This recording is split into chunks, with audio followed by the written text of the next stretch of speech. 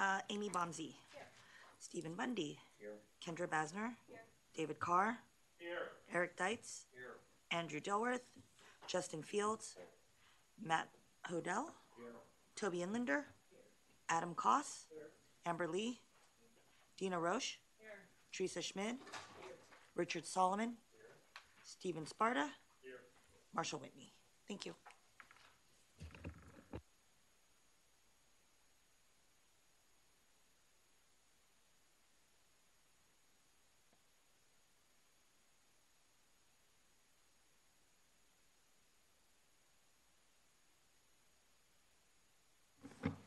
Okay, any comments from the public?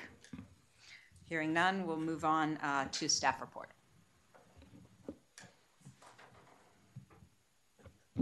Okay, good morning, everybody. Um, I have a few items to report uh, this morning, but I will try to um, move it quickly. If you have any questions, please uh, stop and, and ask along the way. Uh, The first one uh, is inconsequential, but uh, I should alert you, I got to leave early today. Um, So never fear, Mimi will be here uh, to guide you um, through the end of the meeting, but I may have to leave around 2:30 or 3 to catch an earlier flight for a family event back home. Um, more substance, uh, more important to the substance of uh, your work and what you all care about is that uh, uh, the task force, is meeting um, next Thursday here in LA, uh, February 28th. The meetings are webcast, so if you're interested or in the area and wish to attend or follow along, we encourage you to do so. Um, in fact, uh, the task force will be considering uh, ABA Model Rule 5.7, which is much the focus of our ancillary uh, business opinion um, that we'll be discussing today. Um, Did they have a copy of that draft? Do they know about that draft? Yeah, it's posted on their, um, it's, it's part of their agenda materials. The draft, the draft, our opinion. Oh, of our opinion, no, we have not shared our opinion. Um, Kevin Mohr worked up a memo. Is there any That I reason shared with why they you. shouldn't, why they shouldn't see it? Oh, your mic. Uh, no reason. We, we could, we could share it. I mean, the fact that an opinion already exists in almost final form that does what Moore describes. Sure. Yeah, I mean, I think they're aware that an opinion is being worked on. They have not seen it. Um, and then, of course, when, um, it goes out for public comment, we will certainly share it with them. Right, but it is a little weird because he goes on at length about maybe an ethics opinion would be a good idea. And it feels a little odd um, that he, And it could go in all the nuances as well, and we have an ethics opinion that goes into all the nuances already, so. Sure. Um, what time did you say that, um, meeting is? Andrew? Starts at ten AM. ten, And on, Thursday, the twenty-eighth. Okay, um, applications for appointment to this committee are available. Their March uh, fifteenth, uh, deadline this year, um, to submit those applications, so we encourage you to solicit uh, anybody you think would be interested and a strong member in participating on the committee to apply. And um, as you are aware, we'll be uh, assuming the uh, drafting of uh, arbitration advisories from the Committee on Fee Arbitration. So if you know anyone in particular that has what I would call a crossover background between ethics and fee arbitration, there are those folks out there. I know of them. So if you too know of them, I would encourage you to, uh, in particular, uh, ask those folks uh, to apply. We would really be looking for that type of background in the application process this year. Um, The board next meets on March 14th and 15th, and um, the committee, this committee has been asked uh, to provide input regarding the recommended size and composition of COPRAC going forward. Um, That item will be taken up by the board on March 14th and 15th. And so there's a, there's a specific item on the agenda today to solicit uh, this committee's uh, input. Staff is making a recommendation that this committee maintain a, its size at, at 10 persons. But, um, you know, we welcome the committee's thoughts on what the appropriate size and composition of the committee is going forward. And uh, hopefully we'll have time to discuss that later today. Um, In preparing uh, for the board meeting, the twelve triple oh five opinion and fourteen triple oh three, uh, settling bef- uh, before withdrawal, um, was shared with, um, board members, uh, or at least the chair of RAD, um, to alert them that these items were coming, uh, before RAD for approval at March. And, uh, the chair of RAD had a few questions, um, that he thought the committee should consider with regard to, the settling before withdrawal opinion. And, I've raised those questions with Amy and Drew, who are the remaining members of the drafting team. Uh, The uh, opinion's not noticed on today's agenda, so we can't talk about it. Um, I wouldn't say it's anything um, major, um, but he just had a comment about um, uh, some aspect of the opinion, so uh, please be on the lookout for that opinion being noticed on uh, the April uh, meeting, in which we will uh, take his comments under consideration and see if we can um, uh, adjust the opinion accordingly. And uh, lastly, as I reported previously, uh, Assembly Bill 1987, which discusses attorney's responsibility with how to maintain files during post-conviction uh, discovery issues, um, requests that uh, the state bar study whether those obligations or duty, duties are sufficiently uh, stated and explained in uh, the current rules of professional conduct. I'm sorry about my microphone. Um, and uh, as part of that um, meeting with the RAD chair and vice chair, they have assigned that assignment uh, to COPRAC. Um, Steve uh, Bundy has previously graciously volunteered um, to help uh, work on that assignment. But if there were, if there's anyone else um, who'd be willing to help, um, I think a two-person team to take on that assignment could, could be helpful. You don't have to declare your interest right now. Um, I uh, was a uh, I volunteered to do research on what ethics opinions and uh, disciplinary case law has to say on that issue. I've completed my research, so I can say that there are two ethics opinions. Um, which will help guide and inform uh, Steve and whoever else may wish to volunteer to assist him uh, in drafting up his report. And then um, the non-codified statutory language asks the State Bar to consider whether it would recommend either an ethics opinion or an amendment to the rules of professional conduct uh, to state clearly what a criminal defense lawyer or a prosecutor's duty is with respect to maintaining um, criminal uh, files, you know, post, post-conviction. um, And uh, that'll be what, what, what we'll be working on. Yes.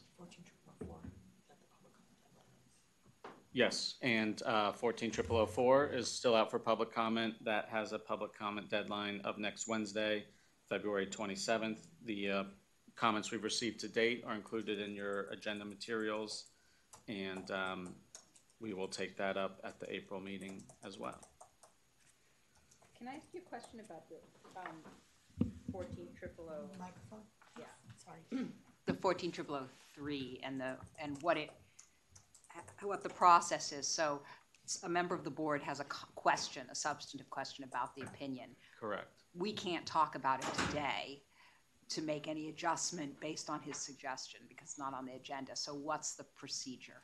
So um, I can assign it, I can share those concerns with the drafting team. Uh-huh. Um, and, uh, you know, I can report generally, uh, essentially, um, the opinion states and references a duty of honesty. Uh, the board member was concerned that that might be too broad. The rule seems to be more particularly focused on a duty of truthfulness, notwithstanding there's case law which talks about generally uh, dicta, not holdings, about referencing a lawyer's duty of honesty. 6106 about talks about not being dishonest, but um, he raises a, a, a good point that there is no quote unquote specific duty of honesty. Um, but it's not just um, changing the word uh, honesty to truthfulness throughout the opinion. That would be an easy fix and a non substantive fix.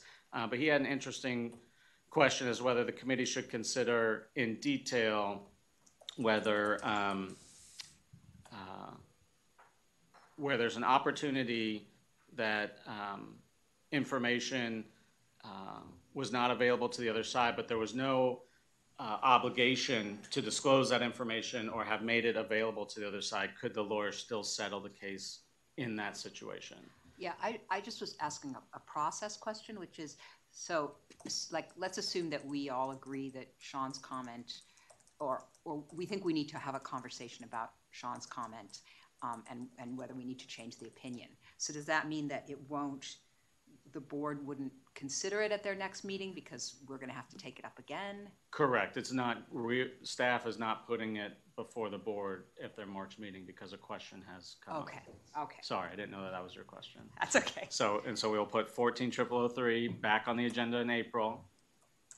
We'll discuss the concerns that were Got it. raised, we'll see if changes need to be made, and we'll make a conclusion and determination, and then it would go back, it might go- might go out for public comment again if the changes are substantive, or it would go back to the board, um, with our response requesting, uh, approval for publication. Okay, thanks. Sorry, I That's okay. totally blew past that one. Okay, that is all I have to say this morning.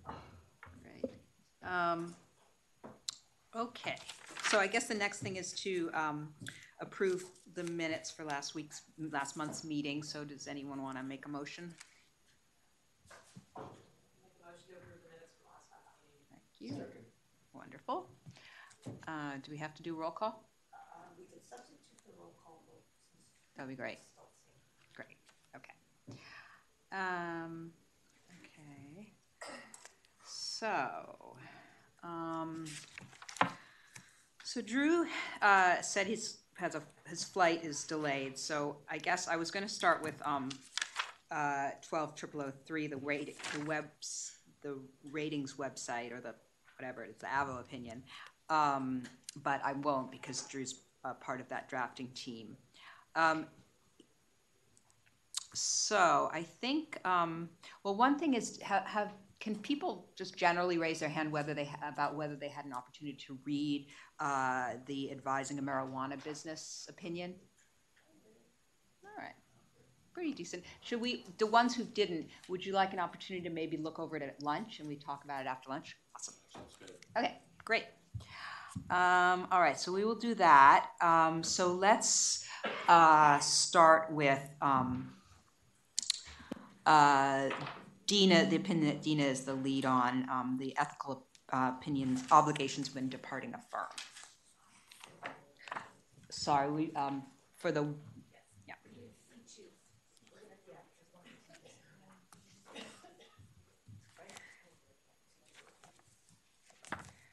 Um, so, Red line begins on page thirty-nine.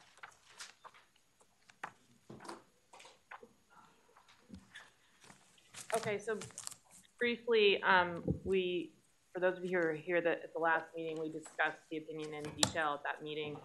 Um, and I, since that time, I incorporated the comments or changes into the draft. Uh, Justin also took a look at the draft and reviewed it and made some red line comments and stuff that were incorporated as well as Amber. So that's sort of the update from the last meeting.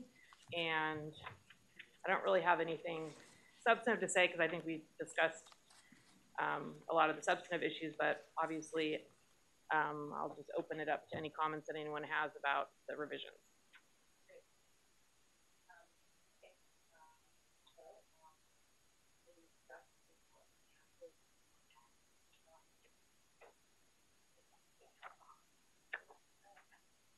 I just have some, like a series of um, kind of nitpicky things. Should I just, yeah,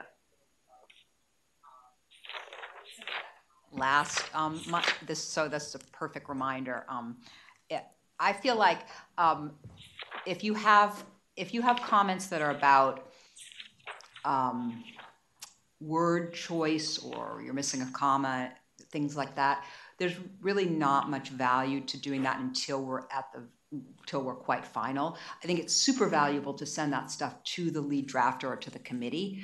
Um, but I don't, I don't think, I think this for, this, um, forum should be used for us to talk about substance, so, um, as a general matter, I don't mean to be censoring anyone, I just wanted to make that observation.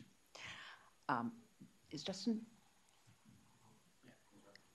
did you have anything else you wanted to, um, add about the revisions to the, um, departing lawyer opinion? I think I've given all of my edits Okay, already. okay. Um, It's in in good shape and it'd to get some public comments. Yeah. Um, so the only, um, substantial comment I had was, I don't understand, there may be a very good reason for this, but I don't understand why we are not providing guidance on the issue of how you, what, how to navigate providing information to the new firm about conflicts. Um, I think that's a kind of, that is, we do, we, we have so much guidance on other things and we just sort of say it's beyond the scope. And maybe, maybe that's an appropriate decision, but I just wanted to ask about that. Well, I think that that particular issue is very difficult in light of the confidentiality uh, rules we have in California, and I think there was discussion, if I recall, about that issue. Um, You know, for example, uh, New York and some other states have specific provisions that allow for disclosure of information in these situations. California does not. I think it is a difficult thing for um, attorneys to navigate, and I think if we kind of chimed in on that, we would be potentially creating, you know, some kind of a standard where I don't think that, um, I don't know, get ourselves into trouble on some of the things. I mean, I think the decision to say that, you know, they just need to be mindful of those duties and do that in compliance is, is I think we had decided that was sort of the best that we could do here. Um, it's really difficult to say, I mean, in different situations, whether even the identity of a client is, you know, a, a confidential thing, um, to what extent you can say things generally about, you know, your client base, revenue in, in groups or kind of in an anonymous way when you're doing it. There's lots of things that people have suggested help to protect these concerns, but I, I'm not sure that we want to weigh in on that. And that's, I think, what we had decided before, but I'm, I mean, obviously everyone should have, you know, express feedback on that point. Yeah, I mean, that, that may be, it may be totally right, that it's just not an area where we want to go. It just, I, I guess it just struck me, and, and I'm sorry if I'm forgetting that convers, that discussion, but when I was reading this, I felt like, you know, we're basically, like, this is the kind of thing like you'll have as your Bible for how to depart properly. And yet there's this one part to me, which is a huge, like, question. And Yeah. it seems also, me- it seems similar to me in the sense that there's some mechanics to it. Um, at least that's my impression. There's some there's some do's and don'ts, but um, that might be helpful. But maybe it is too vexed. I don't know. Does anyone anyone else have that reaction or have a thought on that? Yeah, I do. Um, I noticed that as well, but it seems to me that is a whole other opinion. Mm-hmm. It, it is a huge topic and the lack of those exceptions to confidentiality in California creates a problem. I cobbling together some kind of implied confidentiality exception, and I know that that's been done in other contexts. But I think to really answer that question would probably entail writing an opinion, maybe not quite as long as this opinion, but it would be a substantial amount of analysis to really address the issue. And although it's related, eh, to me, it seems like it really needs to be on its own. And that's why we It, it, all, it, um, I think it would be, we should, it, it takes a whole discussion whether we even want to write, you know. This is one of those situations, and Nadina's comments suggested it, that, uh, where you don't actually know in advance whether an opinion would, Help would or hurt. improve things Yeah. Right. or not. Yeah. Yeah. Um, I mean, it's, it's another case where being too explicit about how stupid California's confidentiality rules would only be beneficial, would Yeah. only be beneficial if it were gonna lead to a change, Yeah. right? Otherwise, you're just Making handcuffing people, Yeah. uh, in, in working towards sensible solutions. Yep.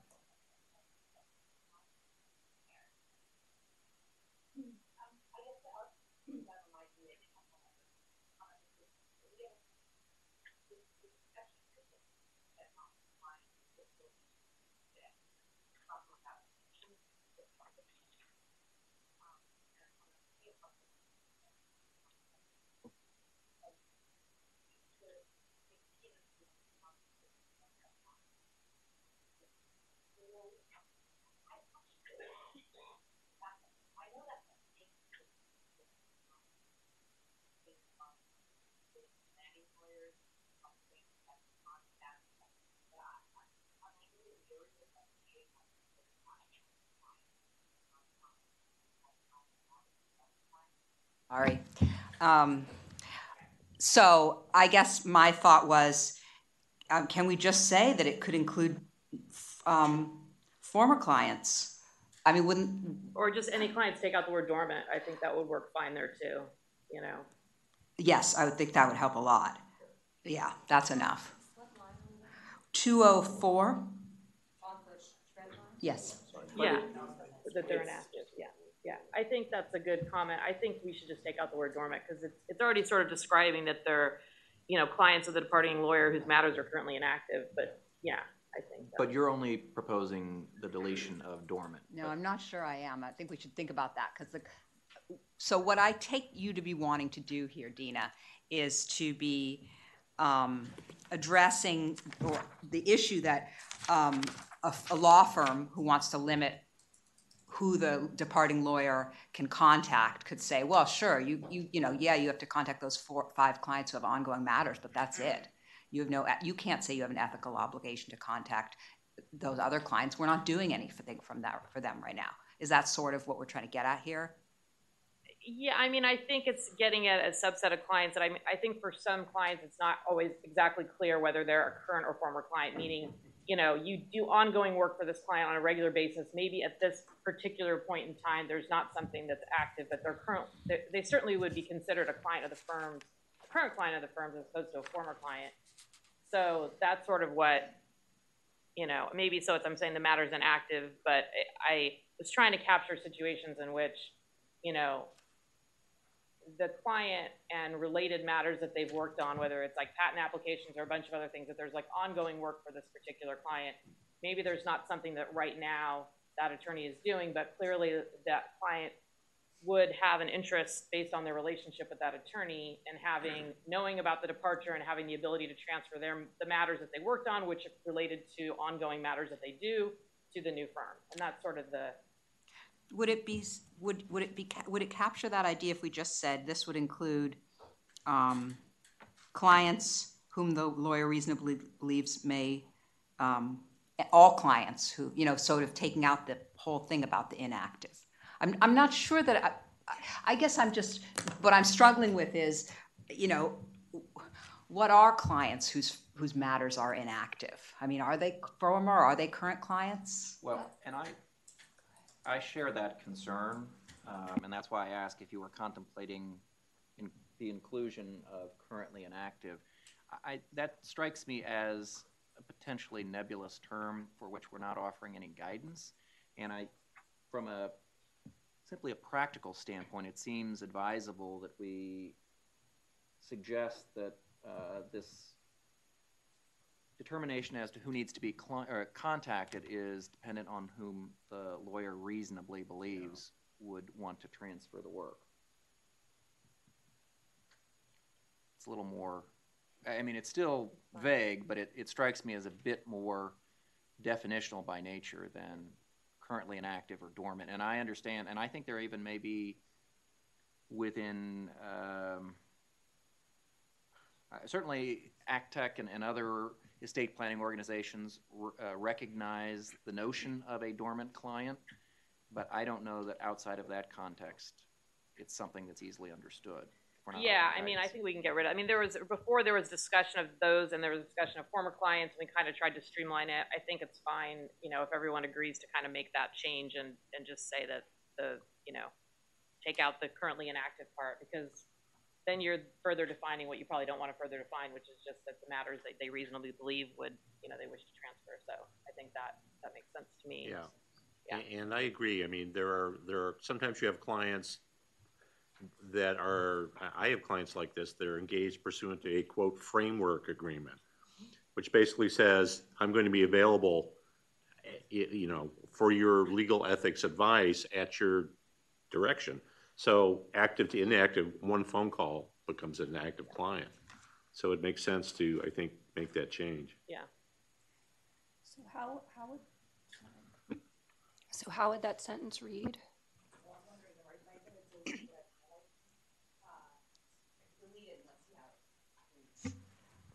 Uh, notification to, uh, to any client.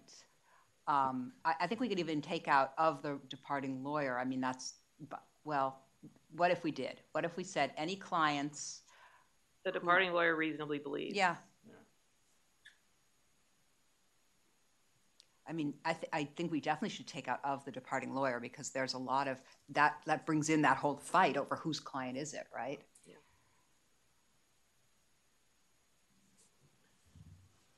But does that?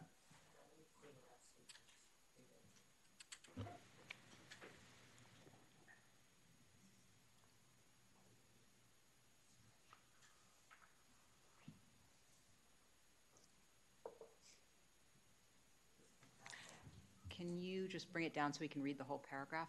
Yeah, there we go.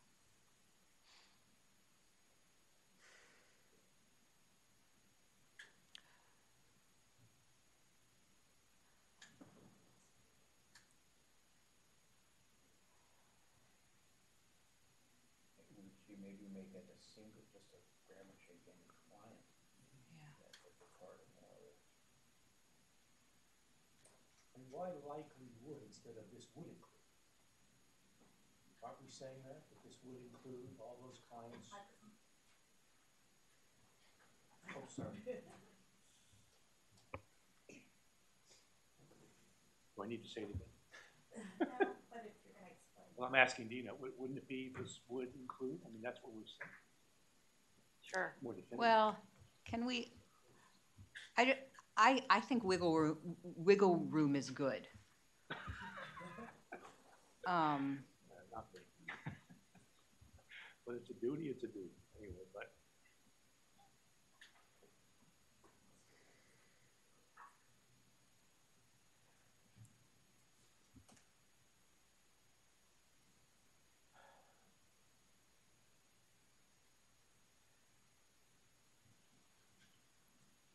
Is it the, de- you know, is it the, I, I'm sorry, my phone.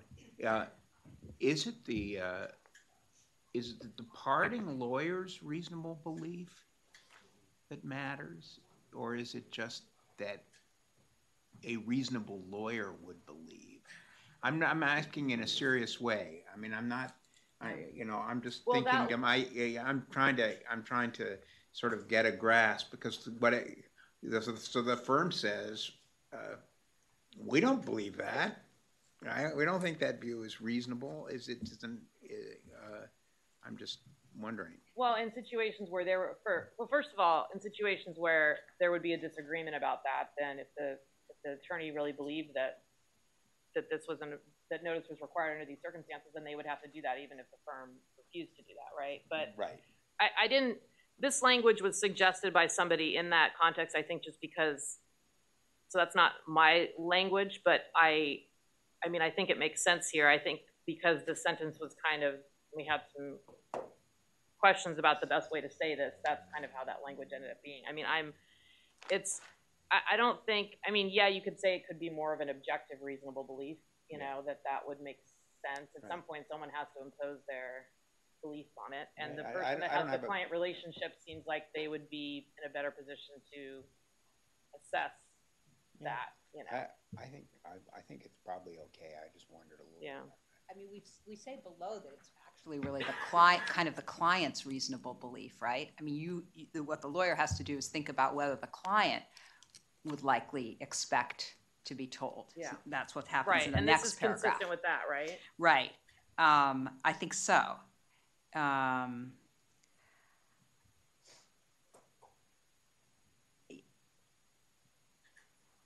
I guess we're trying to think about a couple different things. We're trying to think about making sure that the lawyer, the departing lawyer, notifies all the people that we want to, the- Yeah. you know, doesn't ignore the clients he doesn't like, right? Um, and then we're also trying to think about giving the departing lawyer some um, some protection when a firm is attempting to limit the lawyer, the um, the clients. Yeah.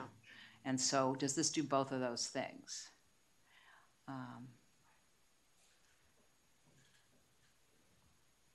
I, I think if this sentence and then the paragraph below accomplishes that.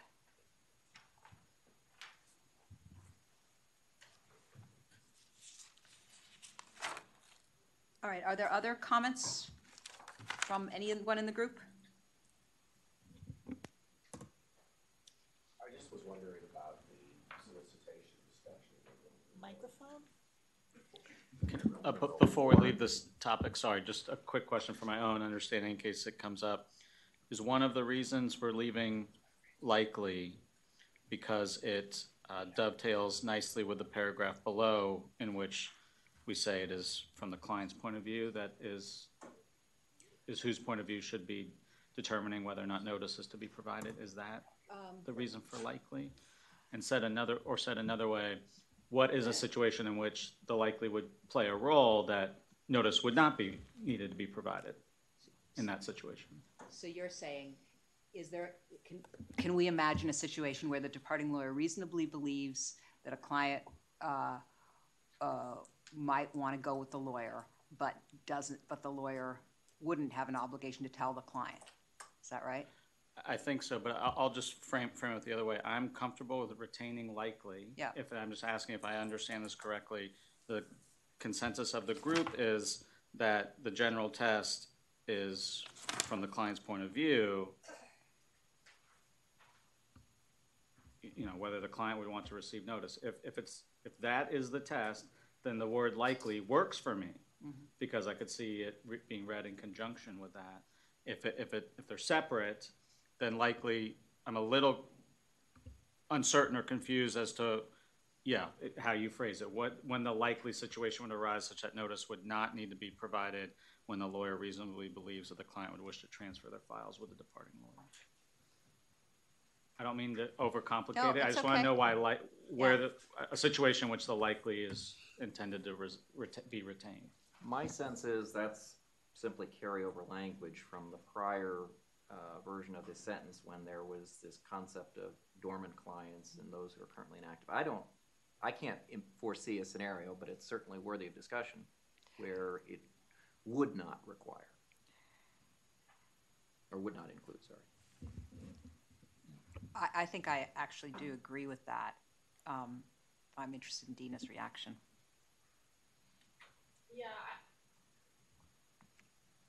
I think, I, I think the likely could go, I mean, I, I think that we tend to try to do those things where it's just not to say this is an absolute situation, because, I understand that explanation, that's probably how I draft certain things as well with that concept on certain points, but if the client reasonably, if they reasonably believe that the client wants to transfer the matter to them, then they should be notified in a way that makes it clear, like, I can't handle your matter, I'd love to handle your matter, what my situation is, so that notification is Well, and I'll just add this additional thought. I mean, my concern with retaining likely is it may offer some, and you called it wiggle room, I'll call it discretion to the attorney to say, well, the client may want to transfer the file, but I don't want the client. So I, I'm just concerned about that scenario. Yeah, yeah, no, I think that's right. That, that is, so, so it seems like, um, what, the first sentence says, okay, who's, who, who have you got to notify? You've got to notify, uh, anyone that, where you're working on the matter, basically, in a rough way. And then we say, um, this, this includes anyone, so that's actually a little weird. I wonder if include is wrong, because, um, I think maybe we're adding a sort of additional category or we're widening the circle with the second sentence. So first, it's anyone who, where you're responsible or play a principal role in delivering legal services. And then in addition, uh, there may be other clients who you reasonably know would want to transfer their files, even if you're not uh, playing a principal role. Is that right? So I'm not sure, it- or um, uh, what do you think of that? Do you think, or, or, or would, or is, is, is the second sentence a subset of the first or not? Well, I think it is. I mean, I, I just, I don't wanna have a situation where someone thinks, like, the argument, like, this is not a quote-unquote active matter, or, um, I mean, cause you could say, plays a principal role, that's in the present tense, and we talked about different situations in which it would be important to notify clients.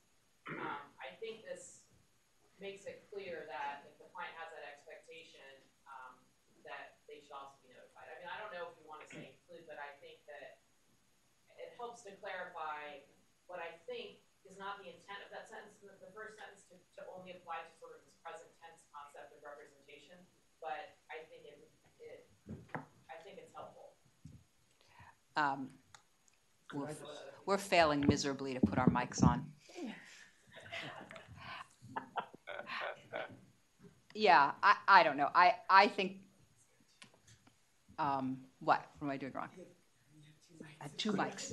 Does anyone else, does anyone else No, it's have on, it's on. feedback on that? Does anyone else have feedback on that sentence? And- Well, my only feedback is that if it's a client, a client protective approach would omit a no exceptions. If the lawyer reasonably concludes that the client would want to know, dormant or not, whatever, if the client would want to know, they must be notified, even if the lawyer doesn't want to continue to, rep- the departing lawyer doesn't want to continue to represent them, that's cool. But the, the client, we've already determined that the client reasonably wants to know what the status of his or her law, lawyer is. And I, I don't see any reason why notice wouldn't be required to give the client the information, whether the lawyer wants to represent them in the future or not. So I think if, if, once we start with the premise that the lawyer has concluded that notice should be given, why, how can there possibly be any exception to? That's what I'm missing. I, I think I'm seeing it the way Amy's seeing it. I didn't notice it when I was reviewing it, but e- even though the word include implies it is a subset of the first category, it really isn't. Because the first sen- sentence is in present tense. So that simplifies, okay, it, you notify clients on whose matters, um, you are working as the principal attorney or the, the responsible attorney. That's, that's clear when you start to get into, okay, what about these clients whom I haven't seen, whose matters I have not handled, who hasn't come to me? I mean, that could run, that list could potentially run long. And, and, and then within that category, we then make kind of, you know, case-by-case evaluation. Um, seems like pretty nebulous, I think. Andrew?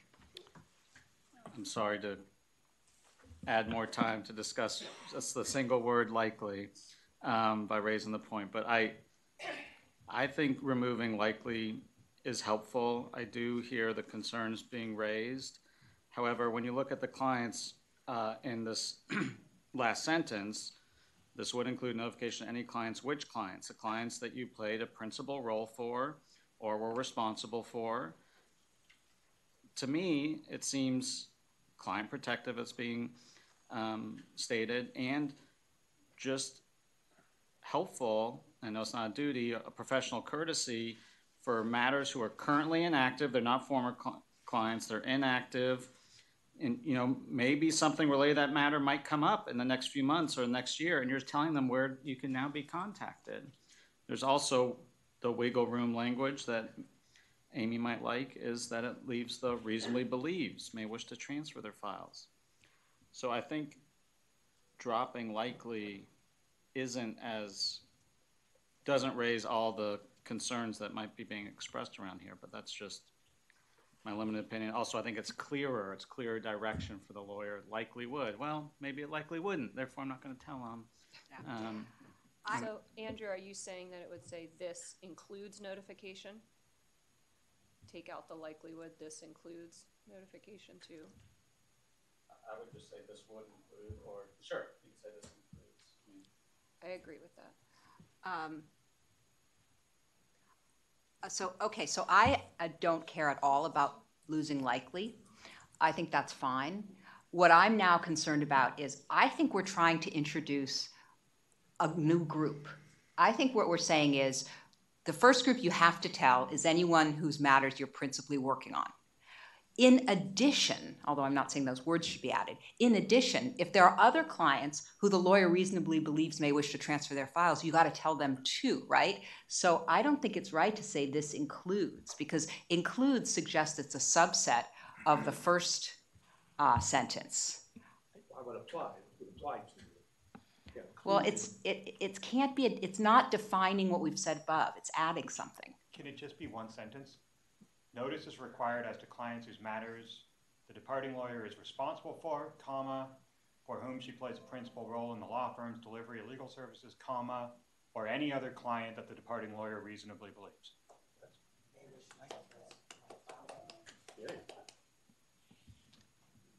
I think I think it works, Dina. That work for you, Dina? Great. And that would then we'd have the parenthetical after that with the ABA opinion, or yeah, yeah, that's nice also because it's not interrupting.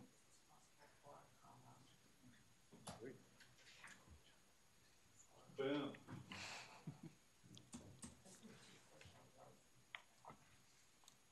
We'll figure out how to deal with the footnotes later.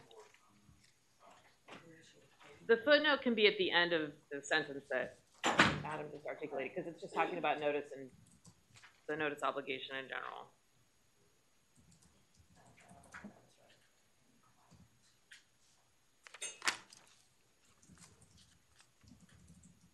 Do you have comments on this? Departing lawyer? Well, actually, uh, yeah, I got a couple. Okay. They're Um, minor. Okay. If you guys are more or less done, I can just talk to Dina.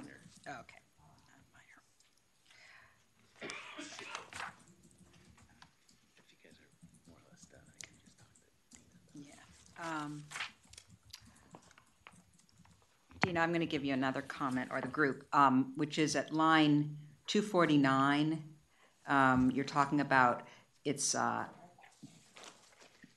directing um, the lawyer not to uh, talk to, um, tell, tell the clients that they're leaving.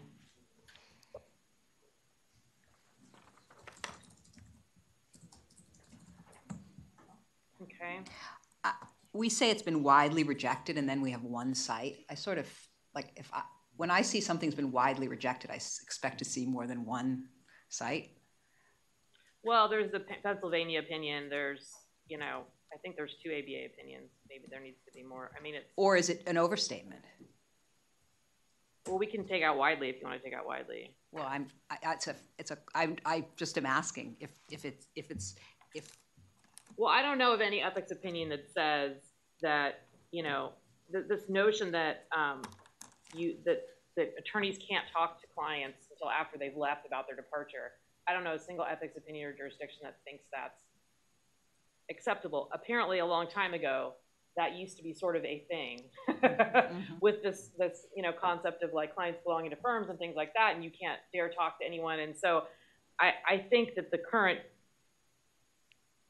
thinking is that it is widely rejected, and I don't, you know, I'm not aware of any other jurisdiction that, especially given a lot of the communication, um, the model rules and our rules related to communication with clients that are more specific on these issues than they were before, uh, that would hold that.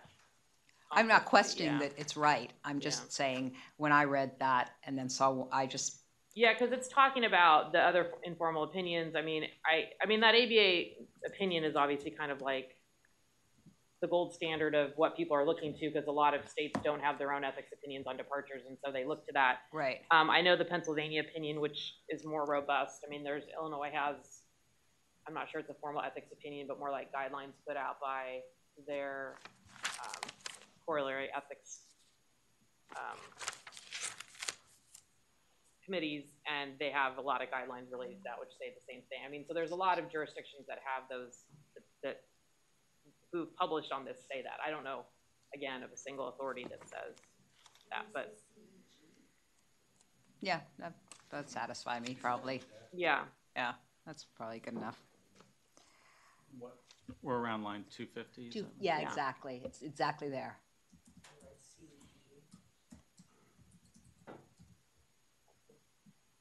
Um,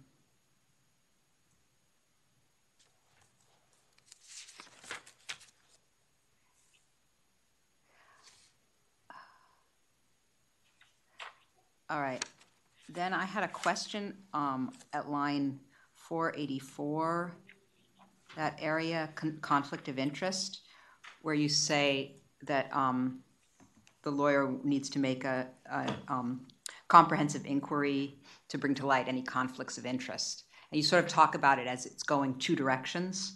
Uh, it's any, um, whether any of the departing clients will have a conflict um, with the new firm and whether the departing lawyer may have conflict with any clients of the new firm. I, I just couldn't understand. I, I feel like those are the same thing. Like if I have a client and the law firm is adverse to that client, we both, you know, there's there's conflicts on both sides. I guess I just couldn't follow if, if those are two categories or if it's really the same category.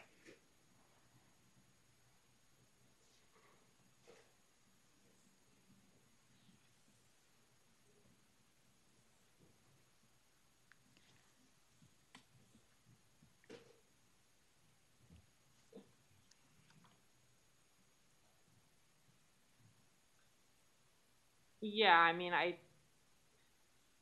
think the distinction is being made between the departing lawyer's clients and, and potential conflicts with a new firm. And then, of course, if, um, whether or not there's, um, the departing lawyer has any conflicts with the clients of the new firm, which is more complicated by virtue, I mean, I, I understand what you're saying, like, you could potentially say that these are the sort of the same things, but like typically you have sometimes I guess what I'm saying is like the departing lawyer has certain clients that they're gonna that they may anticipate that they're gonna be bringing with them who they feel like they would want to use that attorney no matter what. They anticipate that they're going to come with them to a new firm, and those are things that need to be vetted. But it's also, you know, it's obviously broader than that with respect to sometimes former clients or maybe they've been exposed to Okay. uh, confidential information by way of uh, prospective client, or they were involved in some matters that may not come with them, but that that kind of needs to be, you know, vetted too. But, um, and maybe that's not being captured the right way. So. I don't know. I mean, I get that. That makes sense to me what you just said. Um, and if nobody else uh, snagged on that, then I think it's probably not worth worrying about.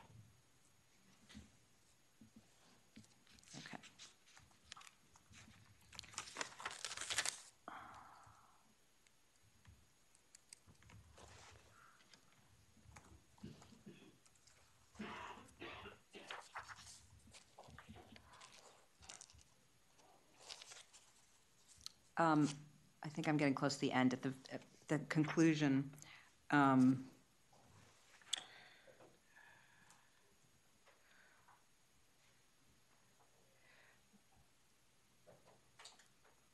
um, two suggestions. One, I'll take them in reverse order. One is at line 571. We say that one of the, the ethical duties is to avoid conflicts of interest with clients. And I wonder if we might say taking reasonable steps to avoid minimum, say. Avoiding, um, could we just say avoiding or resolving?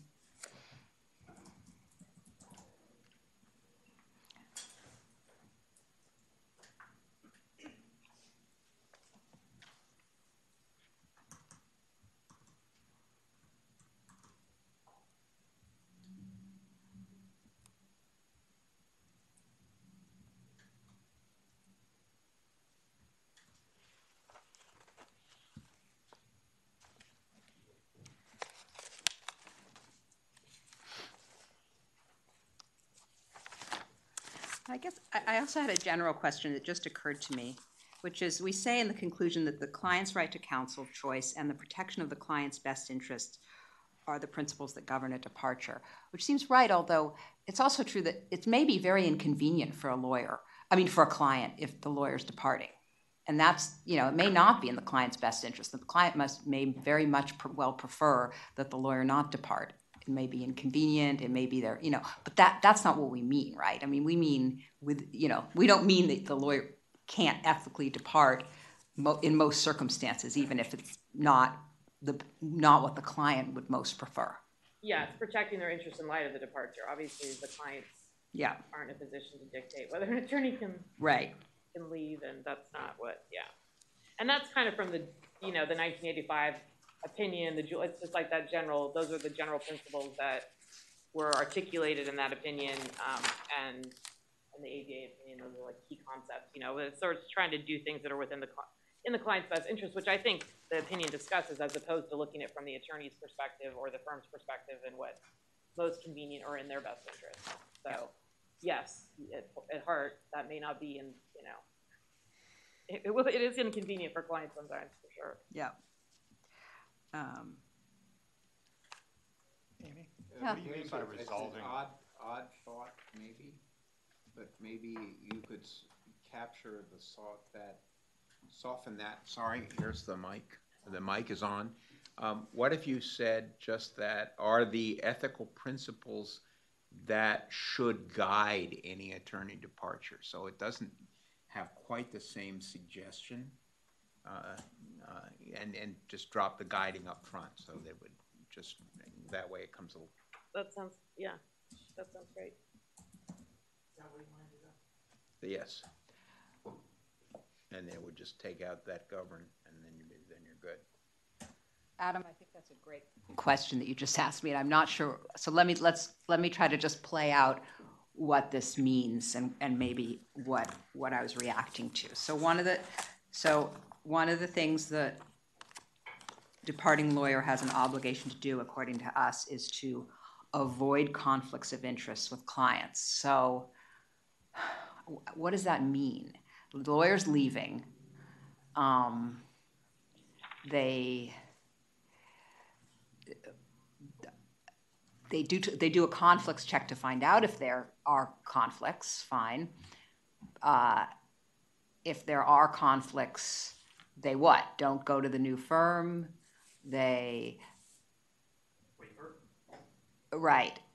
That's so that's resolving. Yeah, and also screening could be resolving too. Right. So that's why I get- think that's what I was, um, or maybe just say address conflicts of interest. Yeah, I was gonna say avoiding is maybe not the right word. I mean, you Right. try to like, you know, you want to mitigate or resolve, or in some cases, then you're, but y- y- yeah. I, I like avoiding more than resolving, actually. I, Like address. avoiding Address? or addressing. may- Can we say resolving addressing? is- I don't know. Yeah. All right, but I don't like avoiding because it suggests, I mean, it suggests that basically like you're, you know, if you identify a conflict of interest, that's the end of that. Avoiding or otherwise addressing, or, I mean, I, I don't. Well, know. what is I- I- avoiding? I, I, I'm fine taking that out. Yeah. I- Right, agreed. Yeah. Yeah. Cool. I have a question. Um, I, that last sentence, I, the, is it member or licensee? Okay.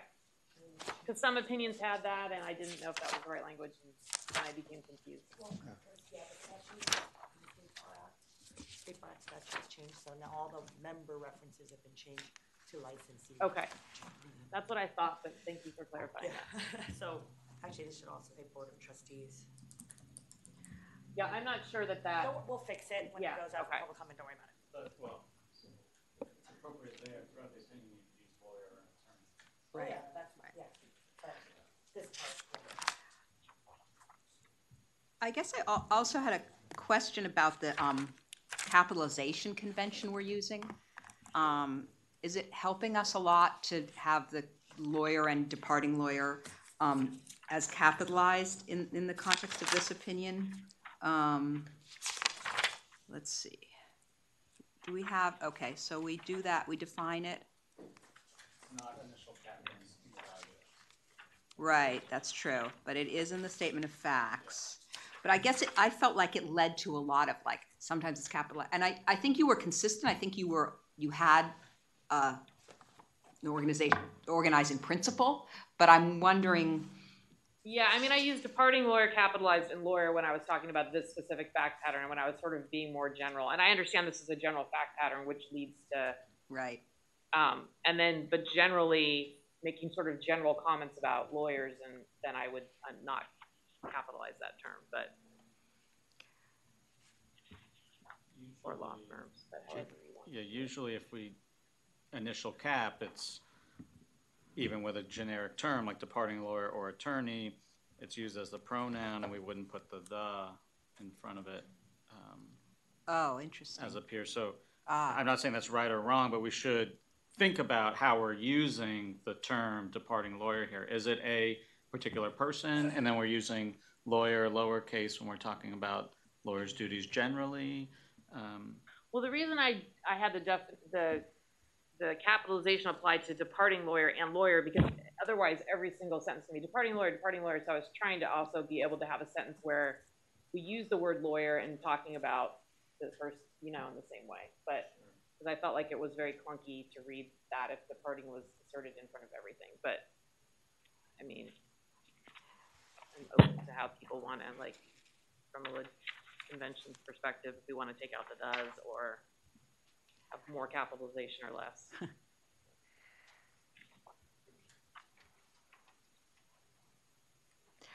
Yeah, I mean, I guess for me, I think you're right, Dina, is that you're, it's the, because it's a gener, a very generic fact pattern, like just randomly taking a sentence, you know, lines one forty-seven to one forty-eight, when you say the departing lawyer and law firm must be cognizant of ethical obligations throughout the transition period. I mean, obviously, that's, that could be either a statement relating to your fact pattern, or it could just be a general piece of ethical guidance.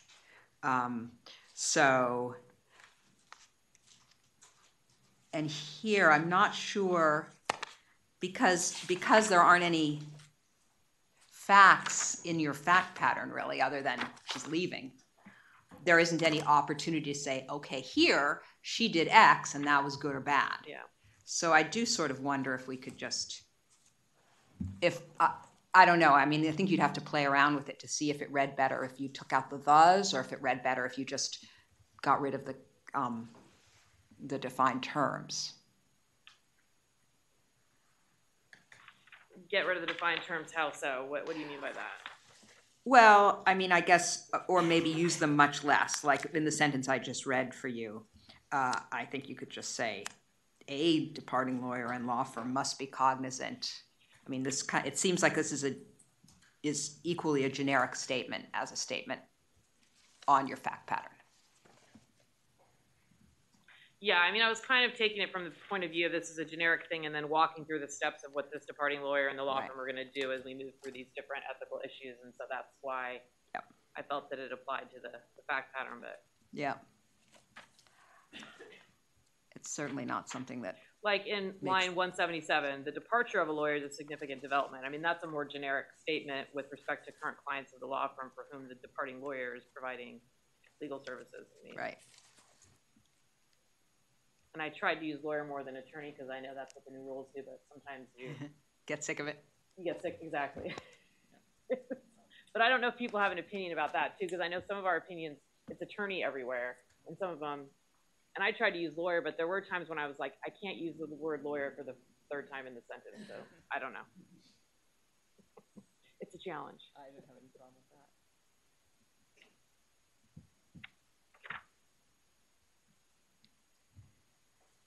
Did it, Uh, I think it's a question.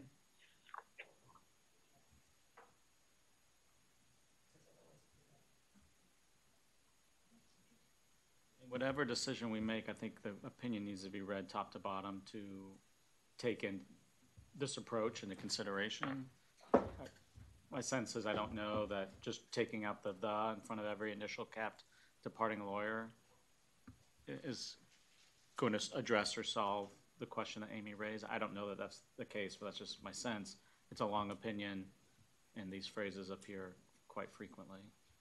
so that's what you want to have happen, which is the the being taken out in front of all the, the words, that's how it's. I personally don't feel strongly about it, but I think we should come to a consensus because I I think Amy's right. There is some disagreement uh, within the opinion as to when they're used. Um, and whatever decision the group makes, I think the opinion needs to be read carefully, top to bottom, to make sure it's uniform throughout with that decision in mind. Is that, is that something that could be done after we voted on it? That's a good idea. Yeah. Yeah, that's just language, right?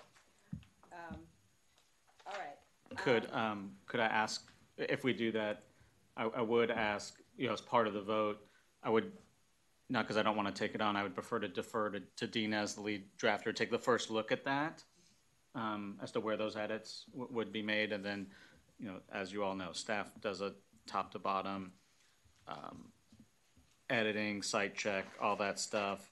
Um, but with respect to this particular assignment, as long as Dean is okay with it, I would prefer that she take the first stab at that assignment because she's so intimately familiar as how, with how it is reading. So that could be part of any motion that sh- might be made here. Um, so can I ask the sense of the group, or generally are people feeling like this is an opinion that we could vote out? Well, I, I'd like to address something. Great. Uh, This,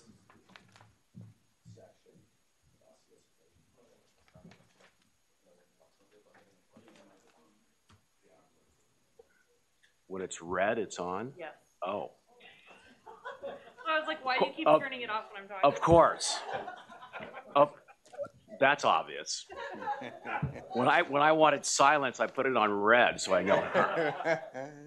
Uh, something's wrong. Yeah, red means go, right? Um, so, well, I wanted to start with, um, wh- there's a section on solicitation that I, yeah, it starts at three sixty-seven in the red line, which was of great interest to me. I, I think that's the issue that everybody thinks about the most. Can you, can you, what is solicitation? Can it occur when the lawyer is at the firm, and then what can the lawyer do after the lawyer leaves the law firm? And I think that's, that's something that fundamentally comes up all the time. Most of the stuff is fairly mechanical otherwise. So I was interested, I need to hear more about it. I'm, I'm not fresh on the rules, but I see it, lines three twenty-two to twenty-three. We constructed a joint or unilateral notice. It said the departing lawyer's ability and willingness to continue to represent the client. That's, I was, I thought, and then later on, you upon, you question whether you can solicit. I was wondering, isn't that an act of solicitation to say, I'm, I'm willing and I'd like to continue to be your lawyer when I go to my new law firm or wherever I'm going? Um, and this doesn't flag what you, what you then flag later as the, as the fiduciary due problem. It's a fiduciary duty problem. It seems, it seems to me that telling a client while you're still a partner in a law firm that I'm leaving and I want to continue to be your lawyer at my new law firm, why wouldn't, is, is, is, is there a law that addresses that point? Isn't that breach of fiduciary duty? You are competing with your partners while you're still a partner. Oh, sorry, I'll let you finish. your I'm, I'm, I'm done with that comment. Okay, so we are not opining on the fiduciary duty issues, and I think that's pretty clearly stated in here. That language um, is not only from like the ABA opinion, but when you're, you, the lawyer, the client needs to know your ability, like, can you actually represent the client going forward? You're giving them notice, you're leaving the law firm. I am actually leaving like this, you know, big law firm and I'm going to go out on my own as a solo and I am not able to take on that class action matter that I'm working. So I'm not able to do that. Or there, the willingness being a, is a factor too. Like this is not necessarily a client that I can continue to work with for rate reasons or other reasons at my new firm. So those are important things that need to be identified. The tension that you're talking about is absolutely an issue in the sense that it's it's you're these are all things that need to be disclosed to the client we discussed throughout the opinion in this section um, related to, you know, you need to help them make an informed decision, which includes giving them information related to what your rates are going to be look like at your new firm, like what your staffing is going to be like, which attorneys are going to go with you. Those are things that help the client to make an informed decision. So, but that you're right. I mean, the idea of saying that versus saying, "What can I do to get you to come with me?" You know, that becomes My rates are low, my rates are lower. I'm fully available. Uh, we have great lawyers at my new firm, but I'm not soliciting. Well, not we're s- not saying that you can't solicit them either, by the way, because you can solicit them. Now, Why- whether or not. Why, why, is, is that, I mean, you're the expert. I'm not challenging. I'm just, No, I'm I'm not. just Don't curious as that to why, perspective, and I'm- I'm- why, why we aren't, s- this is important to Because- me at least. I Because mean, Matt, under rule seven point three, it's not solicitation to offer your services to an existing client. Then, then if we think that's clear, then we should say that that's not a breach of fiduciary duty. No, that's Fiduciary duty is a different issue. related I, to I don't, obligations. You're but, talking about but two anyone types who's, of solicitation, Yeah, I think, Matt. There's the ethical concept, and then there's the concept of I'm soliciting you in breach of a fiduciary obligation. so you don't because I'm think, so we're take care of comfortable, I, I just thought as a reader of this, I would say, I, I get it. I can tell them about my willingness. I'm very willing and I'm able. Right. I'm going somewhere where we're all willing and able to continue this great relationship. That, that, that doesn't, we're absolutely confident that while you're still a partner in a law firm, that doesn't breach any fiduciary duty. That's not what the opinion says. It is absolutely not what the opinion says. It says about more than once, and I, I think your point is, it's really good that you're raising this because it, we may, may need to say it even louder and clearer. I, I think that's what I'm, I Yeah. think that's what I'm suggesting. But I, I think it, I actually think they probably would breach a fiduciary duty. But I mean, there's this I- tension. Why don't you look at lines four oh two or four oh one to the rest of that paragraph where it says, this is a decided intersection between the ethical rules requiring notice and permitting solicitation, the scope of the fiduciary duties among partners, and potential contractual obligations between partners. Thus, the question of whether such conduct would violate fiduciary duties between partners or amount to unfair competition is an open question that is likely to be very fact-specific. We are not, opi- I mean, we could add a sentence saying we are not opining on that, but I think we've said that in many other contexts throughout the Right. opinion, you know.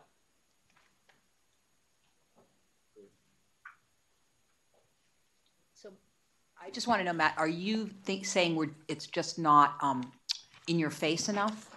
Or is it another issue? So if I'm leaving and I read this opinion, I would see that I can tell clients, it it flat out says that, doesn't really, doesn't particularly cite any authority. That's the bullet list. Well, it doesn't cite any authority that says it's not a breach of fiduciary duty. It cites authority that says you're ethically Right. obligated to provide certain information. I, I would, I would feel, once I read that, I said, well, that's good. I can express my willingness and ability. Um, which I don't, I don't know how we can cleave that and say, well, that's, that's, that's not solicitation. I, I, I think val, a valid argument can be made that that certainly is. Because it's certainly inviting the client. But then, then we go on to say that it's an open question and we are not addressing the intersection with law of competition and fiduciary duty, which the reader goes, well, can I do it or not then? Well, I agree with you that I, I, I think I raised this actually at the last meeting, and we talked about the fact that after I got done reading the section on what do you have to tell the client, and then I got to the solicitation, I thought, well, wha- we've already been through that. So I do think that they're really close, just like Dina was saying they are. Like, th- So what, what would you tell clients, Dina? They say, so can I tell them, will I run the risk of breaching fiduciary duty if I were to say, say, say, say, the- say that I'm, I'm ready, willing, and able, which basically says, I want to be your lawyer. Yeah, I mean, I'm not gonna go into what advice I would give the clients who are consulting me about that, but this language is language that's consistent with Rule one point four, which is listed below. It's, it's consistent with what the ABA has said on this, it's consistent with other ethics opinions in this bullet list. You have to let a client know, otherwise it's like, I'm leaving the firm and going there. Okay, do you, should I come with you? Can I come with you? Like, is there enough attorneys that can work on my matter? Like, what are your rates gonna be? The, the client can't possibly make an informed decision without knowing these basic things, starting with, are you, like, are you competent? The, the, the, the ability to do it is a competent question, right? Are, are you, well, you're saying that ethically, you can answer all those questions. You, and you Right. have to, you I- have and to I'm- give them and I'm not- And I, but and it's a, and it becomes a matter of the firm. Like they're also clients you know if they have such a close relationship with that attorney and the attorney's going somewhere that has a platform where they can continue to work with them the client's going to go probably I- with that attorney. And if and if and if not and they're just sort of um, they're going somewhere that doesn't fit what the client wants for representation and that there's other people at the firm that the client's been at that can are perfectly capable of doing the work and they want to say then they'll then they'll we're stay talking, we, uh, I'm, I'm not arguing with any of that. yeah It seems to me everyone resoundingly believes that those things can be discussed without violating the rules of professional conduct. In fact, they're probably required. yes But then someone says, but you can't say those things because it's breach of fiduciary duty. We're just leaving the reader uninformed as to that. And, and, and do you Well, think that's I just think- not the role of our committee? Other than to say it's possibly a breach of fiduciary? How could it be a breach of fiduciary duty to do something that is required by the rules? Well, we say that somewhere in the opinion. I can find it where there's that where the partners are trying to say something like, you know, whether it's a contractual provision saying you can't talk to clients after you give notice until you leave or something like that. That if that violates an ethical obligation, then you know the the attorney has an obligation to follow their ethical. We should say that. It's in the it's in here. And then we probably should say it there. And that, but that, that gets to I the, mean- to, to the other section. We can say another sentence in that section, like in the four hundreds, if you think it's helpful, where we talk about that intersection between those issues, um, and say that we're not opining on that again. I, I, I think that we, we certainly can't opine on what is a breach of fiduciary duty in, in this context, right? I mean, would wonder what would be a breach of fiduciary duty if you tell them I'm leaving, and you, and you conform to what this opinion says, you conform to the rules, and, and, and you do things which you tell me are firmly required by the rules of professional conduct. How could anyone say that breaches fiduciary duty? I mean, I don't, I don't know Well, why I don't would. think if they followed that, these guidelines that they would be. I mean, if they were planning for, you know, six months to leave and they were talking to their clients and trying to get, a you know, all without the firm knowing and doing things that were undermining the firm's, their, their partnership relationships with partners at the firm and trying to funnel clients to come with them in a way that was very deceptive, that would be potentially, again, I'm not, you know, that could potentially rise the level of a breach of fiduciary duty. Because you're duty. violating other rules, but I, You're, yeah, but, the, but just simply notifying the clients of your departure in a way that you're obligated to do under these rules is not, I- I don't view that as a breach of fiduciary duty, but I'm also don't want us to be saying like, I'm, we're not gonna make that final proclamation, We're right? not making So- that final call, but I, the way I've always read this opinion is that this opinion gives a lot of comfort, right, uh, to a lawyer who's worried about being charged with a breach of fiduciary duty for the one point four stuff, right? It gives you a ton of comfort for one point four, and that seems right, right? Because how can it be that the client should not be given what they need to be given, right? I guess and and it, it's it's framed in a way, Matt.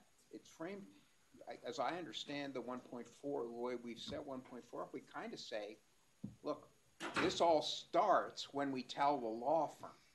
So you tell the law firm, ordinarily, that's when you should be, that's when it should happen. So it's gonna be a kind of a regulated process, uh, that, uh, where, and anyway, that, that's what we're doing. I can make my question But what better. we're not doing, and what we do very carefully here, is we're saying that once you go beyond that, right, and you get into the sort of back and forth and so forth and so on, that it may be, then you've got an ethical permission under seven point three, but not an ethical obligation. And we don't rule on the question of how the permission uh, relates to whatever your contractual or fiduciary obligations might be. That's I, sort of I, I think what I'm at, what I'm, what I could be advocating for is if you, if your conduct complies with the rules and it, it's not misleading, et cetera, et cetera, complies with all the ethical rules in the manner that you tell a client about your willingness and ability to serve them while you're still there, which again, I wonder about that. But, but afterwards, after, after you leave, those two scenarios where you, you, you can contact a client, say, I, I want to be your lawyer again. And if you don't, if you aren't violating, if you aren't doing that in a misleading way that violates any of the rules, I, I don't see how we, how that, any of that could be breach of fiduciary duty. And if, and why aren't we comfortable just saying that? I think that's important to people. Because we're talking about ethical rules and imperatives. And we, and we tell people, well, we think you can ethically do this, but we are not going to touch what we view as kryptonite, which is basically this uh, fiduciary duty problem. I would find it unsatisfying. I What- don't think what this is the- opinion said what you can do. I thought this opinion was you must do this. I, I, yeah, I said that there are times when there are things I learned from this opinion that you must say, sir. And then, and then I, th- I read it as, for this other stuff that maybe you can do, there might be some other issues. You might, Well, uh, for, can- for, just because something is within the ethical guidelines doesn't mean that you aren't gonna get, you don't have other legal obligations for it. What would those legal obligations be? Maybe, maybe, maybe, maybe that's the way to get to it. Is how if you comply with all the rules in, in the way you talk to a client while you're still with the firm or after you leave the firm, yet the law firm says, I, "I'm now going to sue you for breach of fiduciary duty." Did Some someone give me the fact pattern. Matt. But it- it's not a- blow- This blow, your proposal either puts us in a position of saying something that is really dramatic that we can't sustain, or it blows the opinion up uh, into a huge discussion uh, of uh, the law of breach of fiduciary duty. That's A, not probably what we should be opining about anyway, and B, um, gonna be hugely controversial and will delay this extremely useful opinion for another year. Is that what you wanna do? I mean, you can't Wait. just say it. No, I don't want to blow things up. I don't want to delay for Back- a year. back- I didn't say any of that, Well, so- Stephen. Well, so offer, I- so I- what's, I- con- I'd what's say- your constructive Oh, solution, I have a, man? s- I have, maybe have a solution. Well, I think my constructive, I, I think it's my own lack of famil, current familiar, because I've, you know, having left law firms, and I've, and I've written about this, but it's been a while, and, and you do it all the time, but it, I mean, I just, and, so I guess we should move on, but, but I do want to say that I find it dissatisfying that we give all this opinion and advice, and then we say, however, we don't, there's this whole area of law that may override, that's, that, that's implicitly what this says. There's a whole area of law that, law of competition, unfair competition, fiduciary duty, that implicitly may, may change what, what we've told you you can and must do. Drew, did you want to say something? Um, well, yeah, I'll say it really quickly, although I think we kind of morphed. I, I'm back on your initial point with the bullets, and I think we moved to this business of do we say whether, you know, the ethics trumps fiduciary duty? But just quickly on the, on the first point, the starting point, um, I'm just wondering, Dina, on, on that sentence where he, where, where Matt raised the issue, how critical is the willingness? I mean, to me, ability kind of implies willingness. And so I was just wondering if we don't have to have that, is taking that out, make it a little less of what Matt caught Matt, where he thought, wow, you're telling someone you can go out there and really advocate to come with you as opposed to someone else. And wouldn't that be solicitation in the sense of some kind of breach of fiduciary duty? I don't know if that helps, but I mean, willingness doesn't I mean, that's kind of implied to me. If you're telling the client, I'm moving to this firm, I'm going to keep doing the following types of things, I'm still going to do, you know, products liability work or whatever, and that's what you've been doing for the client. I mean, it's kind of implying that, you know, you're available. Well, Um, you may be, a- you may have the ability to be unwilling to. And so you need to let the client know whether you, you know, you would like to continue to represent them. I mean, I guess, okay, and if that, I'll, I'll accept that. To me, that's kind of split, like, my ability is gonna be color, I mean, if, if I'm unwilling to do it, it's kind of like I'm unable to, I mean, that's getting super technical. Could I theoretically do it? Yes, I have the ability, but I don't want to or something. I mean, it just seems to me that ability implies that, you know, I'll do it. You can come with me and I can handle the case. I can be competent. Yeah, I mean, the ability is more of like trying to trigger the competence issue, yeah, than the sort of, um, availability and willingness. which is what I- I, have a question, and maybe, I don't know if anyone has an, an answer to this, but is there, are there cases, appellate cases or even trial cases, where this scenario has resulted in a in- intentional interference with the contract or breach of fiduciary claim that's been sustained by the court, where a lawyer solicited clients left, and that has actually resulted in, in some finding of breach of fiduciary duty or damages? I mean, I don't have knowledge of any such case law off the top of my head. I just wonder, do- is it out there? If anyone old bad case knows. Huh? That have really like egregious fact patterns which are difficult to apply to normal situations. A- a More of these- egregious than that, than There's, this. there's not a lot of California What's case law, right? About this, I'm not, yeah. No, But, but, but what would be, the you know, the question Like, is, you know, in the middle of the night, going in and stealing all the files from the computer and Okay. sending out messages to everyone implying that somebody's, that the other partner died. I mean, there's, there's a lot of, there's certain fact patterns in a couple cases out there that I think everyone looking at would be like, well, yes, you should be able to make claims against that particular person.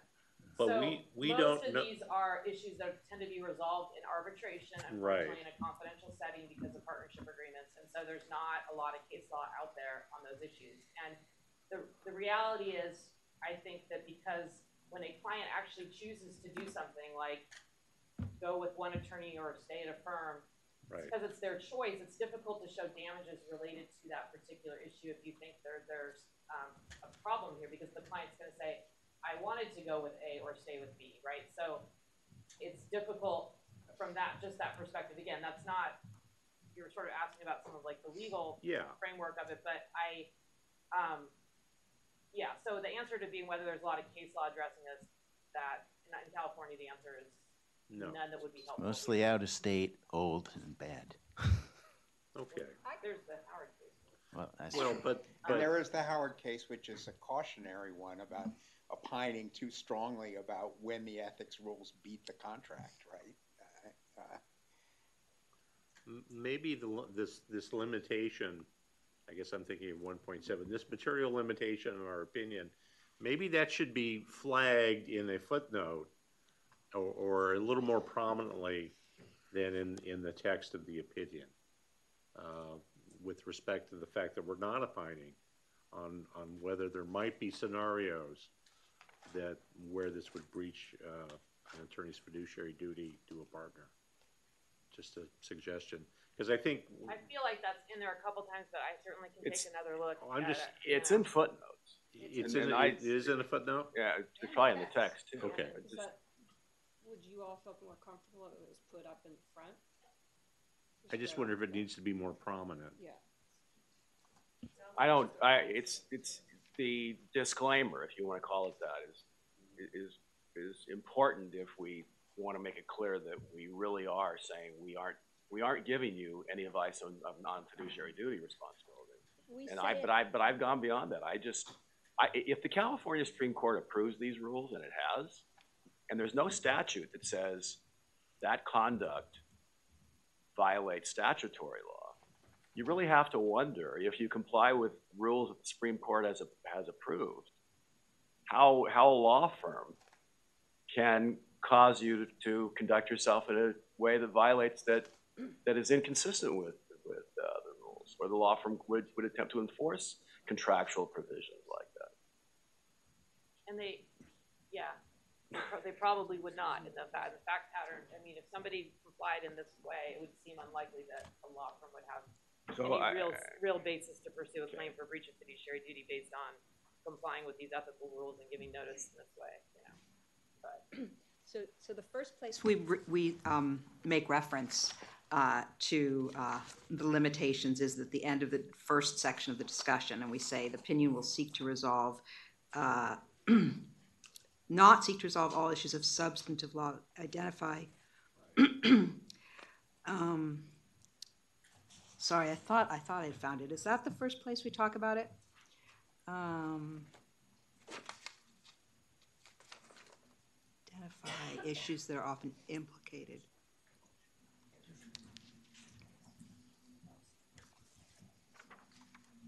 I'm just trying to figure out where is the first place we say it. I think it's not, well. Oh, it's right, in analyzing the rights and obligations, there's a tension between the compliance with the rules and fiduciary duties. Um, And maybe we, you say right there, you know, that, that's, you know, we're, that's beyond the scope, or we're not, I know you don't like that, Matt, but I don't No, think anyone I- else in the room would be comfortable with us taking a position on what's a breach of Uh, fiduciary again, duty. I'm, I, I'm talking about something different, again, which is, I- I'm comfortable with the disclaimer, but I'm, I'm not, I just wonder whether we shouldn't be saying, saying something far more affirmative. Okay, listen, and line one thirty-one, during the transition process, the party lawyer and the law firm may also have legal obligations to one another, which could include fiduciary duties and contractual obligations. To the extent possible, when there is a conflict between the departing lawyers and the law firm's ethical obligations to the client, and the lawyer and law firm's obligations to each other, the former should prevail. Sorry, that's line, One thirty-one to one thirty-five. For example, the law firm should not attempt to enforce contractual obligations on a departing attorney, departing lawyer, that would prevent, oh yeah, sorry, I'm looking at the clean version. Um, It's right before section three, the paragraph before section three. In the red line. Um, The law firm should not attempt to enforce contractual obligations on the departing lawyer that would prevent the departing lawyer from complying with ethical obligations to her clients or interfere with the client's right to of counsel.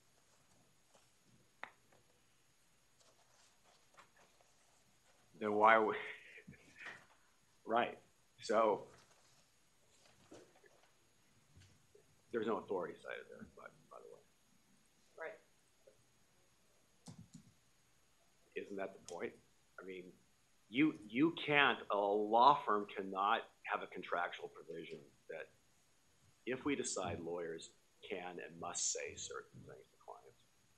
There's, why tell people fiduciary duty can still be a problem when, when ethical obligations are going to trump the, trump fiduciary duties among law partners? Fiduciary duties encompass a whole wide range of things we're just talking about in this context, right? I mean, so there could be situations a departure where a person does breach fiduciary duties of a firm. You know, I, if you're giving notice, you've talked to the firm, told them you're leaving, and you're communicating this information to a client, you know. I- mean, I think we've come out pretty strongly and, and, and wi- it- with citing authority. For example, when, when we say, um, in line two forty-four of the red line, that any directive not to talk to, um, partners must be viewed with skeptically, um, and that it's been, and that that's been widely rejected, although I guess I kibosh the widely. But, um, and then we cite authority. I mean, I, I do, I don't, I mean, I think this is a, this is a this is a nuanced opinion and you do have to actually read it as opposed to like just getting a bullet point from it but i think there's a lot in here that would help a lawyer combat a claim by the law firm that there was a breach of fiduciary duty but i don't i'm not sure that we can i, I don't see how we would go any further Well, Andrew, I mean, it, wouldn't that be outside of what we're supposed to do? I mean, to come to the conclusion that you couldn't be in breach of some other obligation by virtue of analyzing the ethical issue? I mean, it strikes me, it's kind of like that opinion we did where, um, you know, the, the judge was saying, tell me the confidential information you want to get out of the case, tell me what it is. Well, I can't tell you, Your Honor, because I don't have the permission of my client and I have this duty of confidentiality. And well, I'm, you're going to be in contempt. We wouldn't write an opinion that says, well, you can't possibly be in civil contempt because you've complied with your ethical obligation with respect to confidentiality. I mean, I, it's just a tension. I, I don't, I don't think we can go there. And I, I don't think we should. I mean, despite the absence of a lot of good law, it's complicated and the claims come up. And I think it'd actually be a disservice to tell a lawyer that you can absolutely rely on this opinion to be a bulletproof defense to any kind of, you know, breach of fiduciary duty claim. I think it goes too far and we can't do it anyway. And yet at line one sixty-two, he said the law firm should not attempt to enforce something. and your point I'm, is I'm, what? I'm just saying that we're, that, that we're pretending like we don't say these things, and yet I think we do. And I, Would you take that language out? no. Yeah, I thought you wanted. Okay, No. so what's No. the problem? We can't go further. You like what's in it. What's the, what are we, what are we talking about? Is there something more No, I, you know, I, I, I think I'm, I think I've said what I wanted to say. I'm, I think I've listened to what everyone has to say as well. Okay. Okay. Um, so I think, um, bef- all right, so is there anyone else who has sort of, wants to talk about any sort of big picture issues? opinion? A question arose for me, Drew, um, in the bullet points that begin on the red line, line three twenty-two. Uh, he referenced the willingness and unwillingness issue, and I didn't notice that before, but as I read the opinion now, it's, it strikes me as the, and as strange in the way the bullet points are structured. I think I'm comfortable with how they're structured. I like how it's written. However, when you read this bullet point, the departing lawyers and the law firm's ability and willingness or inability and unwillingness to continue to represent the client. Next one, the client's option, I always thought it was the client's right because the client can choose to stay with the law firm, go with the departing lawyer or to the new firm or choose another lawyer or law firm entirely. Are you able to choose when someone's telling you they're unwilling to, to take you? Um, does the, is the client still retained with a quote unquote choice in that example? That's issue number one. Number two, is it, can lawyers and law firms say I'm unwilling to take you? Well, I mean, I I guess. could see unable, I don't have the resources, uh, or whatever Yeah. the situation might be, Yeah. I'm retiring, whatever it might be. But the willingness issue, I, I just hadn't heard that language before, and I'm hap, I- I'm happy to learn about it. I, I didn't know where that comes from. Well, I mean, I believe that language is in some of the other ethics things which I can pull up. I mean, because that's where part of these checklists have come from, so it's like, you know, forms that are kind of, um, so I can, I can look at that. Um, but I do think you raise a point, which is just that it says the notice whether joining unilateral should inform the client. I mean, maybe we should say where applicable or something like that, because I think there's different situations. You're gonna send different notices to clients in certain situations where it's like, if you wanna give them the choice to come with you, you're not gonna tell a client, you have the choice for me or, or stay at the firm or, you know, hire Justin or whatever, if those aren't options for them. So it obviously needs to be tailored to situations, but choice is an important part, right? So they have these choices. And so just like, you know, I think in some situations, um, you know, the, if you're unwilling, if you're unable to continue the representation, that needs to be part of your notice to that particular client, right? And you wouldn't then give them the choice to come with you to that, to answer that question. So, um,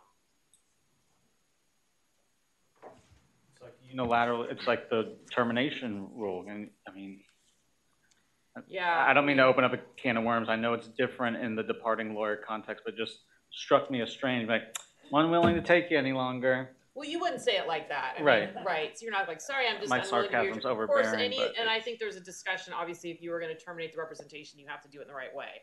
You know, but there may be situations where, um, uh, you're not able, and so, uh, and, uh, yeah, and you're Well, not. I tell you, I think practically speaking, this, from my own practice, I've seen situations where a lawyer is perfectly capable, has the knowledge and experience to pr- continue with a matter, and doesn't want to. Says, you know what, you're, you're well situated here at current law firm.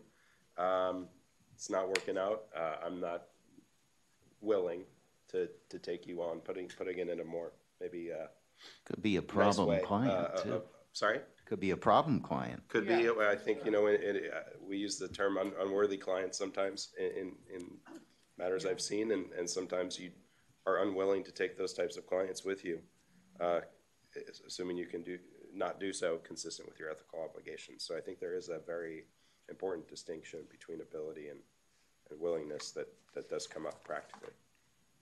And you're, you're, you're resetting the relationship. It's at a new firm or you're on your own or whatever, and so it's a new engagement, obviously. And so whether you want to take that person as a client, you know, is a question. And that doesn't mean that you don't have all these related ethical obligations to make sure that you handle that in the proper way and that there's continuity and that there's no prejudice and all those things. But you, you know, there may be a rate that they have that you're unwilling to pay more and you're not willing to do the work for that rate your new firm or personality issues or Or you don't wanna take those types you don't want to take those types of matters anymore. You're you're you're capable, you're competent, but you don't want to no longer want to do this type of work anymore. I don't want, no longer want to do litigation. I want to do advice and counsel or whatever it is. Yeah, so you're not going to take that client. Yeah, there's lots of reasons. I, you know, I could look through this and.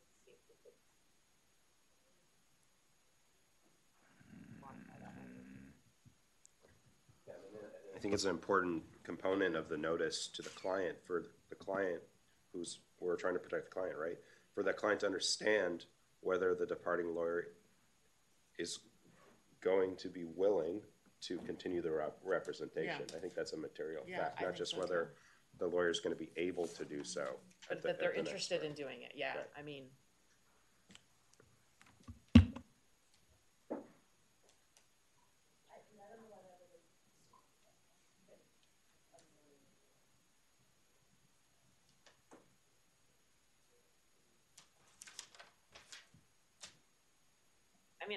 What other people think. I don't know if it makes it seem too callous, like, well, I'm just not, I mean, maybe that's.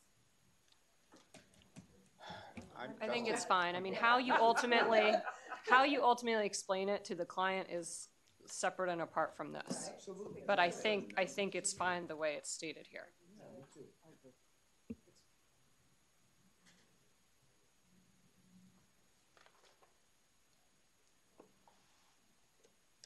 But what about um, Andrew's point that, I mean, what do we do, just some kind of fix to note that, um, Yeah, maybe just that where applicable. or- Yeah. I mean, what do you think? Because I do, and I reading, think and that's also the fine. comment about that the lawyer has the ultimate right to decide who will compete, excuse me, who will complete or continue the representation.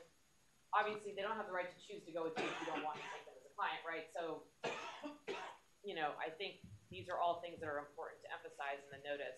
um, and that they should be communicated where, where they're appropriate, right?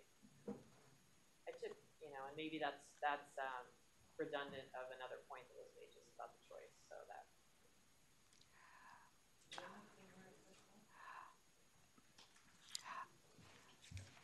Um,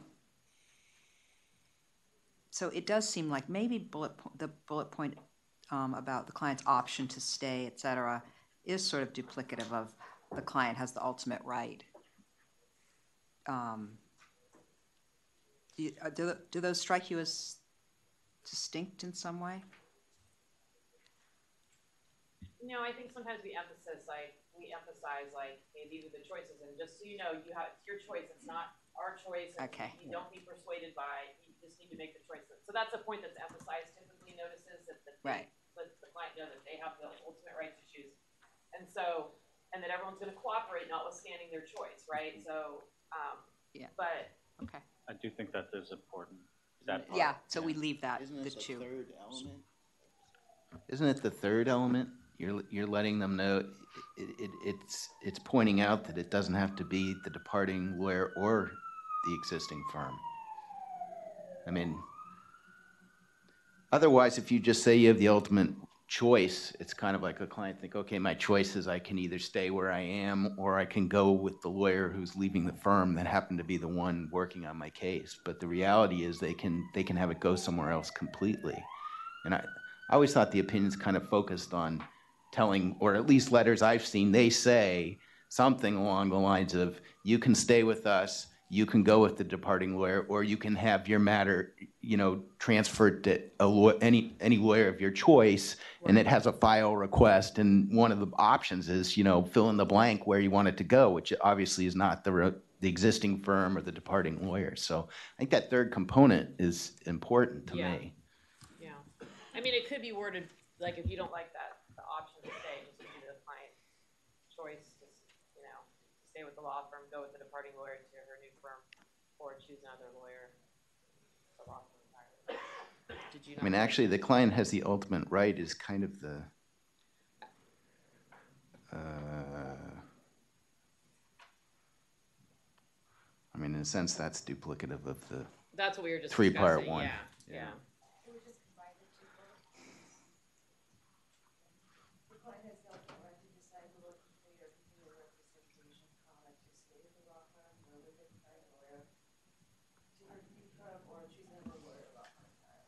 That's a good, good idea.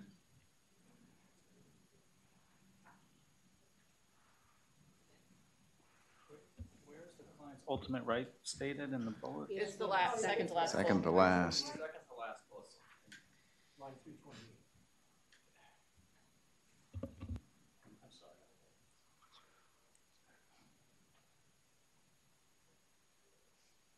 So it'd suggestion is to combine that bullet point with uh, the client's option to stay with law firm. Yeah. That could, that could be the second part of the sentence, right? You, you start with the client has the ultimate right to decide. why do we need that bullet point? Well, that's what we were just discussing. I was wondering that, I mean, it's something that's re-emphasized, but it's like, I don't know, and I, maybe I wouldn't necessarily speak the word ultimate, and I'm looking at it again, because I, Yeah. um, it's maybe A little too strong, given the fact that we just discussed how, they Don't. how they don't. How there's a lot of reasons that they don't, right? So which one do you think about getting rid of? How about the client, yeah. Well, Can or we maybe say, we say the client may have the choice to stay with the law, I mean, is may to, I like, the, the, the, the two that you have drafted, I think in my head to make it clear that we know. The client has the right to decide who will complete or continue the representation. well, but how about this? Take that bullet point, the client has the right to decide who will complete or continue the representation, comma, subject to the departing lawyer and law firm's ability and willingness or inability and unwillingness to continue to represent the client. And then delete the client's option to stay with the law firm. And then delete the first bullet, the bullet point at three two two of the, um, but I think that's an important thing to separately tell them. It's not just that you know, you have the right subject to that, but to actually communicate whether you're willing or, or uh, able to do it. I mean, But I isn't that implicit in the second clause, that it's subject to, I mean, the lawyer needs to communicate, and the law, and/or the law firm need to communicate the willingness to continue the representation.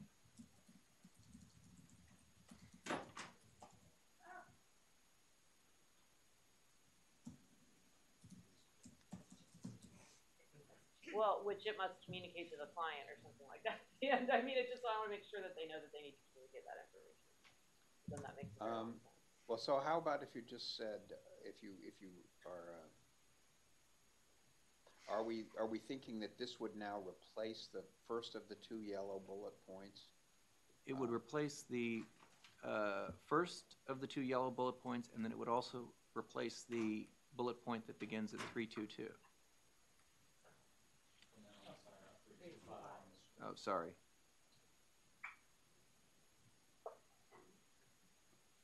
The only point that gets dropped, it looks like, is choose another lawyer or law firm entirely.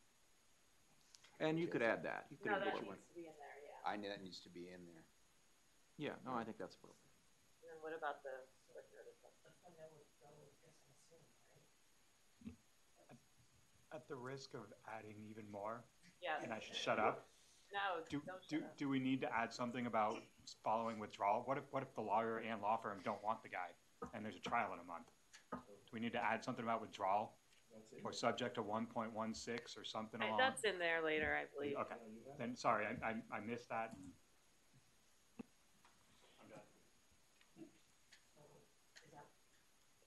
Is that blue one coming out? Is that the proposal? Yeah, I don't, I don't know.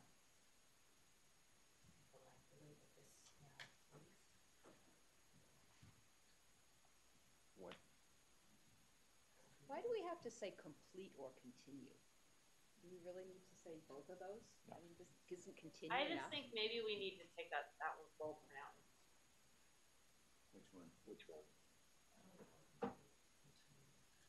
That, oh, that right to decide. I mean, I think that we've, I think the concept of the client has the choice, to stay with the law firm, go with the parting lawyer, or to choose another lawyer or law firm entirely, that that obviously, you know, and we could say where applicable or something like that, but that, I think encompasses the right to choose. I mean, that's, I, I agree with that. Otherwise, the second bullet is incomplete. You, you're, you've left out the third option, Yeah, which is, then yeah, I mean, kind it gets complicated. I, I, I agree with you.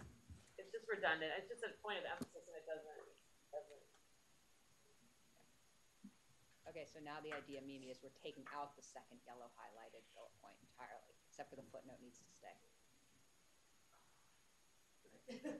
footnote needs to go back to the, Okay. To the other, where it was before. Okay, and now we're deleting this? Yeah. But we need that footnote back. Let's hear. Can we say instead of the client's option, the client has the choice to stay with the law, like, Yeah, I was thinking, I, I didn't like the word option if you Yeah. have alternatives to decide the choice. Because option implies that we could actually act on this. Trying to make a decision, but whether that's gonna materialize is, it, it may not happen because the lawyers are willing to do the representation. So I think instead of option, something along the lines of. Well, has the choice to stay, go, or choose where applicable, how about that?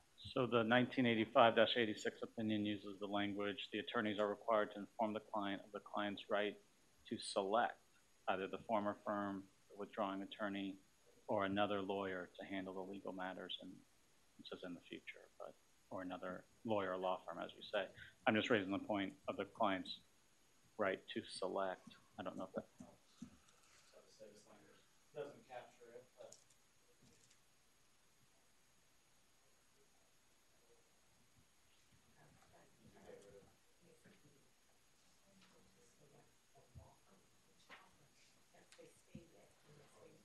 I like choose better than select.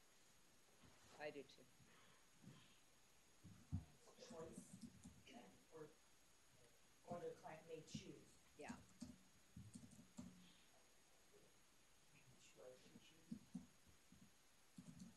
I don't understand why we keep using right so much. Why can't we say uh, they can choose, right? Why did, why did we have to say they have a right to choose? I mean, unless it really is a right. Right, I mean, it's not a constitutional right or some other statutory right, but I do think it, it- it emphasis, and granted, the 85, 86 opinion came from, you know, a generation ago, but I think the, it does convey the importance that clients aren't property, and it's not the departing lawyer, the law firm's Yeah, and it's like decision. the- It really resides, for me, that the use of the word right Yeah. drives that home. Is it necessary? I'm open. And it's other also arguments. actually not accurate, because they don't have the, the right implies that they can override the lawyer saying, Well, I can't do it. It's not absolute, which is what I think we discussed earlier. It's, the- I mean, that's the, what's used in all the old cases and the right to choice of counsel in the context, but it's not absolute because there's like, here's a bunch of exceptions, right? So- Right. Correct. I mean, so in your example, you could say, well, I'm going to stick with departing lawyer. They might in- be unable to do it, but they would need to comply with their withdrawing or termination duties, notwithstanding that the ultimate end result might still be the same. I can't stay with the person I'm choosing. Um, so I take your point. I can't compel the Lord to stay with me, but I can require the Lord to take all those Steps. That'd be difficult, but So should we be putting at the end of that sentence as appropriate, because then that's, As applicable, as applicable is what I meant, yeah. um, Because then that kind of, then we don't have to qualify that in that, you know, the first part of the, on three fifty. As, I don't remember what as applicable. no, I think, I think what we need to set, do is what Eric said, which is subject to, um, the, uh, yeah, but I hate to repeat that whole thing. Um,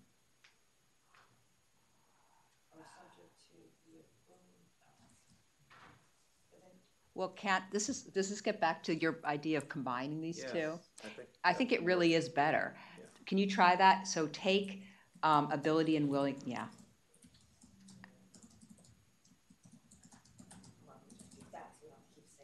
Right, and then you would take the bullet point above out, Yeah, I don't like that, because you don't think it tells you that you have to tell the client that? yeah. And I Huh. think it's. Okay, well, then we, have- how about as it is? No, oh, no. Yeah, go back.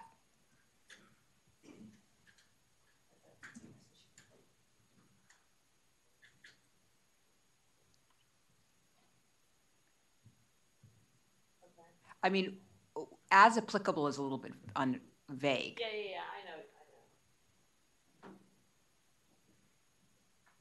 What do other people think?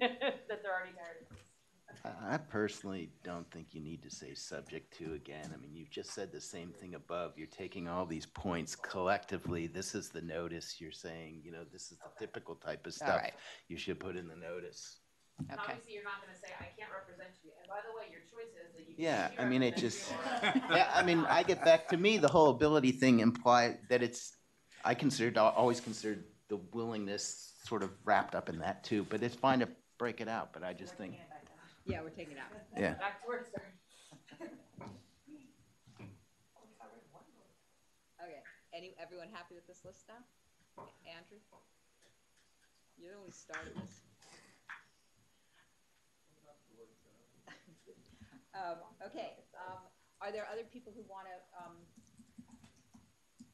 so a couple things, I mean, we could, I'm just not sure what to do with the nitpicky stuff, whether we wanna group edit it, or we want to, um, does anyone have suggestions on that? I don't know how many nitpicky things there are, this is a very long opinion, um, I really would like the idea of getting it out, what's that? I think it would be easier for us to, for us to committee to do it just by email.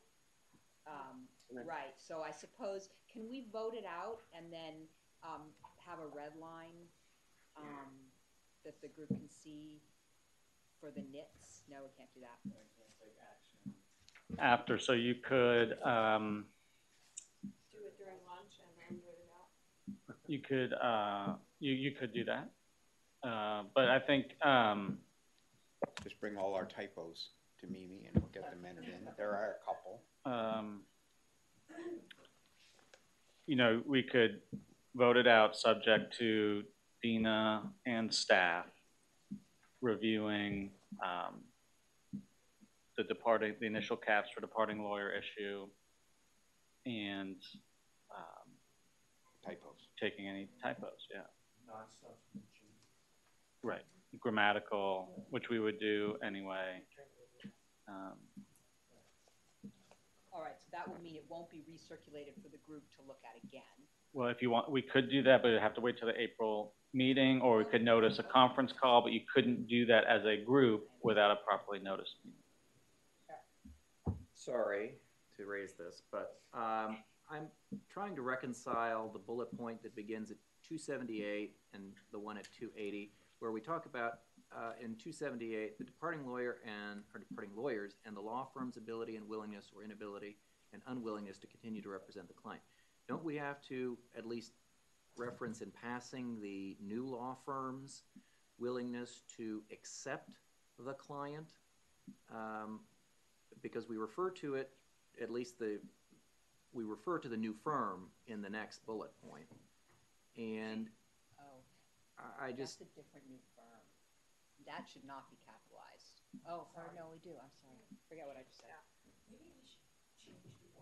or, or, or perhaps we could, I mean, that it's understood that the departing lawyer, I think, is understood that if they're not gonna say, you can come with me as an option and I'm willing and able to take you, if they have not cleared that with their. firm doesn't want, new firm doesn't want Yeah, Right. so that's, that's, a- I mean, part of that conversation is that they've, in this position, typically vetted for conflicts, been in a position where they can say, I can say to you that this, you can come with me to my new firm because the new firm's already said that they Right. can have you.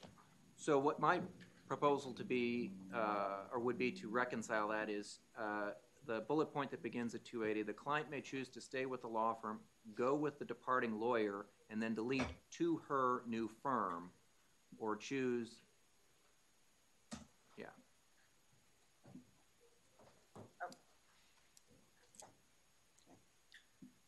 Okay, so I think where we were going, um, uh, is that we are, um, gonna have a motion to, um, approve this opinion for publication, subject to, uh, Dina and staff working, uh, reviewing it for the initial caps question and also any other typos or non-substantive changes. I thought there was a review over the lunch hour. Would it be advisable to postpone the motion? Yeah. Until that occurs? Yeah. In the event that someone comes up with some additional, more substantive concern? Yes, I think that's a great idea. Okay, so we're going to postpone any motion and we're going to move on. That was an excellent discussion and hopefully uh, before the end of the day, we can uh, look at a slightly revised version um, and, and vote it out. Okay, um, maybe everyone take a, well, how are people doing in terms of hunger level? Because I would love to, for us to do twelve triple oh three before lunch, but if we can't, we can't. So raise your hand if you're really hungry. Always, just as a general matter. or- No, all right, we're taking, we're taking a break. You could do a working lunch. Uh, Yeah, why not?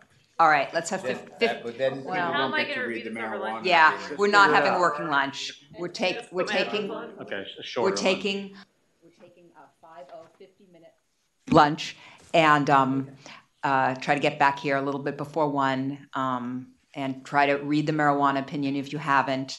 Um, give Dina any changes or Mimi, um, on the one we were just working on.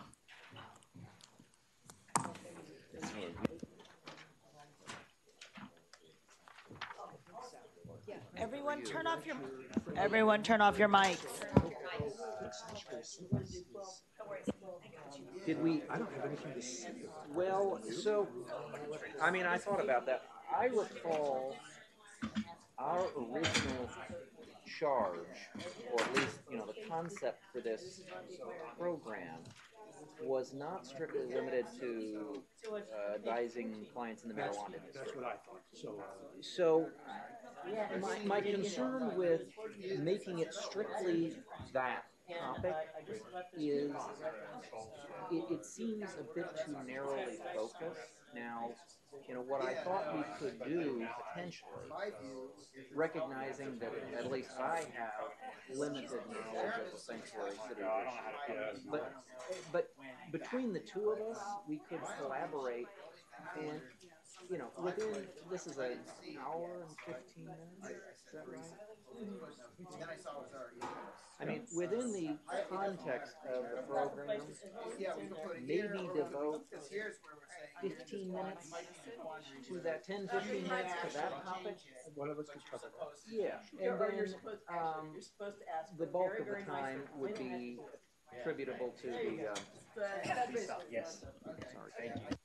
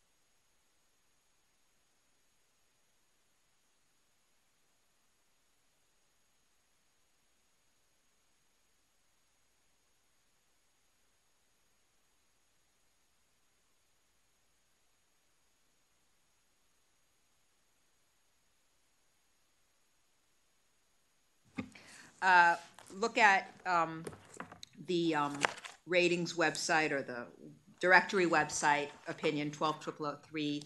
Um, and then, uh, talk about the marijuana opinion and then circle back to, um, the departing lawyer opinion. That's all, unless anyone has any objection? Okay, so, um, Teresa, is she still here or did she have to leave? She had to leave. She Darn it, okay, well, that's all right. She told me she, she didn't make it. Yeah.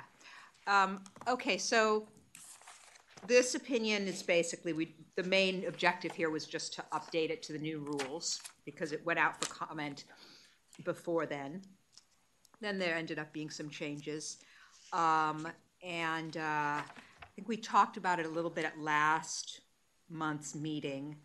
Um, and my, and, and the comment I made is that I was not happy with the notion that you, an attorney abandons their profile by deciding to abandon it, because I don't, I think it's all about what they tell the world, not what's whatever's in their head. So that change has been made, except that there's a few hangers, scragglers that we need to fix to make it consistent. Um, so I can, so that's the only comment I had. Um, and Drew, any comments? No, um, you and I talked about that. So, um, I have like one typo, only because it's like ready to go, I think. Um, but I don't have any other substantive comments. I mean, this, Larry led this opinion. For those of you that weren't here, it went out at least once, maybe twice. I don't recall. Do you, Andrew? Anyway, it went out for public comments. So the, the goal here, and we had comments and we dealt with those. The goal here was just to update it to the new rules because by the time it came back from public comment, um, we had the new rules or we're about to have the new rules. So the modifications were basically just to make sure we track the, the language in the new rule provisions. There were one or two places um, where something was said twice and maybe we struck where it was said the first time and something like that, little editorial things, but I don't think there's been any material substantive changes to this opinion for uh, several meetings. Okay. Anyone, anyone else have any, um, uh, comments on this twelve triple oh three? Okay. Oh, yes. Question, sorry. Um, on line three oh seven, the version I'm looking at, there was a, a note in greater detail below. Someone added a note A one, and I just couldn't see what the note. That was your comment, I think, Where? about how. So has that? Let me see. Has that point been addressed? Sorry, I've gotta find, oh, where is the comment? Well, we do Oh. discuss in greater detail below. Don't we have a discussion of abandonment later on? Yeah, Um, It's on the next page, basically. is, that was Oh, that the is to note abandon, yes. That I was saying? You just can't read what your comment was. I think your comment was probably, I don't like the Okay. way we say abandonment or something. Probably. Um, Okay. uh, Because the next section is abandonment of third-party Right. profiles, that, uh, yeah. I think that, that where must have been my point is- comment. Um, okay, uh, so Mimi, let me tell you these, these, uh, places where this notion of abandoning by mental telepathy happens. Um, all right, uh, Psychic abandonment. yeah, exactly, just, everyone will know that I've abandoned it. Oh, maybe I marked in the clean. Um. Yeah, so hold on, just let me go through the clean, maybe I made my changes there. Okay, so, um, it's in the fact section. Um, so the, it starts at line ninety-eight. All right, so the first sentence is fine. If you could just strike the second sentence, which is, this means that she has decided to no longer use the profile as a professional marketing tool. If, if everyone's okay with that, I just don't think that's our definition of abandon. Um, uh, so, um, and Uh, so then it would say to demonstrate, I, I don't even think we need that. Just take out to demonstrate her abandonment, okay? Uh, and I also don't think it's, we don't, we want to imply that no longer monitoring something is abandonment. I mean, that's kind of the opposite. It's not, it's not that we want to encourage lawyers not to monitor. I think we, no, leave in posts. She no longer posts information to it, removes the link from her professional website, no longer urges clients to view it, and post a note. Okay. Um,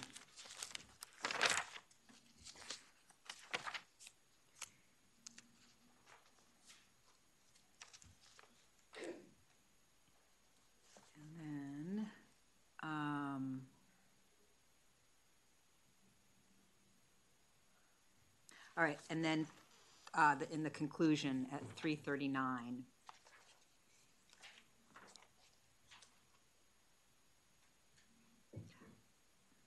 Um,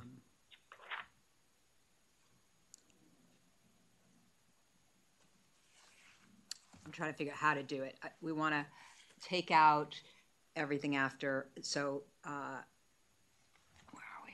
Uh, 339 through 40, uh, um, sorry, maybe, no, the lining, lines have changed. Um, Where's the word abandon in the conclusion? So three seventy-one of the red Oh, line. okay. Uh, because you're in the red line, that makes sense.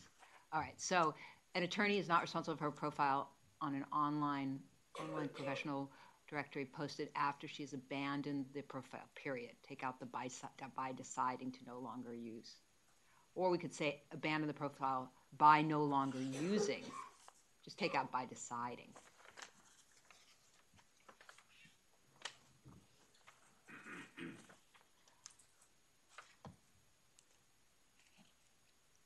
Um, yeah, I think that's fine. Um, Hold on, Yeah. but then do we need this, this such a decision? okay, an attorney has decided, uh, well, no, because we use the word decision in that sentence. An attorney has decided to abandon, I mean, we Oh, could take got it out, sorry. yeah, okay. That's it for me. Um, anything, anyone? Okay. I got just one Oh, or yeah, two right. real quick nits. Um, I, I have them on the, the red line. Um, so on the red line, um, line two fifty-nine is the end of this, uh, paragraph, ends but being unable to implement them. You got it right? Oop. Yeah, Yes. right. Okay, so this is just one quick question. Um, page later, on three oh seven, we, uh, we dropped this, three oh nine, we dropped this footnote about Hassell versus Bird. This is the case, you know, you might not be able to make the internet provider take it down. Um, and we talked about that, people wanted that in. My only comment is I wondered if conceptually it made sense to move footnote fourteen to that at the end of them, because this is where we first introduced this concept that, you know, you could have an ethical duty to correct, but be in this conundrum because you can't, you don't have sort of the practical, physical ability to get it corrected. So it just seemed to me that that might be a logical place. I don't care that much, but it, it would just be moving footnote fourteen to come after, at the end of that paragraph.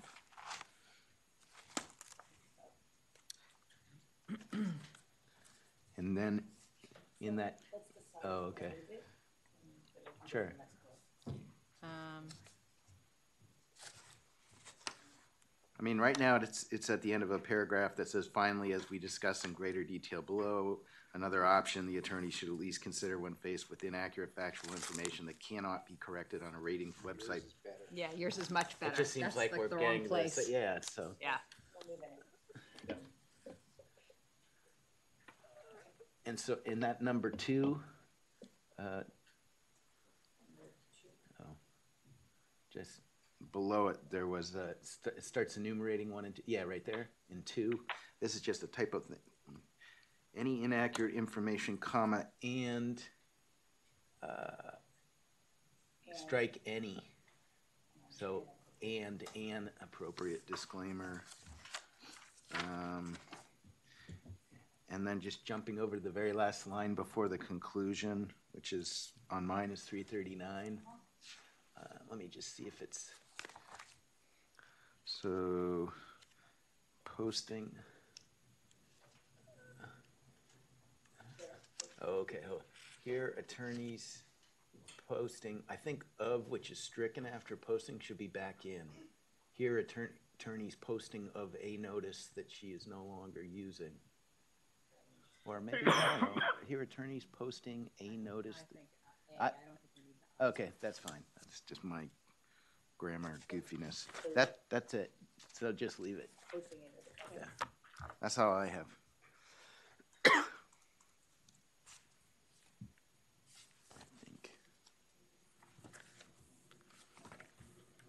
All right, uh, do I have a motion? So moved. That we, that we send it, that we, uh, this would be not for publication, this would be for submission to the Board of Trustees, right? No, it's additional public comment, because it's the first time the opinion's been revised, to update to the new rules, so it's a substantive change, so it needs an additional public comment. And it's only actually gone out for public comment one time. Oh. Just Actually- felt like twice. It doesn't, it doesn't- but there's no change in the substance of the analysis at all. Well, uh, It's there's, exactly the same, it's exactly the same analysis. Right, but the standard, the advertising rules are markedly different than it was under one four hundred, I mean, that's a substantial change. We're analyzing, um, those new rules for the first time, uh, the public, Do You wanna get a new let, another letter from the Scott? the public needs to be, uh, have the opportunity to, to look at how we're The interpreting. head of, uh, We got- Well, we infer. I understand your point. Yes, Amber? Can we, if it's going out for public comment, is that what's happening? Yes. Can I, um, point out a couple of typos? Oh, absolutely. Sure. Well, and Justin has some comments too. He's- Oh, Oh, Please, go ahead, I'll go after you, no problem. okay, so. Now it's going out for public. Comment. Right, exactly. all right. Um, so it's, I'm looking at the red line version, line ten. However, if the attorney chooses to exercise. See that? And, um, line eighty-six. So we use websites, apostrophe S administrators and website administrators kind of throughout inconsistently. I think it should just be website administrators without the apostrophe S. And so there is one instance of apostrophe S on, at line eighty-six and one at eighty-seven. And we might wanna just do a quick search just to make sure we caught every one of those.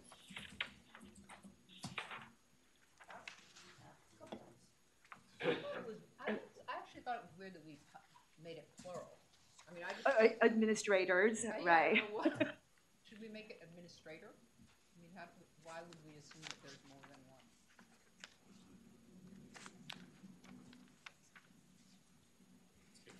Yeah. make it singular. Um, okay, and line one twenty-six. Is that something that we do wanna do, then I'll make a note that we should go through and. Yeah, just make a note. Okay, um, Oh, um.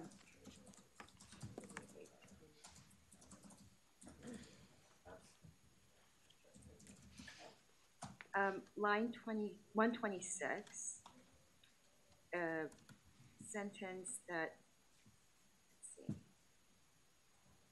Testimonial about or endorsement of the lawyer may be misleading if presented so as to, and there is an extra to. So as to, to. Um,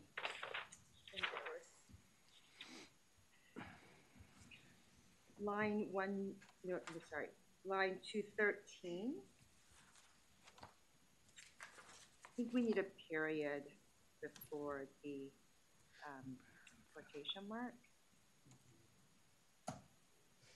And then line two twenty-one. The criteria for calculating the rating on the site are not theirs.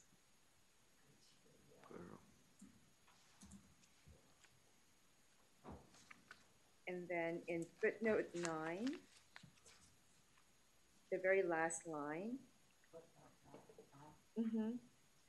We need a space between, between the end of the citation and the word on.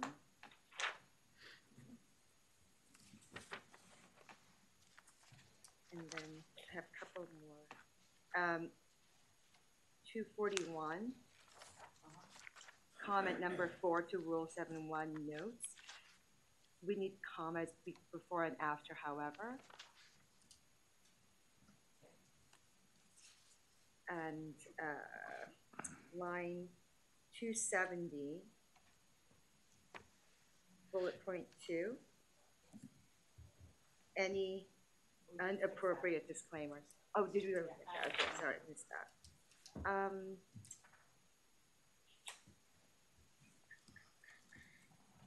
two ninety. However, with electronic web pages, um, there should be a comma after however. Okay. And footnote 13, you need to add a space between also and the name of the case in re, or in the matter of. Second to last.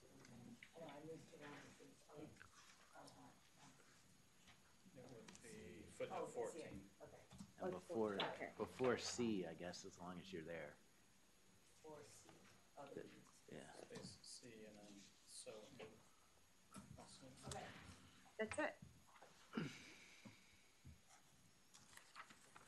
Um, okay, so Justin and then Toby. Uh, just a few things. On the, uh, in the digest, I'm wondering if we want to be parallel in our following statements. At line twenty, we, we talk about, um, inducing another post content that is false, misleading, or deceptive, but then thirty-three, we only talk about misleading. Um, I don't know if that was just an oversight or if there's a difference. Um, You in the red line? I'm in the red line. Sorry, you said, So at line thirty-three, do we, do we also want to use that same language and say, uh, um, you know, an attorney who abandons a profile in a third party directory has no further obligation to correct false, misleading, or deceptive content.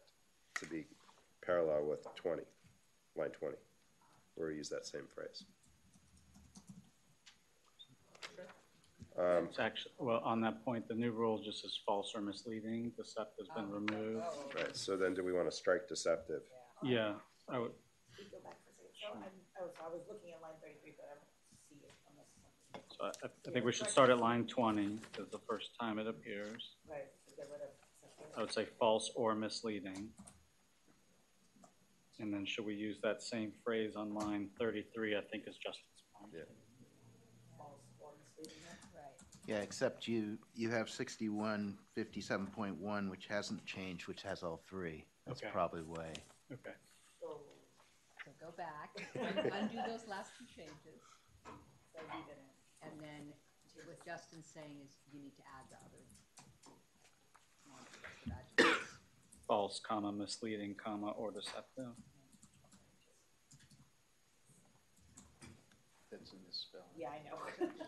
My brain just broke this. There you go. Okay. Should I do a search to make sure, Yeah. oh, I should make an, I'll just make a note to make sure that it's, um, make sure to include all three.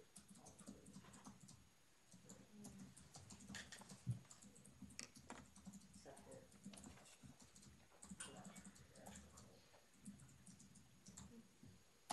Um, And then I'm in the sort of three eleven to three twenty area, we're talking about how the attorney is required to abandon the profile under the stated facts. Uh, there was, you know, an, an inaccurate testimonial.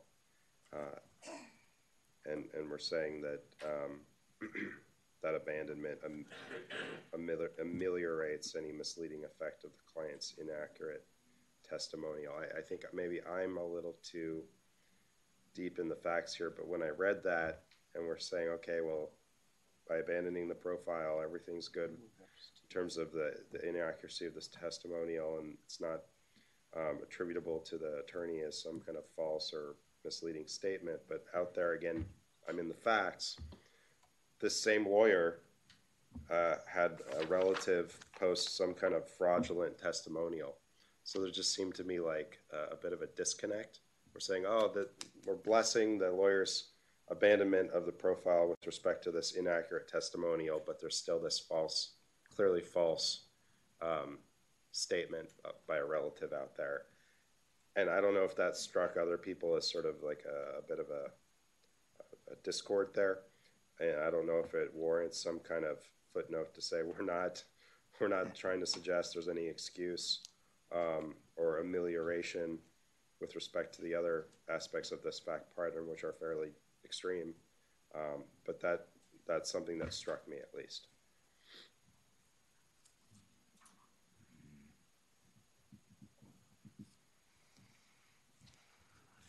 I think it's a good po- point.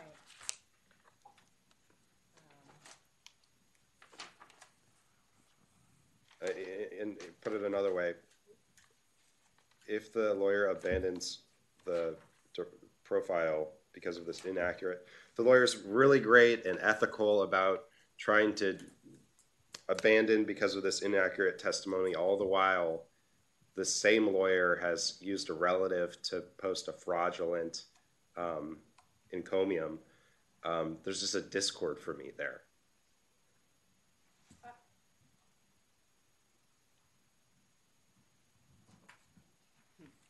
Well, I can't decide whether you're saying you don't, you think our advice is suggesting something No, I think the advice is, is Or you're correct. saying you don't like our narrative.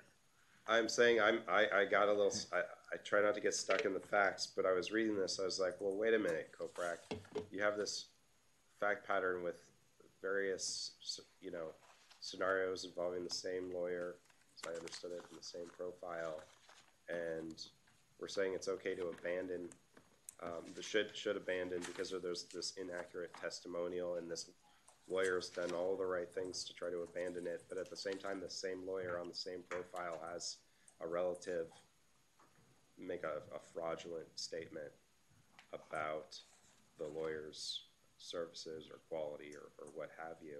There just seemed to be a, like I said, a, a discord there, and I'm wondering if we need a footnote saying, look, you know, we're, we're talking about the, the part of this scenario that deals with the inaccurate testimonial, and it was absolutely appropriate for the lawyer to abandon after taking various steps that were ineffective to remove the inaccurate testimonial. But that is not in any way suggesting um, that it would be appropriate for that same lawyer to maintain or allow to be maintained in this profile this um, clearly fraudulent statement of a relative.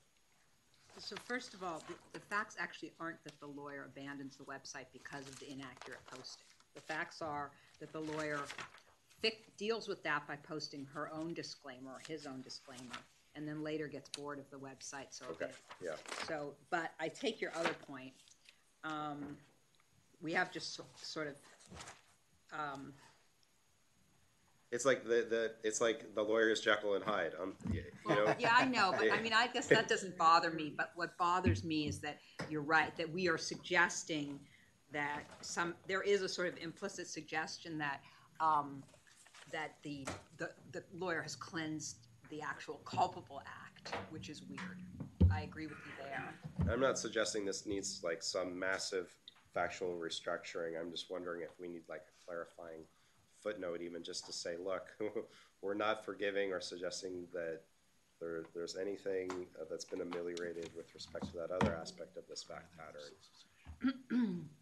Um, well, I think, to me, the, oh, there's only one sentence in this, in this section five that actually addresses the fact patterns as opposed to sort of opining on the just conduct generally.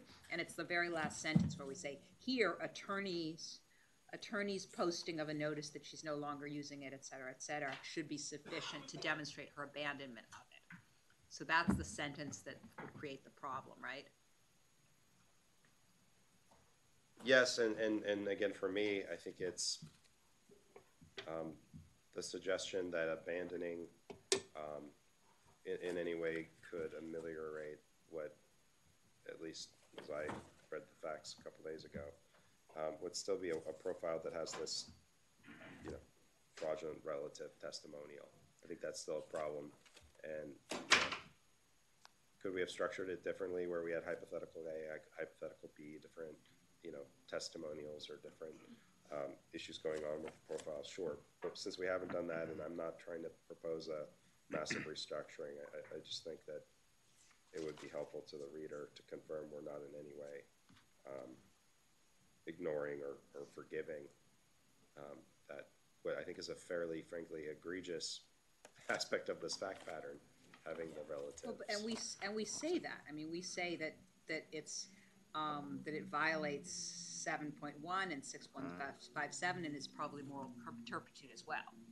I mean, so Exactly, and that's why I'm struggling with this discord because, Right. um, on the one hand, we say that, but then on the other hand, we're, we're focusing on this other part of the, the fact What, pattern.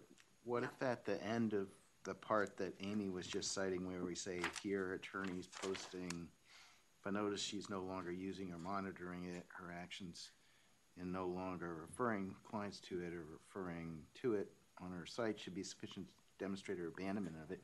We drop a footnote and say, you know, such abandonment would be appropriate and consistent with respect. I mean, somehow, how reference back the, the false post, I mean, but wouldn't we say it's not a cure? Wouldn't we say this abandonment does not cure the prior? oh, yeah, um, no, you're right, say, Uh, deceptive conduct? Right. which is- I Right, mean, yeah, that's yeah, kind of yeah. what you're No, after, that's right? right. Exactly. right. So Okay. we're making it very clear, hey, lawyers, you know, you can't create or help manufacture a false and misleading testimonial and do some, you know, the right thing with respect to some other aspect Maybe of your profile, say and some- then that's Thi- forgiven. This abandonment would not cure the violations of section such, such and such. and- Right, something along those lines. I Okay, think would be- so footnote at line three thirty-nine in my, That's a good point. Jekyll and Hyde. you, three forty-two, sorry, the very end of the, the text, yeah, so we want a footnote there. And it says, should say, um, abandoning the third-party profile.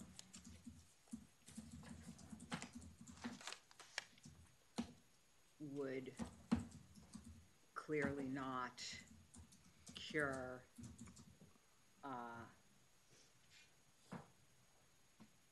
um, hold on. Let me just read this. Uh,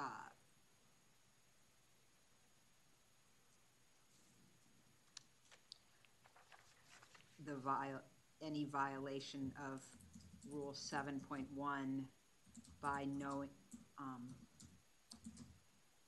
by knowingly posting false or misleading information on a profile or causing others to do so. You want to say seven point one and sixty-one fifty-seven point one? Yeah, um, or maybe we just take out the rules, not, uh, cure, cure, um, uh, any knowing posting, yes, just take out violation of rule seven point one. Cure any, take out the K. Oh. Take out the by. Cure an attorney's having knowingly posted or caused. Mm-hmm, or caused. Uh, or caused others to have done so. I hate this length, I hate this wording, but to have done so, and we can see if we can fix that. Cure. On their behalf. Um, yeah, that's good. Uh, it- So you could make it into A rather than any lawyer. So it would not clearly would not cure a, Cure a lawyer's lawyer or mm-hmm, cure, uh, What if it's just, you know, banning third-party protocol would clearly not cure an ethical violation resulting from a lawyer? it's fine. What is it, We're- are we curing the posting, or are we curing? No, it's a vi, we said it's a violation point blank in the earlier section. Yeah. so. Would not cure the ethical violation? So I, I guess the, the only question remaining for me on this, because again, I was stuck in the facts of this particular opinion is, do we, do we want to or do we not want to? I don't have a strong feeling. Refer back to the, the hypothetical here. So, so we make this comment such as, with respect to the hypothetical posed, you know, about attorney's sister's fictitious testimony or something like that. I don't know, what do you think? I mean, I think it kind of brings it home in, in terms of, you know, otherwise it's sort of an abstract statement and it kind of makes it clear that we're referring back to this, as I've put it before, this sort of discord in the facts here. Um, um, the, the Jekyll and Hyde lawyer. Um, I mean, I, I, I, like bringing it back to the hypothetical because that's what I got stuck on, but I, you know, that's my individual um, reaction to this section of the opinion, so others might not feel as strongly. And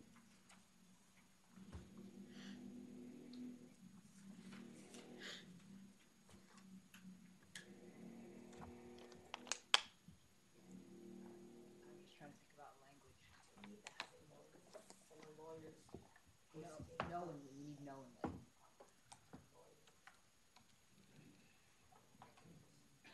Oh, We could, we could go to knowingly posting rather than having knowingly posted. posting, posting, deceptive as labels your no. Uh, posting no, yeah, I guess so. Uh, we could just, what if we just ended it, um, as in our hypothetical? that's fine, yeah. I think that brings it home. Hopefully. Very end of the sentence, as in our hypothetical. I think it has to be on the lawyer's behalf, since we, we say no on lawyer, lawyer's private side. Yeah, that's so.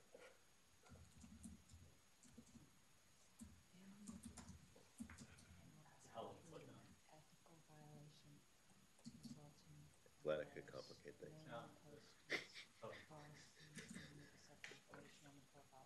causing, it needs to be causing, we've changed it to the, others to have done so. I think, I, I don't think we need the on the lawyer's behalf. We need, no- I think that's implicit in causing others to have done so.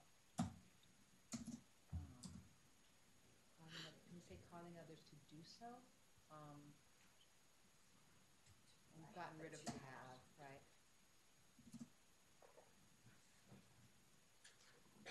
And then I, I think we, um, we need some sort of punctuation between the so and the as, don't we? I don't know what it would be. Comma? Okay. Anyone? To nitpicky, say as in this. That would be good. I think that would be fine. I just had one other comment. In the conclusion, it what was at least uh, 354, 355, it says attorneys should avoid using ratings issued for a price. Um, I, I didn't see it, and maybe I missed it. If we talk about that earlier in the opinion, We do. We did Okay. a long thing. okay, about I Is that just, big- I just missed it. It put you to sleep.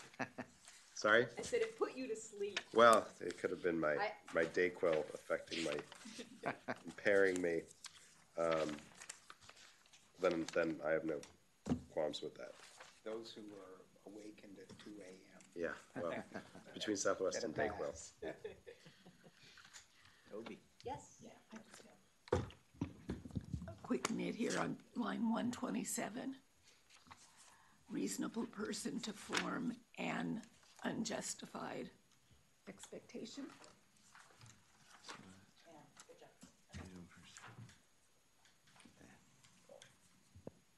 Okay. I Anybody else? Remove, You remove? remove.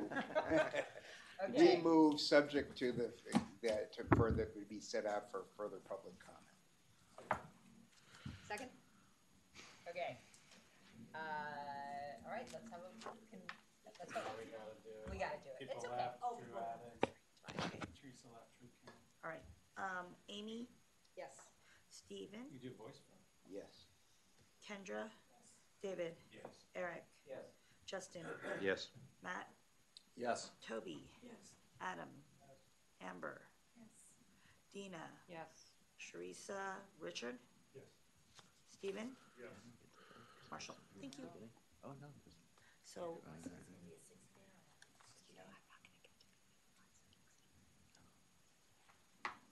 All right, thanks, everybody. Yay, okay, great job. Um, now, on to the new opinion, uh, seventeen triple oh one, advising, uh, client about marijuana. Um, Kendra and Steve, hit it. All right, um, so since the last meeting, uh, uh, two things, uh, the, the substantive thing that Kendra and I did, Kendra organized a meeting with the, uh, uh, with the uh, cannabis committee of the, uh, uh, Bar Association of San Francisco. Um, and, that was very helpful, I thought. And it actually, some of it, some of it shows up in this opinion in the form of some of the things that the client wants the lawyer to do. And I think that that's actually an area we could use some more consultation with them on because we, I don't think we have a very clear sense of all the ways in which cannabis lawyers may be asked to do things that other lawyers aren't necessarily asked to do, um, that they might need help with. Um, so uh, we tried to take, I tried to take some of the learning from that meeting uh, in, into the uh, uh, opinion. But mainly what I wanted to do in this drafting process, and Kendra is uh, absolved of all errors here, because I was working essentially between our meeting, which was last week, and this week to try and get something to us, um, uh, was to set out the argument uh, for how uh, 1.21 works. I mean, we outlined it before, um, and this is really trying to explain uh, what 1.21 means and what comment 6 means and what it allows and doesn't allow, or where the line falls um, in thinking about that. Probably the thing that I would highlight in the analysis is um, the uh, a proposition that um, uh, is trying to find a line for what it means to assist in interpreting or complying. Right? Does that literally mean that if there's no interpretation or compliance problem, you can't assist? Right? Um, and the, the conclusion they, that that's something that cannabis lawyers are very worried about. Um, and so one goal in this opinion was to try and sketch what a line might mean that would give you some scope to do things like that don't really have a, an overt compliance issue in them, uh, but are part of what a normal business lawyer does, as opposed to things that aren't don't really have anything to do with what a normal business lawyer does, but could be construed as assisting, like for example, setting up a rainy day fund for your client in your client trust account or something like that. That could be assisting, but not. Anyway, that's that's the line that's suggested here. Um, this, the other two things that ha- uh, the opinion does differently. One is it actually tries to summarize what the sort of state of federal and state law is, uh, uh, more as background than anything else. Uh, but I think that the, the important takeaway for me, because this is all new to me, is that the way California law works, um, the goal is to try and get everybody into the system. Everyone in the system is supposed to be permitted, right? And, and every transaction in marijuana is supposed to be between people who have permits, right? And the way that it works is that if you're in the system and you're permitted and you're in compliance, right, then you're not guilty of a crime under California law. And you can't be, have your assets seized under. But if you venture beyond that safe harbor, right, then you are, uh, then you are guilty of a California crime. So there's a, the point I think is to, that there's really an important issue for a lawyer in being in compliance with California law as a matter of California law. It's not all about federal law, right? There's a precipice you can go off under California law that can open you up. Um, and that's one of the reasons you need to get advice about it. Um, the last thing I would say uh, is um, that Kendra and I talked about uh, trying to condense the sort of disclosure points a little bit into some more basic things, what you'd have to do with respect to privilege and confidentiality, what might fall under the heading of things that would give rise to a potential conflict that you might have to disclose, uh, and so forth. And uh, the back end is a very rough attempt to get at those uh, propositions. Uh, by no means final, I think, very much subject. Uh, and with that, I'll, uh, so I'm open to everything. Kendra has, I'm sure, has comments and thoughts uh, based on our discussions and her reading of the new draft. But especially the explanation of state law and federal law. Um, our meeting was very insightful. I mean, um, we learned a lot and and and learned a few things that I think we weren't really anticipating. Um, we had had some questions that we had given to them ahead of time, and we certainly got um, a lot more information back than we expected. I think that we need to develop the end of the opinion, which talks about the disclosures, um, which is something Steve and I have talked about before. But some of my comments are maybe just to relay the information we received from these cannabis lawyers and get a feel from the group whether it's something that should be included in an ethics opinion um, or how we can address it. So I have, you know, some um, really basic comments and, and just, um, you know, some typos and things like that. But I'll give that to you later, Steve. Sure. So that we can look at some of the bigger stuff. Yeah.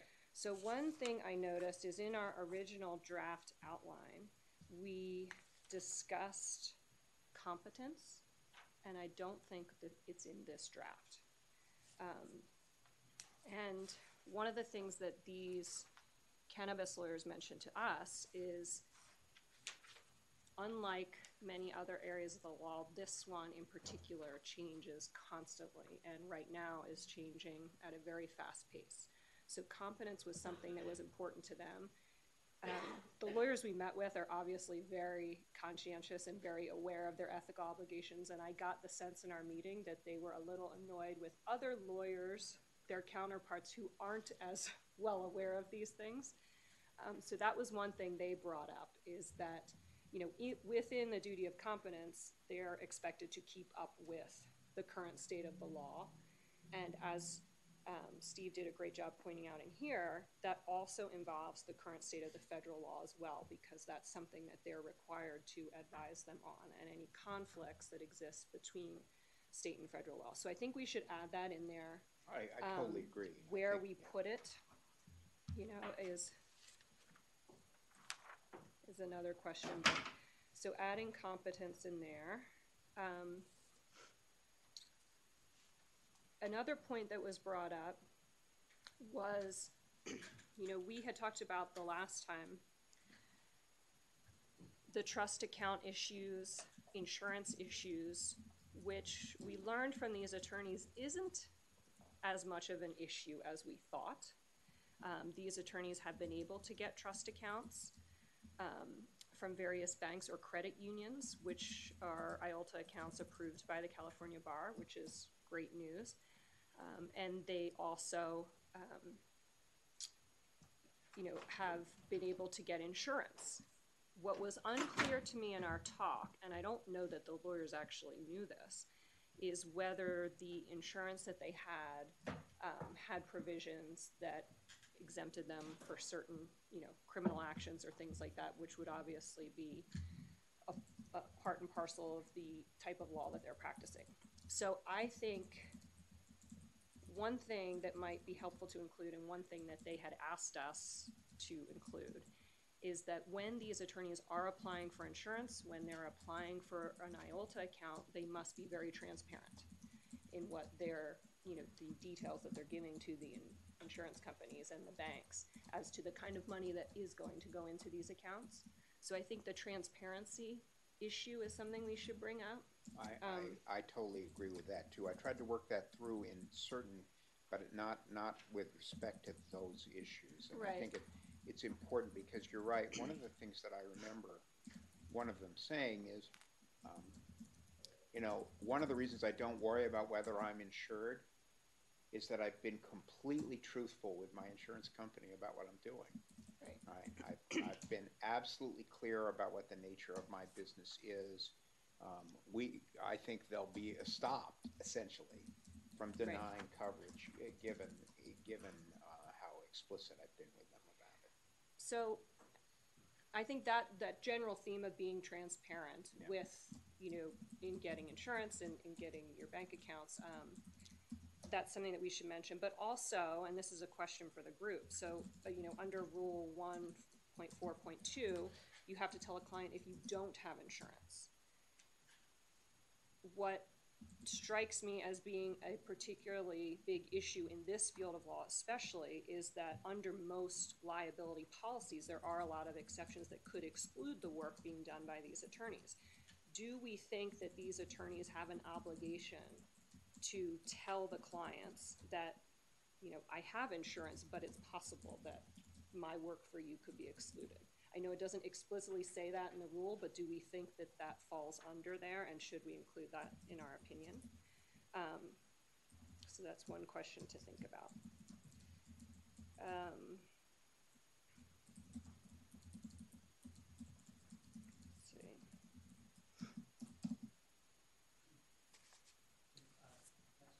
Sure. um, the duty to tell the bank the type of clients you have or the type of money you have. The theory behind that obligation is it's client protective because should the bank learn about it later, it might have negative consequences for the client. I'm curious the rationale and the thinking. I'm not saying I disagree with it. I'm just curious Well, uh, I mean, why just the in general, it's a risk for the bank to take that money under federal law. right. Um, and so I think just generally the bank should know the type of risk that they're taking on. Um, also, those assets can be seized under federal law. right. Um, so, Isn't that a bank compliant? uh, well, if you're not telling them, if you're not upfront with them as to where the money will be coming, um, you know, maybe it's some way you could get in trouble if the bank says, well, we had no idea that this money, the source of this money was from Kendra, I, cannabis. I, I, I, I wonder, I mean, I really hear you about transparency, and I think it's a weakness of this draft that it doesn't fully implement, but it, but Andrew's question is a good one. I mean, those weren't client regarding reasons for transparency, or not Yeah. necessarily so. And they were. insurance The, the insurance one clearly is, the bank one not so clearly. Well- Certainly if you're asked by the bank, I w- would agree, you gotta. Yeah, so this is, this is something I wanna flesh out, because Mm. I think, you know, the trust account, for example, that's something that they're required to have. Would there ever be an issue where the money going into that trust account is money received from, you know, cannabis suppliers, providers, that somehow, some way, um, they would lose the ability to have that account, and that would reflect on their ethical obligations. Might there be a tie-in under four point one B I don't know, but so four point one, in the course of representing a client, a lawyer shall not knowingly be fail to disclose a material fact to a third person, I guess the bank, when disclosure is necessary to avoid assisting a criminal or fraudulent act by the client, unless disclosure is prohibited by six oh six eight E or one point six, you might need the client to allow you to make that disclosure. Mm-hmm. But then wouldn't the duty of competence compel you to advise the client of this obligation, um, and explain the consequences if the client doesn't give that consent?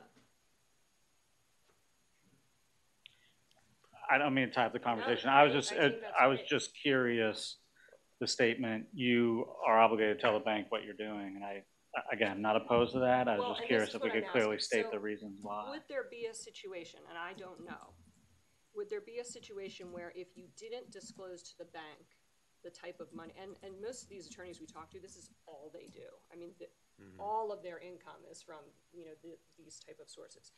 Would there be a situation where if they didn't disclose it to the bank, and the bank found out about it, then they would lose those accounts and then be in violation of their ethics rules? Because isn't that what you're asking? Like, how is this tied into the ethics rules and whether or not we need to include it in the opinion? I don't know, but Yeah, just a couple, a couple, a couple of observations. Um, Both in applying for my own client trust accounts and in assisting other lawyers to apply for a client trust account, as far as I know, no bank has ever inquired as to, well, what is the nature of your practice? What are, what are going to be the nature of the funds to be deposited into the account? So I don't know, I mean, maybe that's changed since, you know, the last few years. But as far as I know, the banks don't really ask those questions. I mean, you're sitting there in the bank with your, you know, new accounts person. I mean, the banks generally don't understand client trust accounts anyway. I, I'm not sure the banks are savvy enough to see an issue there, and I've never heard of it, a bank ever asking those questions. So the question, then the question becomes, well, now, the bank's not asking you, should you somehow volunteer this information? Uh, the bank then says, well, gee, we don't know, I don't think we're gonna let you open a client trust account. And now you've got a situation where you're gonna be holding client funds, well, potentially asked to hold client funds, but there's, no Right. bank will give you a client trust account. And that's how this came up. Right. Because there are some banks that won't accept it. So these attorneys have gotten into the practice of, I'm just gonna tell them upfront what I'm doing so that I can get an account because I know under the rules I need one. Okay, So that's the way that they kind of worked through the different banks to figure out who would take it and who wouldn't take it. And they just wanted to. so some banks have given them, have said, well, Right. we don't care. Right, there We are some, essentially don't some banks, care. credit unions is what, there were credit unions that provided the trust accounts and the bar Okay. has approved those. chartered, presumably? Um, there were, s- there were state chartered, there were nationally chartered, and then there were credit unions. Um, and I believe the attorneys we were talking to had their trust accounts through credit unions, right, Steve?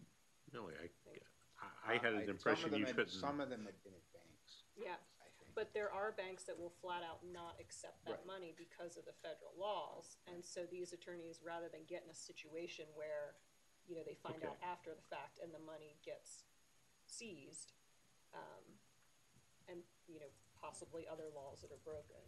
So they provide uh, some they- kind of written disclosure to the bank. I think it's just a matter of just making sure that, Okay, you know, the banks are aware of what they're getting themselves into and the attorneys know they have a safe place to go that's, um, okay. meeting the requirements under their ethical obligations. I, I feel like it's something we have to put in there, but I don't know how to weave it in, I guess is what it comes down to.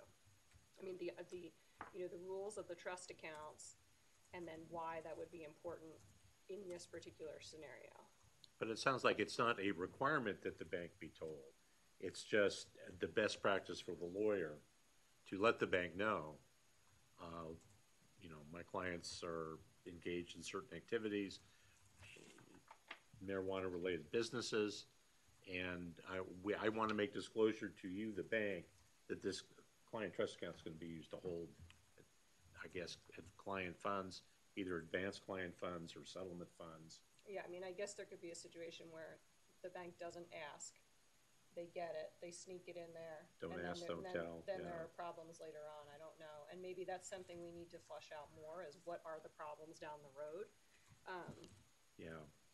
I, I want to say that I, to my mind, when I heard this very bright and engaging attorney say that his approach was transparency, I didn't understand him necessarily to be speaking in client regarding terms necessarily. right, Uh, I understood him to be, uh, or at least I, I understood, and this, as working through the argument, of the opinion made me feel this more as well, that uh, non-concealment is sort of built into one point two point one, right, right? Uh, there's a, there's a kind of a non-concealment policy almost. That's true, yep, uh, in, uh, uh, um, uh, that the whole premise of one point two point one is that we're above board about this.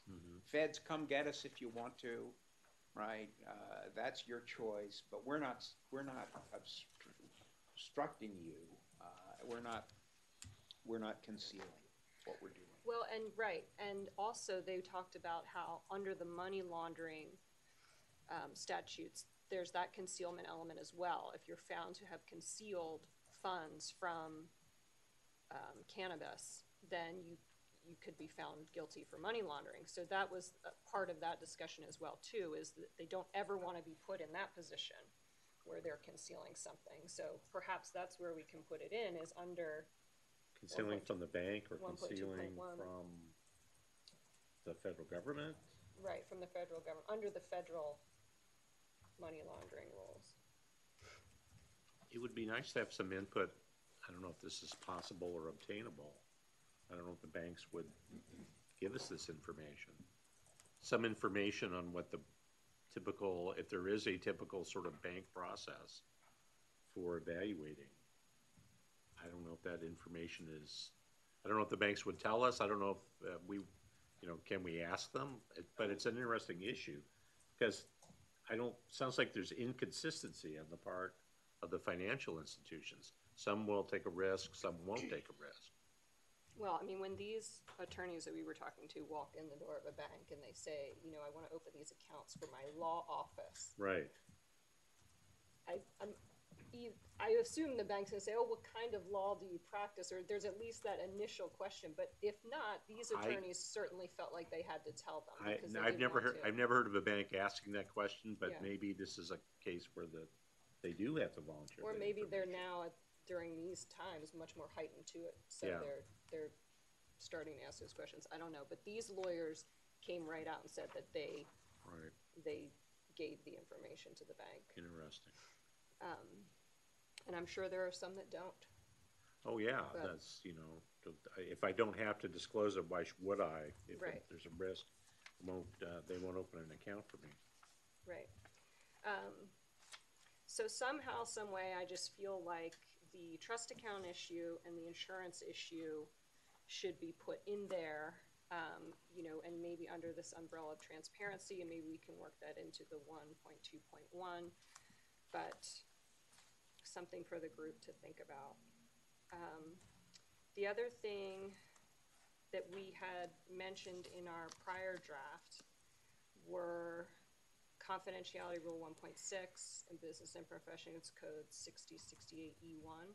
And I thought maybe we should throw that in under the potential unavailability of the privilege. That's more to come. There's Okay. a- There's a bracketed Okay. section there. I didn't feel I could Yeah, get, I, I didn't feel I could do justice in the time that was available to the yeah. question. So. I think of- some. I wasn't even sure how far we should go with it, you know?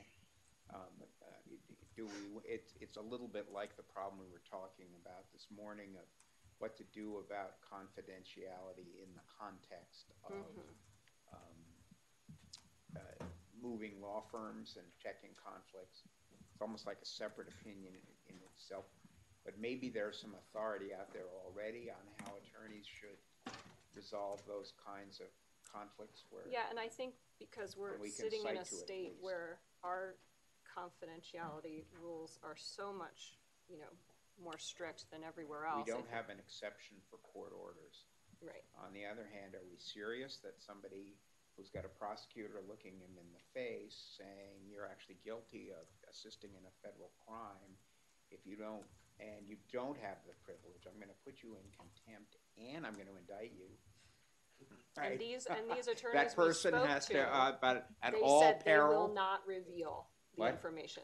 They What? would be arrested. They would be held in contempt because they're not gonna reveal the information based on their ethical obligations in. California. And, and there's this other hammer Right. sitting there, which is that they're guilty of a federal crime. Right.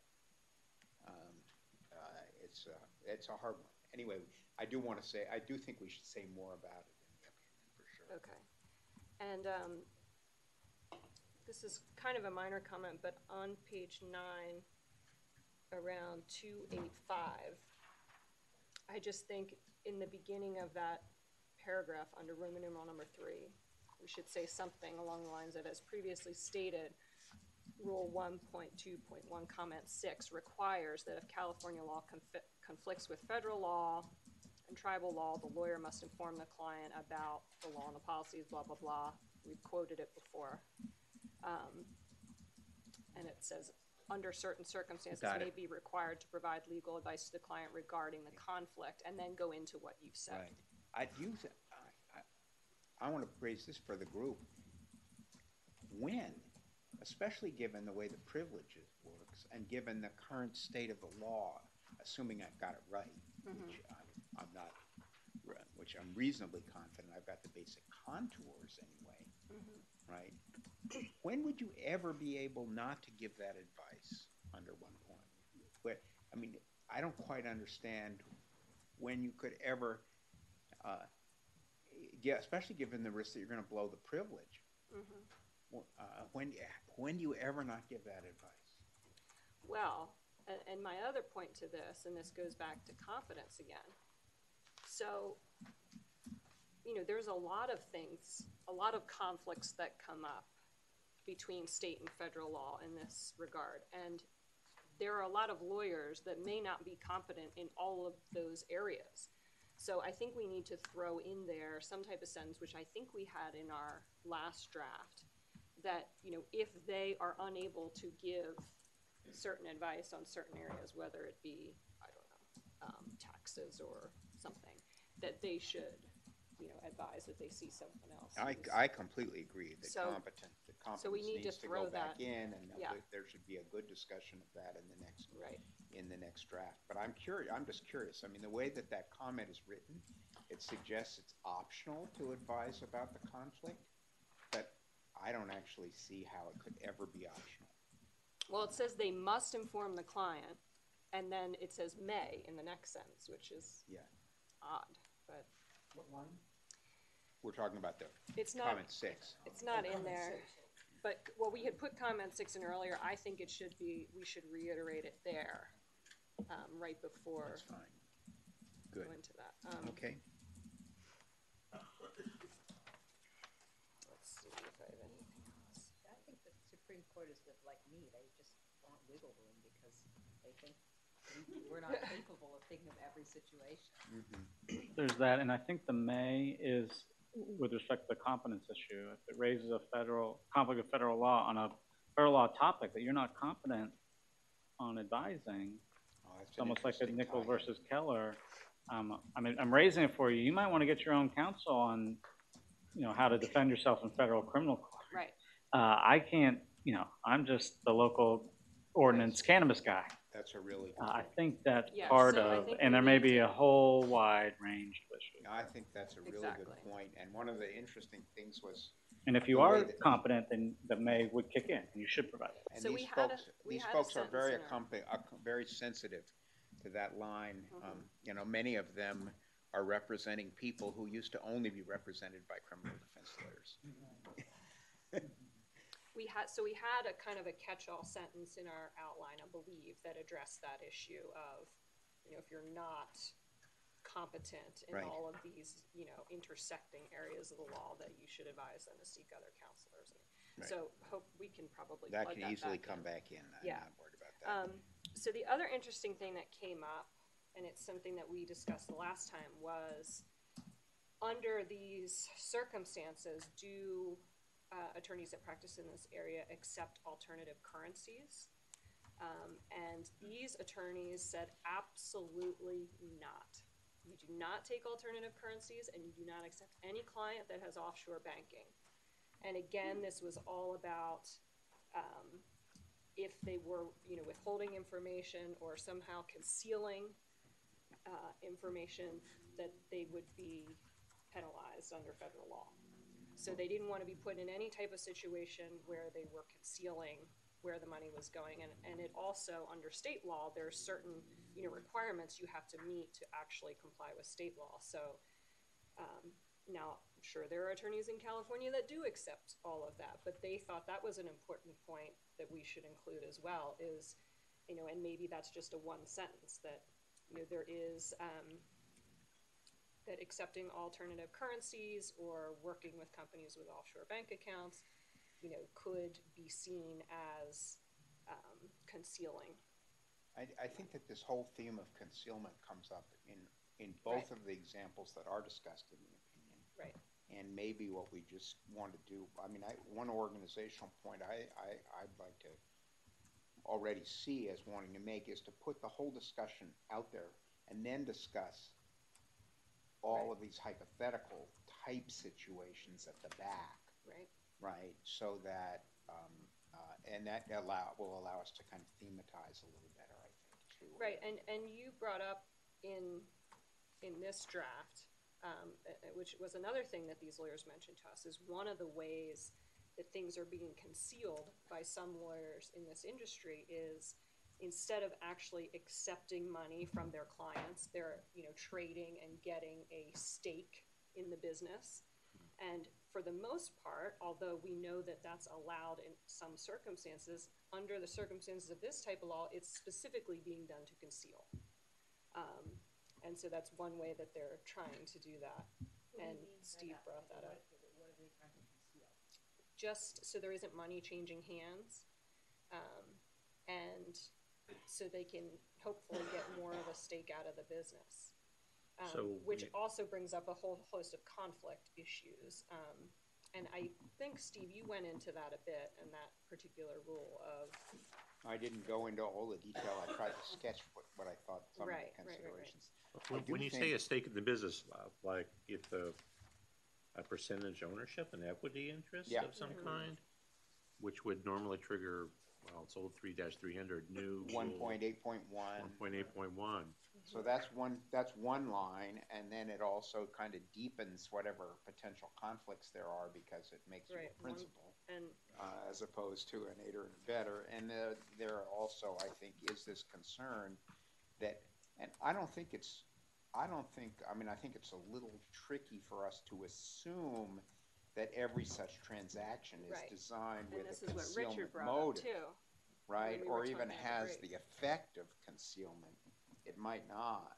But I think we have to say But we have that to if it's flag being that to the done for extent that that's what's issue, going right. on, that that Yeah. potentially takes you, you know.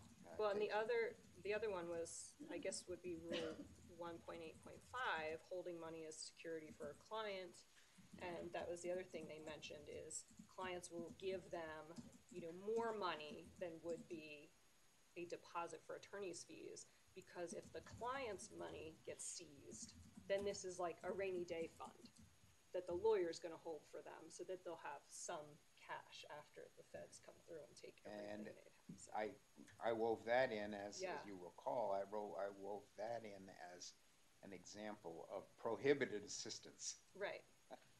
Not, or put it the way, assistance that's not covered by one point two point one. Right, and again, that's under the, the whole concealment.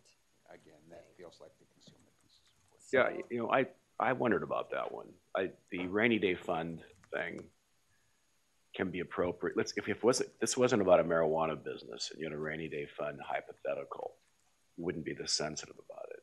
And I, I don't, I just don't know the law about, that's why I don't practice criminal law. Yeah. Client comes in, I'm doing something, here's a huge uh, retainer. Well, you're happy to have it. The, Right. the, the client may need your, your complete attention for months to come. So that's fair. They, they can call that a rainy day fund for a lawyer. Uh, and I didn't think this was clear enough I, To- that, that may well be right. Yeah, and I just don't know the law about, you know, this, this whole discussion about things that aren't illegal until they're illegal, you know, the offshore accounts. Right, Um, which is why we have to be clear that when yeah, it's done. there's nothing per se, ill- yeah, that's exactly right. We don't want to tell people, you shouldn't do these things merely because they're associated with a marijuana business. Right. Because of the concealment problem. Because someday these things will be, this business will be far more legitimatized and may not even be a federal crime. Probably won't be Right, if we wait long enough. Some point. Um, so if we write something like that with all these red flags, there, people might think it's amusing twenty years from now. Hopefully, they'll think it's amusing within two or three years from now. Yeah, yeah, With a little yeah. while. Well, that's just Yeah. you, you, you never know. But I'm, uh, other comments now, or you, you have, I, I really like this. This is really, I didn't know anything about this law, and I'm, I'm on the subcommittee though, I guess. Um, Yeah, we're. we're so I did read it with, Subcommittee. right, too. right. I used my, I used extra brain cells to We've read this one. So I, the comment about competence is really important. There ought to be something in there about that. It's really great comment. Like, and the law is changing fast. And really, anyone who decides to represent clients in this area, they should know federal law, state law, tax law, criminal law, or understand that they need to refer it out and to get, get, to get that assistance. And I didn't think, Right. so I think you should add that. Um, just some nits. I do think the rainy day fund thing ought to be more clear, ought to be set up to make it very clear, un, unambiguous to clients. This is not for, for present or even future intended legal services. They're just dumping money on you. Right. Then there's a bright line and, and you can make your point well. Um, let's see, I, typos, but someday they'll all be fixed. Um, I, I think just stylistically, there were, uh, a lot of transitional sentences and paragraphs that I, you might consider um, streamlining or getting rid of. I just something. I know whenever you write something, particularly when I write, I think, well, that's so good. Think of it That's as a first draft. that's that's Send them that's to not me. transitional. No, no, That's send really that- great. Whatever. Send that, send that stuff. Yeah, Right. that stuff we'll send to you later. It's Okay. You, you just, if you've got, if you've got that kind of thought, just, just, uh. Okay. Put yellow All right. highlighting on it and send it ahead. I love that stuff. Right. You're Yeah. I, I had a couple paragraphs that I thought No, were you're, you're, you're. the- lovely writing, but they were so transitional that you start going, okay, I, I want to get to something. I, I want to Yeah, cool. Um, let's see. I thought that yeah, this discussion at page six is great. Um, it starts at the top of page six. I was learning something new, but I want to. I had trouble understanding. Where is it? it seemed really dense and abstract to me. Um, remind me as I was reading, like the, I remember I had a political science professor who wrote his own textbook, and I couldn't understand it. Mhm. Um, and the only, this is great, but the, I just thought you should consider, what word should I use? Dumbing down so that people like me will understand it. Page six. uh, lines 204, I have question marks all over it. 204 to 215. Yeah, I, and then the reference to what the Supreme Court considered and rejected. I thought you were giving life to something that we don't want to give life to. Let's just let it go. Uh, let's not call it out as a possible argument that someone can make because I think the redrafted rules are full of such examples, and I, I don't but I, I just, I, I don't fully understand um, the point that's being made in 204 through 215. I'm not asking you to explain it now. Well, I, I think it's worth, I think it's valuable to discuss it. Yeah. Um, let me just say what, what I was aiming for, and then you can tell me whether, what I had in mind is that, that one of the other things that these lawyers said to us, is they said, Um, we are really uncomfortable with what the Supreme Court did. We're what, sorry? Really uncomfortable with what the Supreme Court did. We felt that the version of the rule that went to the Supreme Court gave us more protection than, um, than, uh, the version that came back. It left us exposed in certain ways. And, uh, that's what prompted the, I, that, this, I, that thought hadn't even occurred to me before, right? I should have, but it hadn't in, in terms of drafting. But once it was raised, I thought if that's a vulnerability that they worry about, right, and we're trying to give them ethics guidance, then maybe part of the guidance should be that that vulnerability isn't, uh, at least isn't as severe as they think right? That the rule gives them more protection than they think. Uh, that's the idea. I, I, I just think the stricken, the, the language that's rejected by the Supreme Court, and I've, I've stared at it, and I thought, well, so you could have assisted as a lawyer. This is, this is the rejected view, in conduct that's permitted by California law.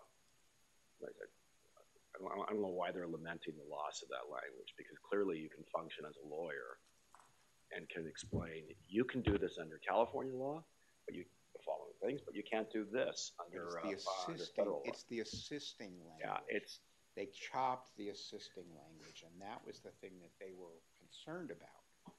Was that the, that the way that the, uh, that's, I mean, I think this is a good topic for us all to think about, right? Is whether we think, because I think you're, there, I thought about the alternative approach once they raised it, which is why, why highlight this problem? Yeah.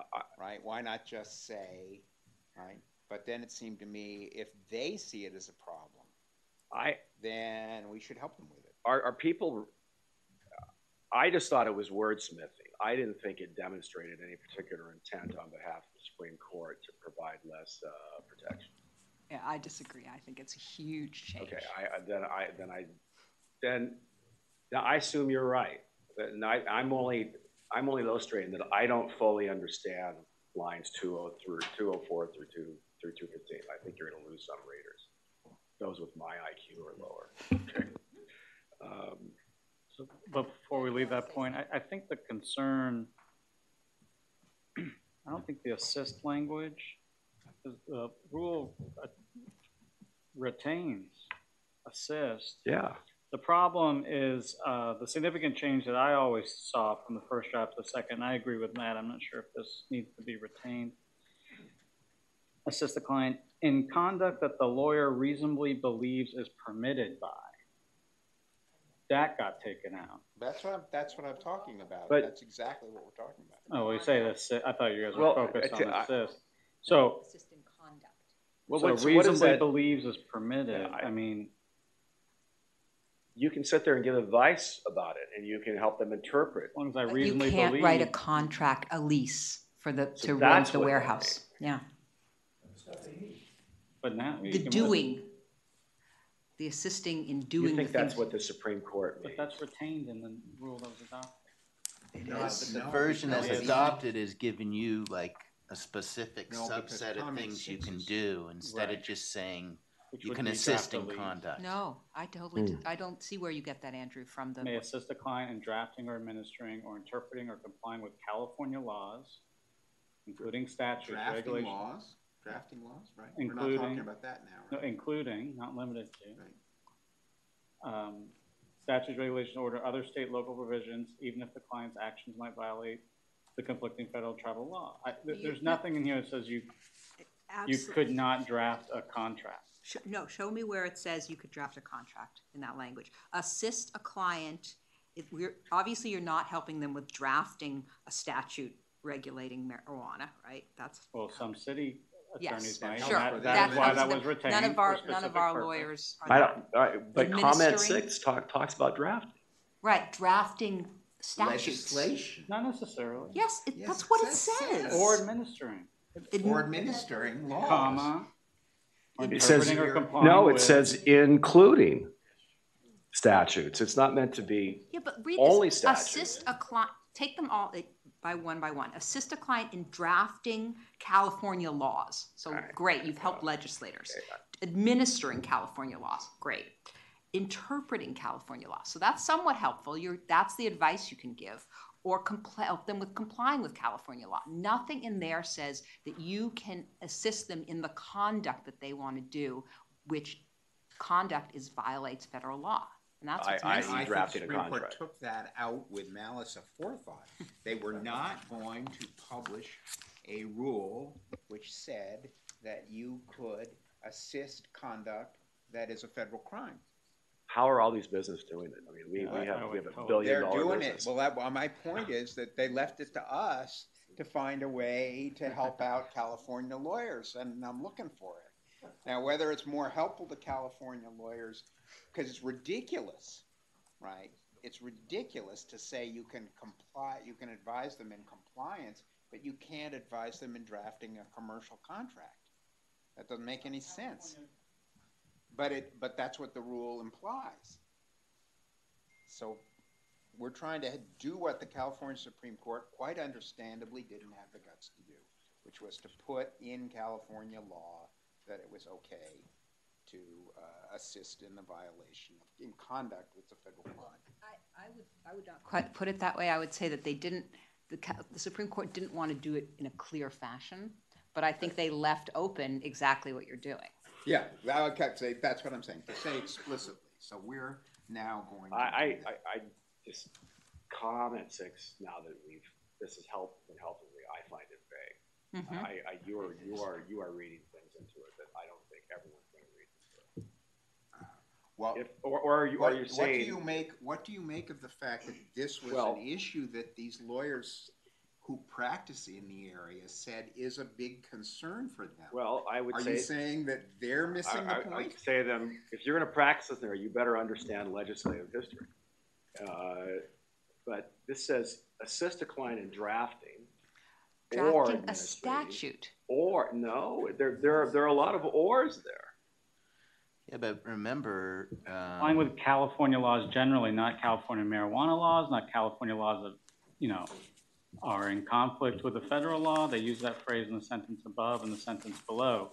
This sentence, the middle sentence, as we all are saying, is intentionally vague, but I don't read it as limiting as some others are.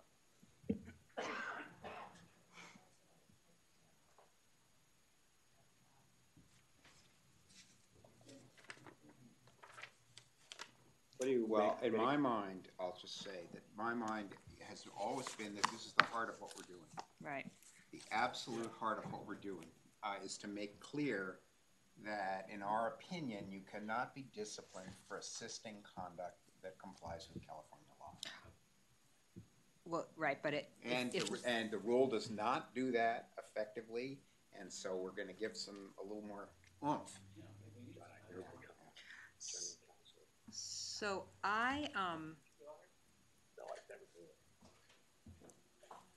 Oh, uh, can I just, a couple other yeah, things, and I hate, sorry if I'm guilty of learning as I talk, but I am. as I. Um, I just.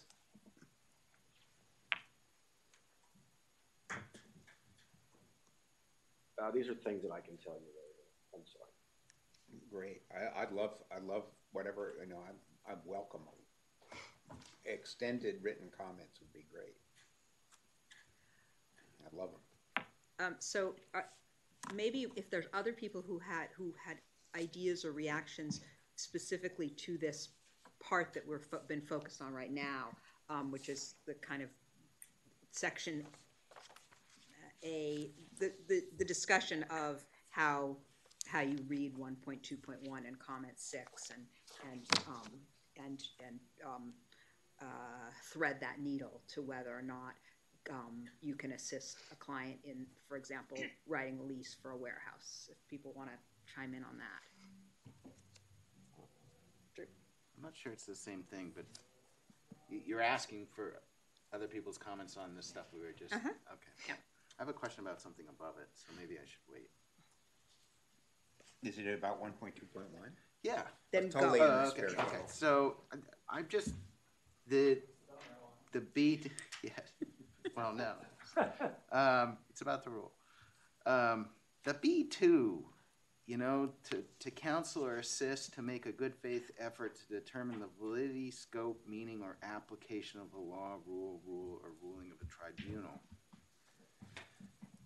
What, where is that in the, I mean, how does that fit in to our analysis? I guess I'm just trying to understand that. Because we have this conclusion sort of at one ninety-three, read together, Rule one point two point one and comment six permit a lawyer to counsel a client to engage in conduct permitted by California state and local marijuana laws, provided that the lawyer believes the client is engaged in a good faith effort to determine, and then we quote that, the validity, scope, meaning, or application, even if the client's proposed conduct would be criminal under, under federal law. So are we saying, I mean, what does that language mean and how does it fit to the actions that we're analyzing? Are we saying that the types of things we're talking about would be a good faith effort to determine the validity, scope, meaning, or application of the laws? I was trying to, under- I read that and then I just felt like it was hanging sort of, and I I thought, think it's a really good question.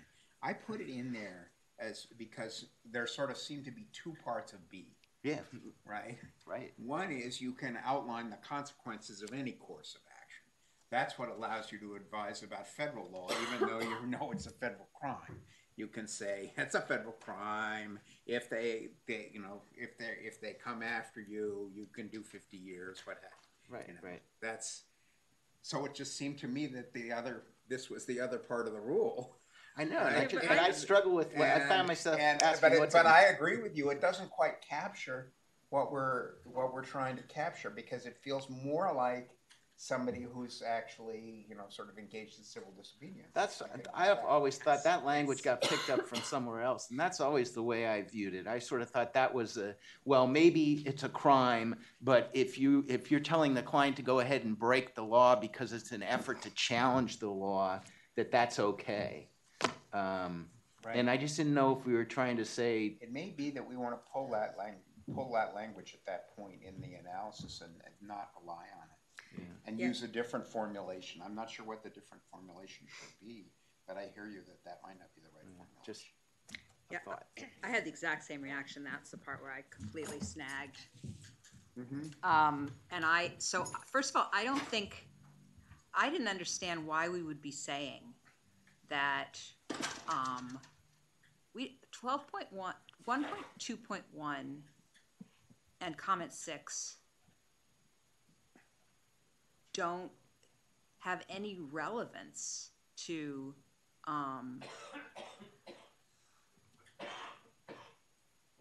well, sorry, I shouldn't say that. I was, um, I think so, I think maybe what Drew's point is the right point, which is that B is really not relevant at all. And really, the, the, the tension here is between A and the comment. And But B, the comment is, but comment isn't supposed to be an instantiation of B. That's what's weird, right? Hmm, It okay, I hadn't noticed it that. is That's weird. It is. It- it says It's it is. Expressly stated to be an Oh. instantiation of B. well, that's weird. That is. I, I think that's really weird. Um, okay. Um, I, I agree that you guys are, you're on to one of the really important sort of, um, questions of how we anchor this. Uh, that I'm not, that I don't have, a- I'm, this is, I'm not at all sure that this, uh, the approach taken here is right. But it is, it is, it is in a way trying to be textual, because it's actually saying it is B. Maybe we just don't say more about what B says, because it just gets in the way in a funny way. So we just say, without putting that language in, right? yeah, I think it just makes it, calls attention to something that just doesn't work in the way they've structured this comment. Right. So, I, I, you made me laugh when you said that twelve point, one point two point one and comment six provide clear textual guidance. There's nothing clear at all. That's right. Uh, I- That's overstated, isn't it? See, the, I, can I ask you this question? If I, after I read this and I ask you the question I have now, so I want to practice marijuana law, and client wants me to begin by drafting a partnership agreement for its marijuana business involves or re- review their new space lease. Can I do that after reading this article? Help them with a lease, help them draft a partnership agreement? That, the Does- goal does- is to does- say yes. Does this article say I can? Yes. Yes. Okay, just, just suggesting to you, it's not, No, That's where we okay, wanna I- end up. It's, it's the first draft. I know, I'm just, The goal is to say that. The goal is to say that, uh, and, uh, and, um, the, the argument, I think, essentially is, plays off of the comment, right? It doesn't really play off the text of B. Right. Right? That's right. It plays off of, it plays off the comment, and what it tries to argue is, um, and it, it's not a very, it's not very well done right now. But what it's, it wants to argue, and it wants to get stronger in arguing, okay, come on. It's, first of all, complying and interpreting is gonna be all over even the simplest situation here, right? And Well, it's that's gonna- a very strong point. That seems to me is gonna be, and, and the Nichols versus Keller point that sort Mm, of says, e- compliance and, compliance is gonna be, and, and interpreting is gonna be, if it isn't inherent in every situation, it's gonna be just over the fence in a way which, uh, which Oh, requires that, no, and that would be one, and, and then I think there are gonna be some more arguments based on the structure of the statute as I come to understand it. well, it, it- it's be beyond ironic that we have laws that allow major in, industries and yet ethical rules that preclude lawyers from helping anybody in, in, in major California industries that are legal under California law. Well, I If you think make that's, yeah, I think that's a very, I, I, I think that's a very important point. And you have the legislature also relaxed, the- made exception to the crime fraud rule in, in, in the evidence code. So Yeah. how, how could they give the citizens all this leeway and yet say you cannot get legal advice from any, from any California lawyer? I think that's a, that, point is, put, is in there, but it's not stated as strongly as it could be. That would fit well right under, you do a great recitation on the beginning and where we are now in terms of current state law with respect to medicinal and recreational use of marijuana. Something along Matt's lines right around the, the bottom there, to transition to the analysis of the ethics, I think would be powerful. Well, I think it's part of the, I think it's part of the argument. It, Yeah. it's the non, I think you start, you try to do it out of the rule, right? And then, that- but then we And you say, can't. and if you, and then if you say, and any other reading of the rule would be crazy because. I think you were, Right. Right. We That's, give by the way, up. We that's- can't really read I the would say rule. it's stupid to read the word, I, I'd use the word stupid, but that maybe footnote two, I was trying to, under- footnote two is, again, lovely writing. And, uh, you know, I, I would write the dumbbell version of that, and that's, I was wondering what you were, what footnote two was striving for, and I, that's. A- a I good- was, I'm not quite sure what I was striving for. I was trying to leave it in the draft. Right. Because I think those points are relevant, but I haven't figured out exactly how they're relevant. Well, I think what you're doing there, oh, sorry. I was just gonna say, I think Matt's comment about the evidence code in conjunction with one point two point one would be a good discussion as to here are the changes that have been made. And under the totality of these circumstances, that's where we come to our conclusion. Put those together. So in other words, we could say, we want, we're not making, we, Right. we want to read the, uh, one point two point one as being consistent with what the legislature has done. Right. Here, right, and har, and is harmonizing, so that in a sense, what the legislature done reinforces the notion that California public policy Right. requires this broad reading of one point two point one, which uh, Right. we can't quite sustain from the text. And, and the only other comment, Amy, if I can. Yeah, before yeah, of you- course. Is your limitations section on page eight. Yeah. I think maybe we should move that to the beginning. It just seems kind of odd stuck there in the middle. So either the beginning or the end or something, I don't know. Yeah, I kind of thought, I, Yeah. I, I Yeah. like, I thought the credits were rolling at that Right. point. Right, right, right. No, I, I- I, I wondered about whether to put it at the end. I, and I put it in there just sort of as, to remind us that it's, Yeah, that I we want think say it's those good. things. I Well, just think we need to move We it. remember you saying, Stephen, we don't need conclusions. Why do we need a conclusion? Do, do Do you remember saying that one time? Don't let yourself get cross-examined What do you here. mean? You're I don't harassing wa- my witness. I feel like, I feel like that Did poor you or North did you not say Carolina that? would-be congressman, yes, I don't remember saying that. No, you got me, is the correct response, right?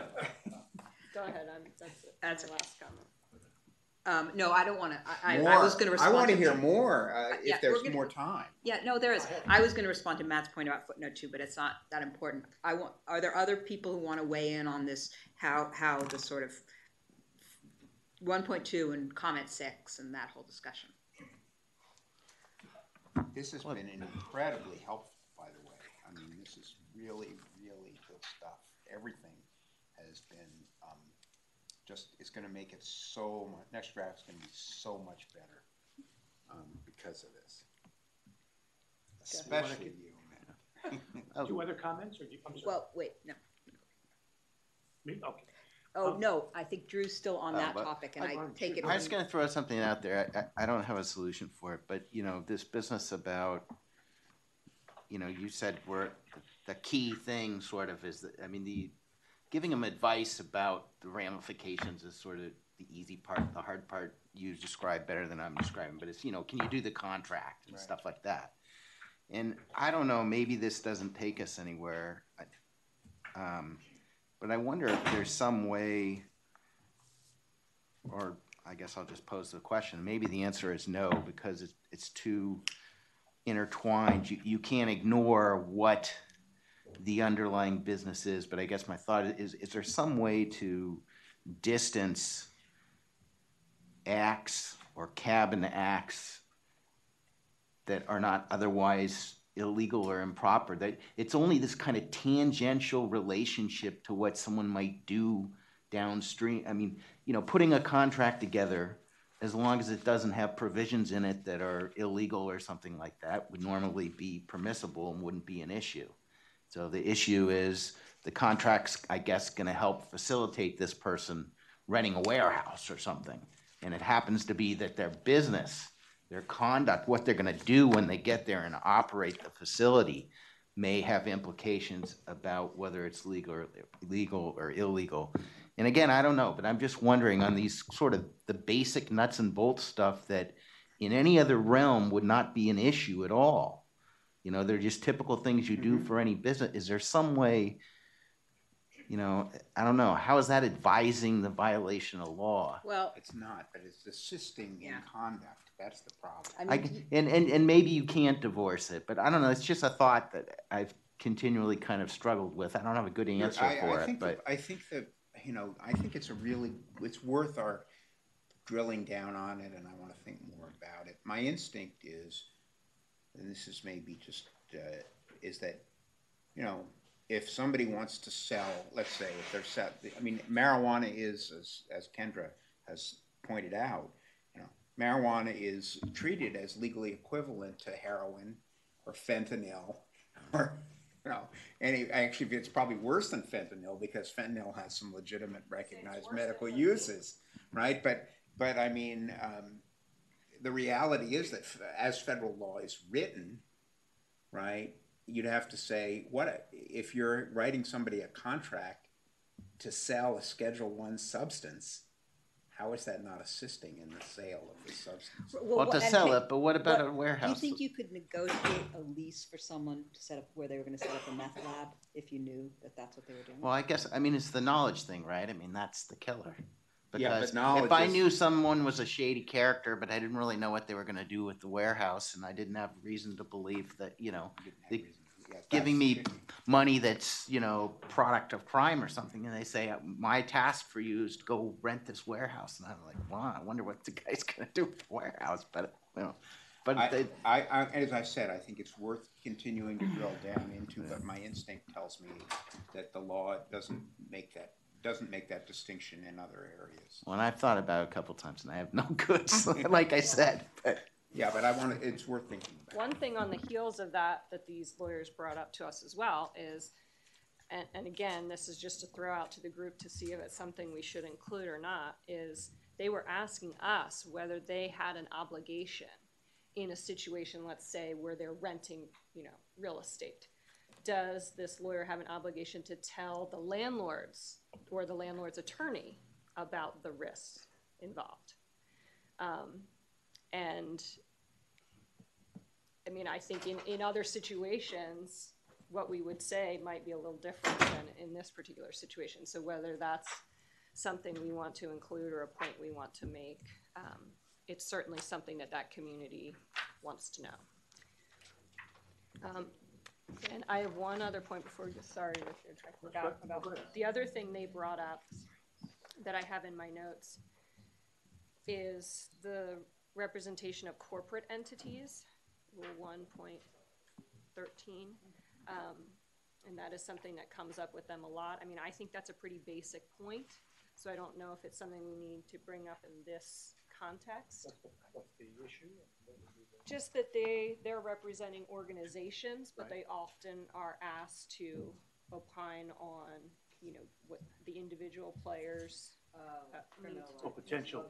criminal liability and exposure, which I think, you know, the analysis is the same as it would be in any situation, and whether that's something we feel we need to include in this opinion. I think it's a great idea. Um, but that's something they brought up and, and, and asked us about as well. That, that, that there's gonna be a situ, that it's gonna come up more often in this context than, than a normal corporation, that, um, That the, uh, that the individuals are gonna want advice about their individual liability, but you represent the corporation, so you have to do the dance you have to do, um, to figure out if you're representing them, if you are, how's that working, if you're Right, not, and tell if there's a conflict, withdrawing. I mean, it is My true that this instinct- be- could My become a instinct is I don't think we want to do an opinion on that subject, but it's certainly appropriate to flag it as an issue and refer the people to other opinions on that Yeah.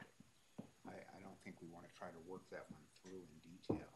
No, I don't think, I mean, I don't think it requires all that much. No, but it's a something that flag. those attorneys brought up to us as an Yeah. issue that they deal with a lot, so, Yeah.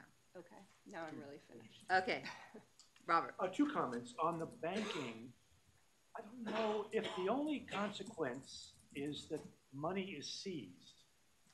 Uh, That, of course, you're going to advise them of the risks. That's clearly part of the counseling.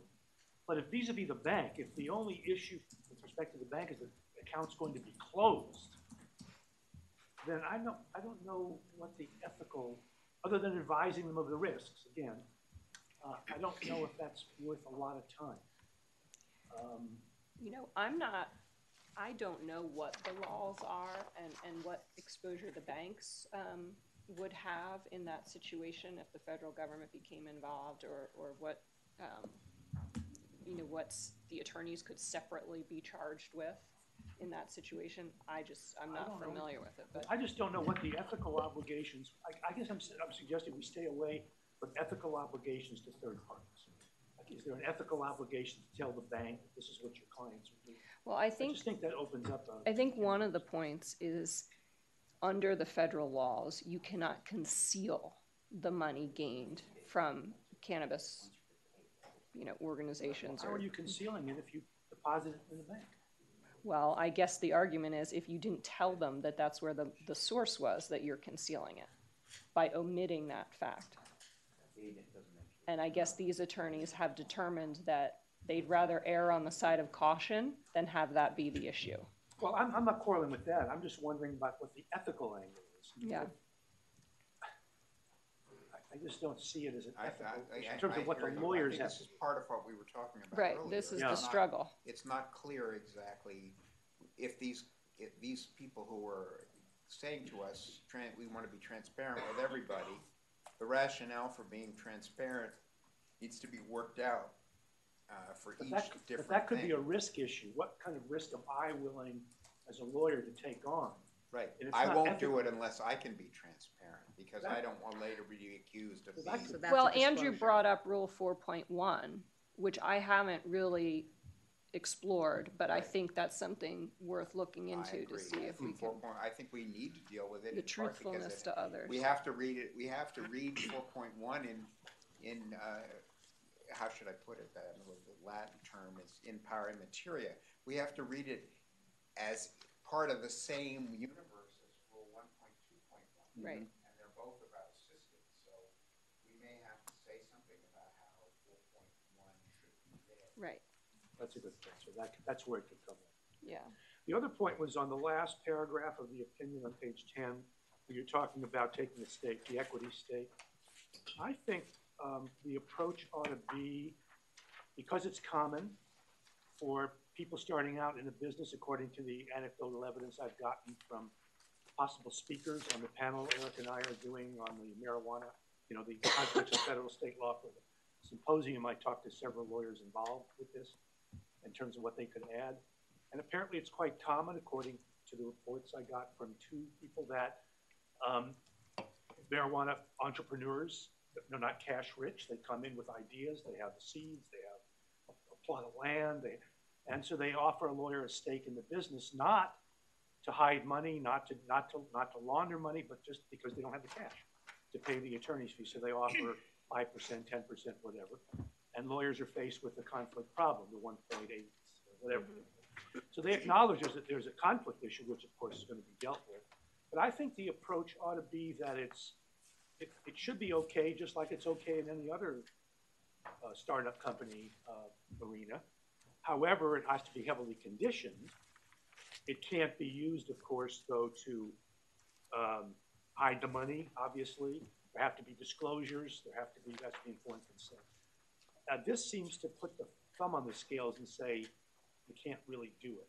So I'm bothered by that. I, I think it, we, we have to find the right balance. And, and I agree with you that it's, that if we, right now, I think the hinge is the deception. Right? Um, uh, But presumed deception, as, as this draft could, could be seen as doing, is probably overkill. That's fine. Uh, I- Because it, I think you come back to, uh, uh, Matt and, and points earlier that, you know, California wants these businesses to thrive. Well, this is one of the ways startup businesses thrive, is by paying their legal fees, uh, uh, in this way.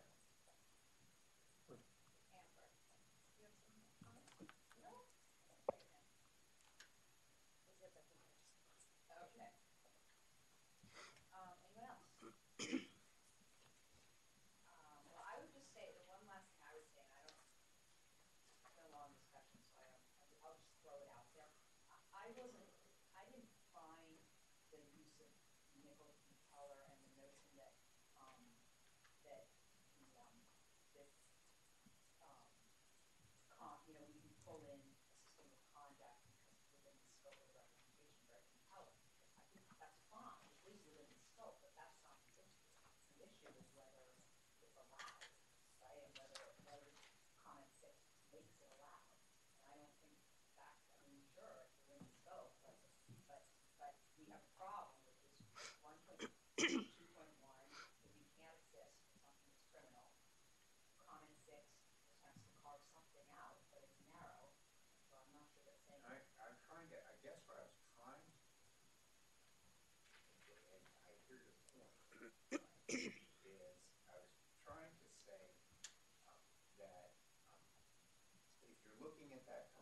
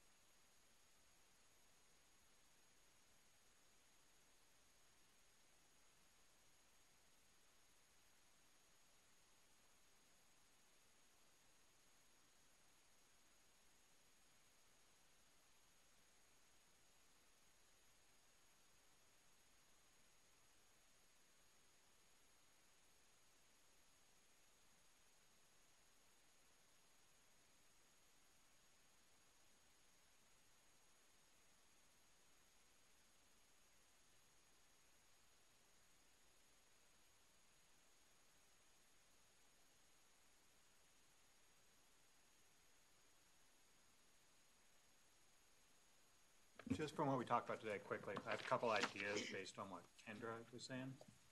Uh, I wonder if you could work in the full disclosure regarding trust accounts. I, I assume if you're going to banks that know that you're parking marijuana money in there, they're gonna be more proactive in protecting that money. So maybe that's a, um, protection of the client, like making sure the government doesn't seize it. Maybe if you go to a credit union that's fine having that money in there, they're gonna take more active steps to stop a seizure. Um, if, if we want to work that transparency in. And then about offshore accounts, um, I thought I saw in the news recently that some giant Canadian marijuana company bought up like the biggest California one or something like that. And I'm wondering if could can you deal with Canadian companies? Would it have to be incorporated here? Because I'm surprised to hear that all these guys wouldn't use Bitcoin or um, or or I mean offshore, depending on where you see it. Um, but I'm wondering if that would apply because Canada now is basically like California, but legal throughout the country. So just a couple thoughts. I have no solutions or answers to it, but if we're looking into it anyway.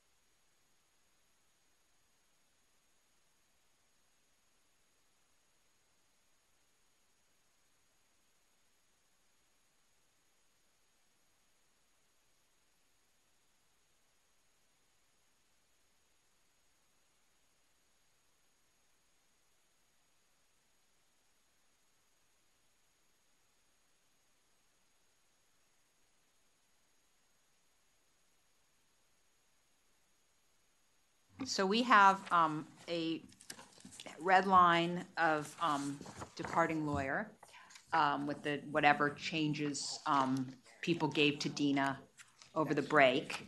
So I'm going to suggest we take a 10-minute break, which is for the purpose of stretching, et cetera, and also flipping through that. Um, Then we'll take that up when we come back from the break.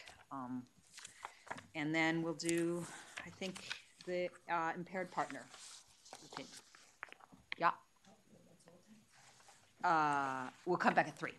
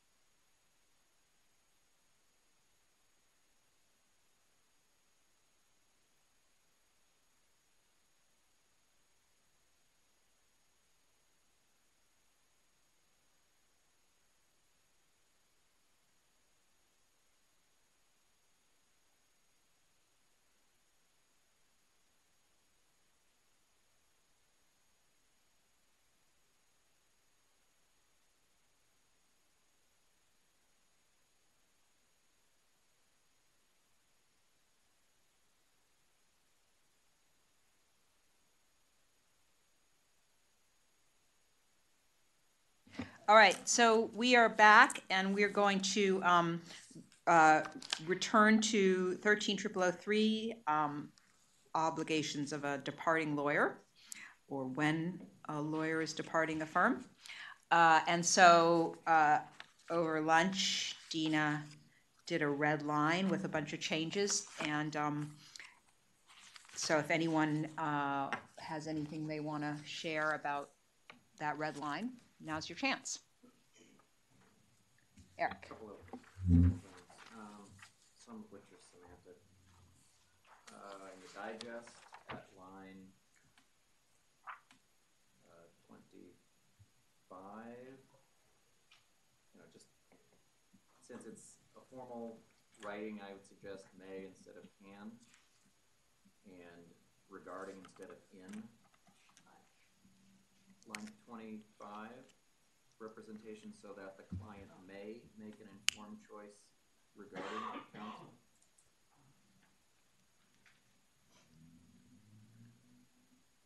What was the second one? Regarding instead of in. Uh, Then at one thirty.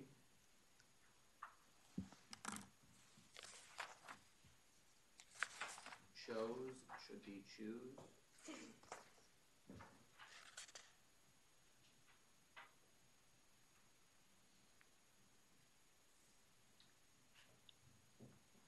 And then, um,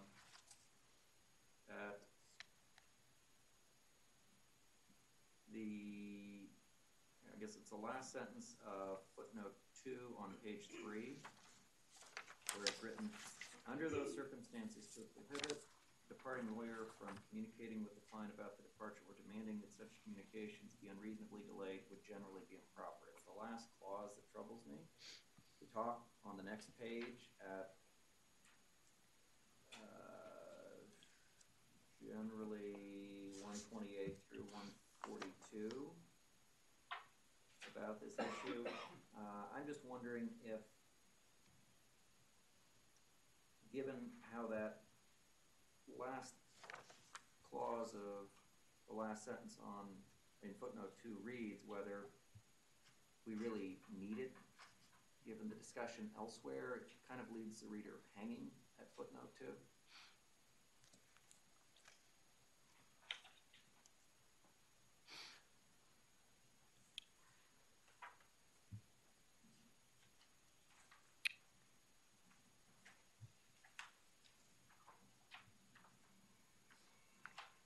So you, Eric, are you just suggesting we take that last sentence out? Well, I'm, I'm looking at it a little more carefully now. Um, I, I, yes, but I'm trying to decide if perhaps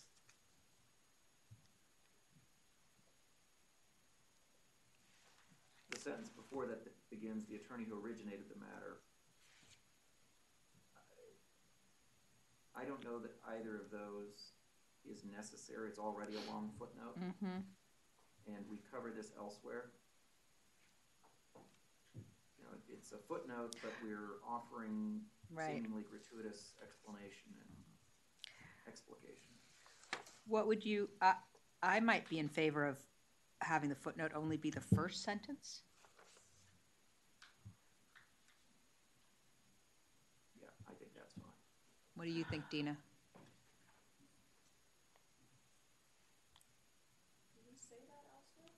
I don't think we say it elsewhere. Which, which, which aspect? All of it. The part where you talk about the, um, client doesn't belong to a particular attorney, I did read that elsewhere. Yeah, we definitely say that. I can't, Yeah, We're talking about in the context of the client origination thing, which come- which comes up all the time in departure matters, where you have firms saying, well, let me see, you can give notice to the clients that you originated, and we have to talk to the other partner about who originated, and they view these things in terms of like client origination based on these compensation structures. So I think it's a really important point to make.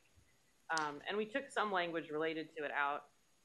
I mean, I'm open to additional edits. I don't think this has been stated in this way elsewhere in the opinion, though.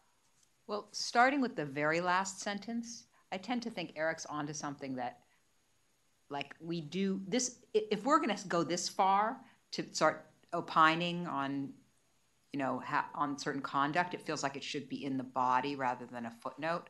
We started out just by saying, hey, you know, we're not, this is not to say that law firm compensation structures are bad, whatever, it just creates these problems.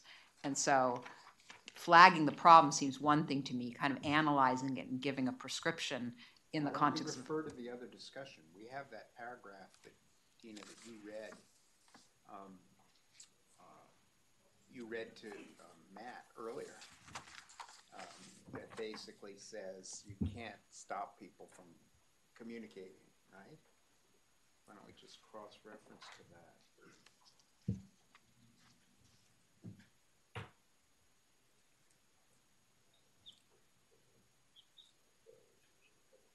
Yeah, I mean, it is specific to origination credit. I just thought that it was anecdotally, I think it's helpful within this context here. I mean, I, with, in terms of the last sentence, um, I mean, I know that that concept is saying you can't, you shouldn't prohibit an attorney from talking to a client, you know, a departing attorney, but in terms of this context, um,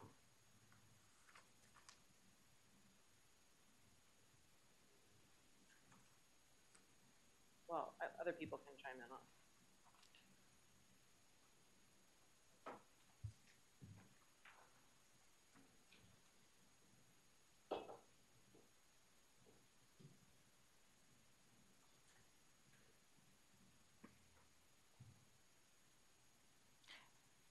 It just seems like a lot. Um, I mean, I, I mean, we've, it, we've, we've set out the parameters of like, you know, what are the ethical responsibilities? And no lawyer can be prevented from talking to any client who might, you know, reasonably want, be, want to go with the lawyer and, you know, the, the client's interest has to come first and you, um, you have to, um, you know, all, we've all set out all those principles that are, you know, this is just a more kind of specific application. Um, and uh, I think the, the, the impetus for the footnote is just to, to, is important, which is to say, you know, the fact that we're saying that the compensation structures lead to certain mindset is not to say that the compensation structures are ethically problematic, just that they lead to this. But then we sort of go on to sort of go back to opining about, you know, how things should be handled. And it feels like, I, I just feel like we've said, example, I think that's what the intended purpose is, to give an example of this context in the way that this happens. but what, I know, but we start out by saying we're not, we're not criticizing. Like, our first point is, hey, we're not criticizing this compensation structure. But, and then we go on to a long thing after that about, you know, what can happen. But our initial point was just, it's not, this isn't a criticism of compensation structures, just, um, Just just, they contribute to this particular belief. Right. So this is an example of that. Um, I, I think But we already said that, said that above, right? That's exactly what we're saying above. That's what, what, it- what caused the need for the footnote in the first place, is we were saying that these, you know, that, that, that these conflicts arise because lawyers think of themselves as owning clients. Do we- Justin? Do we discuss the concept of the property concept in, in this terminology of origination credit in the body? If not, I, uh, we'll find out in a second. So just once, okay. So I, I, you know, I, I, I take, We'll go back to the footnote. It's, it's right where that footnote, so it talks about it here and then it refers to Got the it, and then it goes to the more footnote. detail. So in that sense, I think that the footnote supports then the, the body, but, you know, to the extent we're thinking this is maybe too much for a footnote, why not state the, the initial point that we're not taking a position on compensation structures, but I think provide the benefit to the reader, um, that, you know, s- we don't, we, where we, we could take out the part about, um, How you know, about, how about this? Sorry, I interrupted. That's okay. I mean, my, my point is, let's, why, don't- why not just say the, the first sentence and then give the example uh, about origination credit, I think what we're trying to say in that example, the gist of it, is that origination, the originating partner's um, relationship to the client can't be used to, um, you know, impair communications that need to be had with the client or um, impair the representation when there's a, a departure situation. I think that's a, a helpful example to give um, in, in kind of real world. Right, I'm just wondering if you can capture that in the last sentence a little differently. If we said, um, um, what we were simply saying, uh, from communicating with the partner, uh, uh, they, they say something like, uh, uh, uh, the fact that a lawyer did not originate the business, right, is not a ground for barring a, uh, an otherwise proper communication with the client, or otherwise require a permitted communication with the client. About the departure. I mean, because that's the key example I think Yeah, we're trying to get. that's get. the point that needs to be made. Point Yeah. really is that origination is completely irrelevant. Yeah. Right. Uh, uh, in terms of, uh, in terms, in terms of uh, ethical, uh, Right, and then it's a two-sentence footnote. What? Then it'll be a two-sentence footnote, so that cuts it significantly.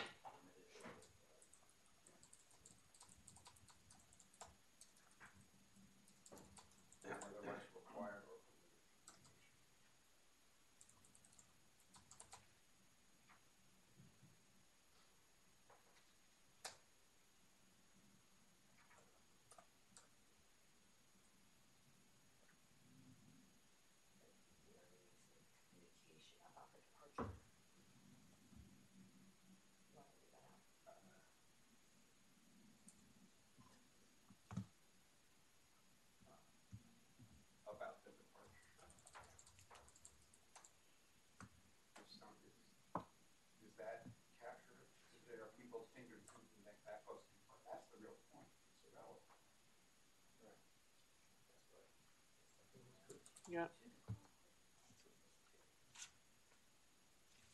I don't think there needs to be a comma after matter.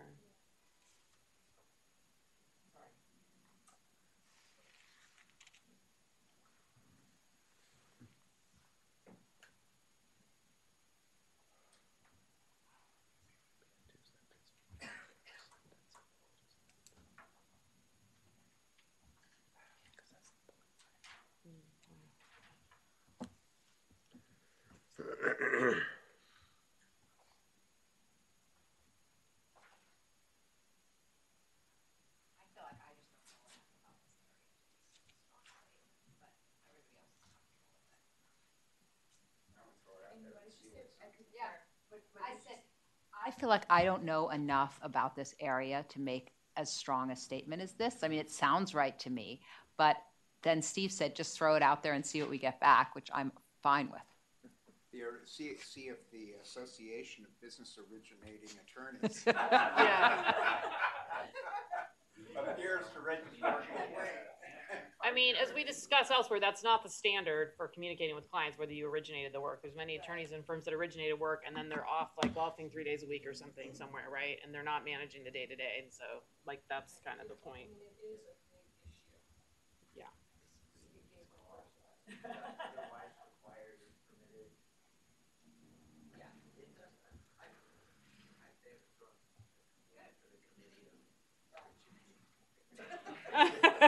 The Association of Originating Attorneys. Yeah, if they're not playing golf. On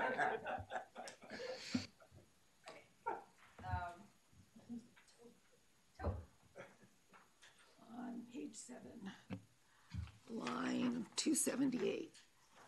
Um, it says, however, if one lawyer fails to notify a client or refuses to do so, the other one must.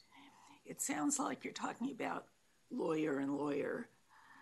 Um, but the preceding line is that it is not imperative that both departing lawyer and the law firm notify the client of an impending departure. So it seems to me to make it appropriate, it would better read. However, if one fails to notify a client or refuses to do so, the other one must just delete lawyer. Would be the easiest way to fix it.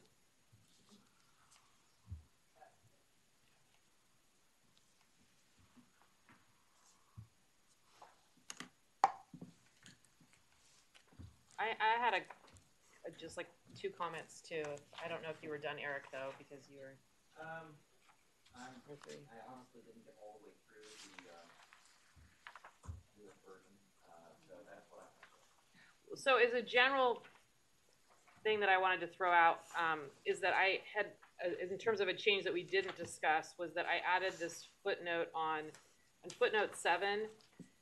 Um, I added that last sentence there, um, related to this, the concept of ability and willingness, um, which is throughout and is in other ethics opinions too, just to kind of clarify that, that point. But I did also want to point out that on lines two fifty-one to two fifty-eight, that that exact concept is discussed there. And so I wanted people to, I want to know what people think about whether it's also helpful to have that footnote in there just to remind, like, you're not saying, oh, hey, guess what? I'm not going to represent you in my notice letter, and then that's the end of your obligation. Um, or whether they, you think it's sufficient to have, to not put it in there because it's included elsewhere in the opinion. Um, and then Mimi, I just had two little, um, on, on line one seventy-six, I think we left in that footnote four, but there's not actually a footnote four, but the, the four is there. So, Um, so then it kind of makes it so that we go to, from footnote, Oh, I know, but when you clean it up, it'll get rid of, because now there's no footnote four, but it'll change all those and make Yeah. the one below it footnote, okay. Because I can't tell if that's still in there or not. I'll, we'll fix it. Okay. I'll just- I'll just highlight it and I'll let it. And then in that same sentence, um, the language that was added, and any client departing lawyer reasonably believes may wish to transfer its files, I think. Um, instead of its client's files, I mean, that's confusing because you're talking about the client. Well, I guess it's client's files, sorry. It's just, it was read a little clunky for me, so I'm trying to. Does anyone know what I'm talking about? Are we putting it all? Yes. we're gonna So vote on leave that. as client's file. Is that right to take out clients or should it be fi- I like it without client. File. uh, yeah, okay. Have we caught this one? Yeah, I, I actually had that one too, thank you. Um, and then there's one more little typo thing, which is like a double period, where's that, Matt? Line, One, line one oh six? yeah, at the end of line one oh six, where we were just, there's like a period before and after the footnote. And don't we, because we need a cite. Well, we already talked about how that's there, right? But It's a we, quote but don't we need a jump cite? I mean, it's cited here. Is it the same cite? Yeah, it's the same header. Right, no, I don't, no, I get it, but there's no page cite. Steve thinks the one point one six Oh. edition is fine. Oh, yeah, thanks, okay. Yeah, reiterate. Uh, maybe on line two ninety, I think you're right, there was a page there.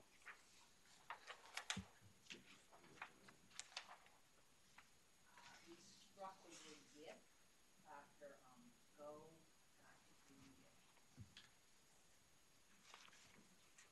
Um, And line three seventy-four,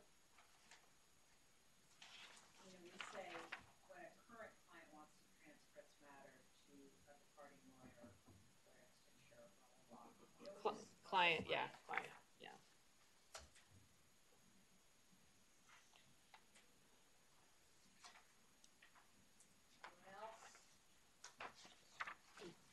There was a question on the, um, Not in, I don't know, what line it is. if neither departing lawyer nor law firm have, it should be has.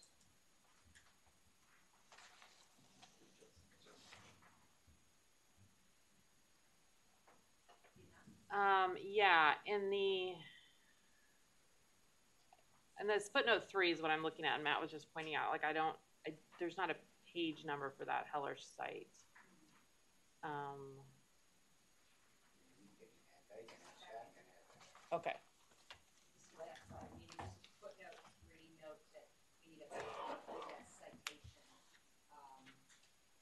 for that quote. for the latest. I thought I had it somewhere, but I don't see it here. Okay.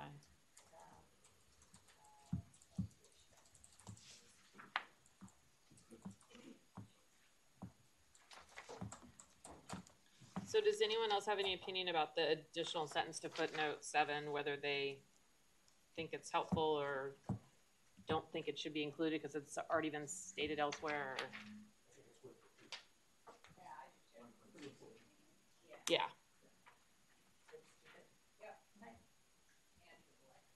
Yeah, well, that's why I was trying to address for him, and he's gone. I like the removing the the. There was a lot of does in there. I was like, oh my god, right, exactly, does it sh- shave it down by? Never heard that. He does. All right, um, There's there's a word. now, Did you mean to do? we're ready. I move recirculate for Go with. Okay. No. Do I have a But second? There was changes. All right. Denise?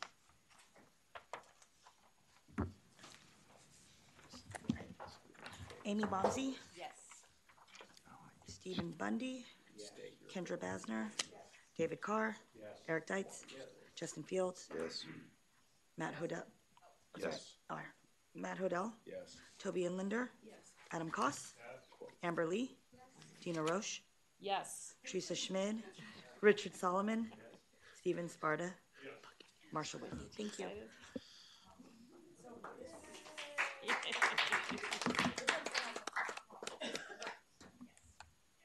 And it first has to go up to the, does it go out, no, it goes out first.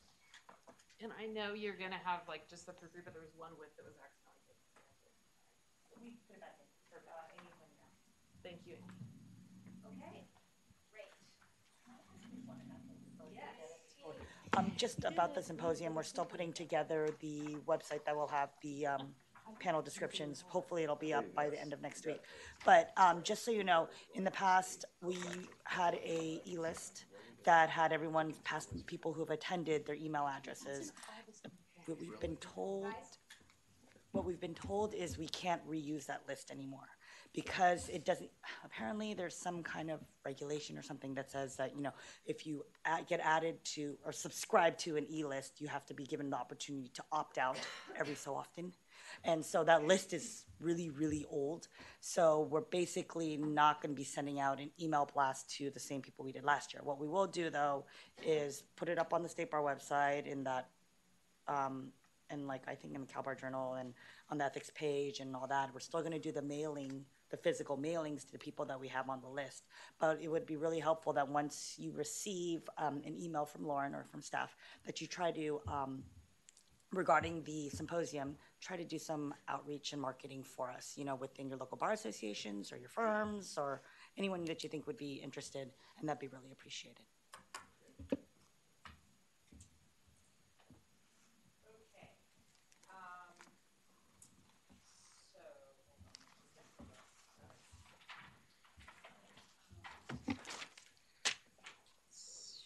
Did that. Uh, did that. Um, so let's, uh, I think we're gonna, um, so what I wanna do is, I want us to talk about, um, the colleague impairment.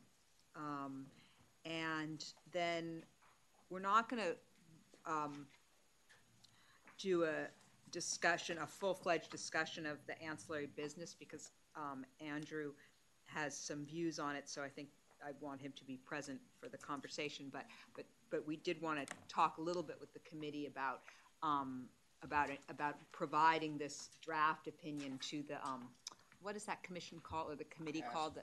Task force on, um, on access, access through innovation of legal services, ATILS.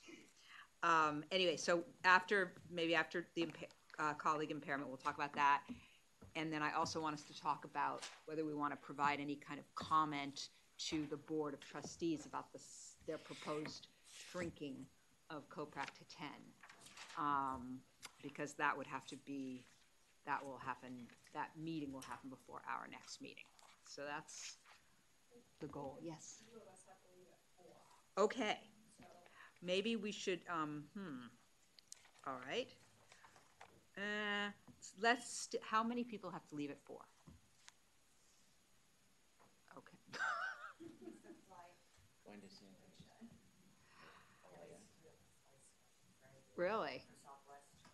Oh, terrible. All right, well. All right, so, so let's, um, let's do this. Um, really quickly, there, ATILS is considering, um, one of their tasks is to consider whether, um, uh, whether five, something like five point seven should be adopted or other methods to in, assist lawyers in prov- doing ancillary business. And so one of the questions literally that they are, have a memo on right now is, should it be a rule change? Should it be an ethics opinion? Uh, should it be blah? And, and Andrew circulated this, uh, this memo, at least to. To the.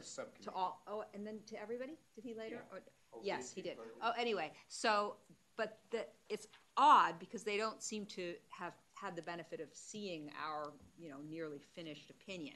So would, does the committee, uh, support, we were just saying, we, there's no reason that we can't provide it to them. Does anyone have any concerns about providing it to them, or is everyone okay with that? It's all public, yeah, they just don't know about it. Part of the oddness of this is that um, they have actually done, an- they've actually looked at the question of whether uh, you could write an opinion like ours. And unlike State Bar staff, they've concluded that you could, for pretty much exactly the same reasons that we concluded we could. Uh, So closing the loop might make sense and might also encourage them, if they like the tenor of the opinion, to go the opinion route. And we Right. don't throw something out that will be immediately superseded. Yeah. So, I, so basically the agenda's been posted and there's still time to add supplemental text to the agenda, so Uh-huh. I can add that. Great. To the agenda because it's an actual agenda item. Um, but my question is, do you guys wanna add some kind of cover letter? I think we probably would want to put something brief, Yeah, that, yes. like, by, if we could get you that by Monday, Um, would be very brief, I think. Yeah, just this. I think the deadline to post additional materials, I think what we gave them in response to the agenda materials, basically, so it would be the same thing, would be Monday, at the Monday. late, Monday morning at the latest. I think it'd be very brief, like COPRAC wants to make ATILS Yeah. aware that, you know, of the, Yeah. Of, of of the this draft. opinion, here's the most recent public, uh, Yeah, public we'll- version of we'll- it. Yeah, we'll send you an email with the Okay. text, does that work? So, yeah, no, that's fine, I just, I need it by Monday morning, because that's when we're posting the rest of the materials, and we don't want it to get, like, people like, oh, I downloaded all of it, but didn't get that one. I understand. Yeah. So we're not discussing that opinion now? No, we're not, because, Okay. of Andrew not being here. So we'll, we'll, we'll push that one over to April, um, with some regret. Okay, I, I want to do the, um, I want to talk about the size of the committee and do people want to make a comment? So does any, I mean, the, the state of play is that initially we were told COPRAC's going to be reduced to seven. Now it seems like the proposal is that, co- I think that staff is making is that it be reduced to seven. Uh, I'm sorry, ten, um, from seven to ten. It is also the case that it's go, COPRAC is gonna have the additional job of writing these, uh, arbitration, um, fee arbitration opinions. And so among those ten people is gonna have to be apparently, I don't know if it's gonna, still gonna be two, but at least someone with competence in that area. Starting off, and then eventually we would just, you know, do one of the. Ho- hopefully Okay. that we could find, we should be able to find people Dual who can do people. both. So that's I probably mean, not a big There are thing. people who clearly do both. Sixteen. Does that include, uh, the executive committee or? I think it would. Uh, I talked with Andrew a little bit about it this morning. The way Okay. it would work uh, is uh, that their terms, the terms of all of these committees, what? The- The terms of all these committees are going to four years. So um, the idea would be essentially that there would be, I think, an a- average of two people per class, right? And then you'd have a vice chair and a chair, something like that. Or maybe it would be three people in one class, two people in uh, three other classes.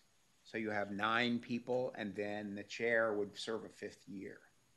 Something along those lines. That's the underlying idea. So only the chair serves five years, everyone else serves four, and that would imply nine other people, so two, three classes of two and one of three. Now, Andrew has worked it out in a way that's convinced him that one of the classes would have to be one. That seems not very helpful. Uh, but anyway, that's, we don't know. But that's, that would be the basic framework they're talking about. And in, in that, you'd have to do, within that framework, uh, there would be no advisor. Uh, and, uh, the vice chair would be a member of the fourth year class. Hmm. Right, so if you, not necessarily, or a third year, a third or a fourth year, but member of the third or fourth year. I think it was if you, I think this is what they're proposing. So let's say, um, you are, you are a second year that for next, the following year wants, cause you know how right now we allow you the second years to also apply. So in that case, it'd be like a third year. But anyways, if you ended up being vice chair too early, like one year too early, you lose a year. Cause then what happens, you don't get to serve a fifth year, basically. If you became vice chair in your third year, then your fourth year would be chair. So in a situation where there is a class of just one, right, there's always a possibility that, you know, a second year could also run for vice chair, sacrificing one year of being on the committee, but, you know, not Jay- really sacrificing, because you would still do four It years, you seems- just wouldn't do five. It seems weird not to have the classes have better balance than that. It seems like there would have to be a way to work it out eventually. But that's something, that's a sort of secondary issue.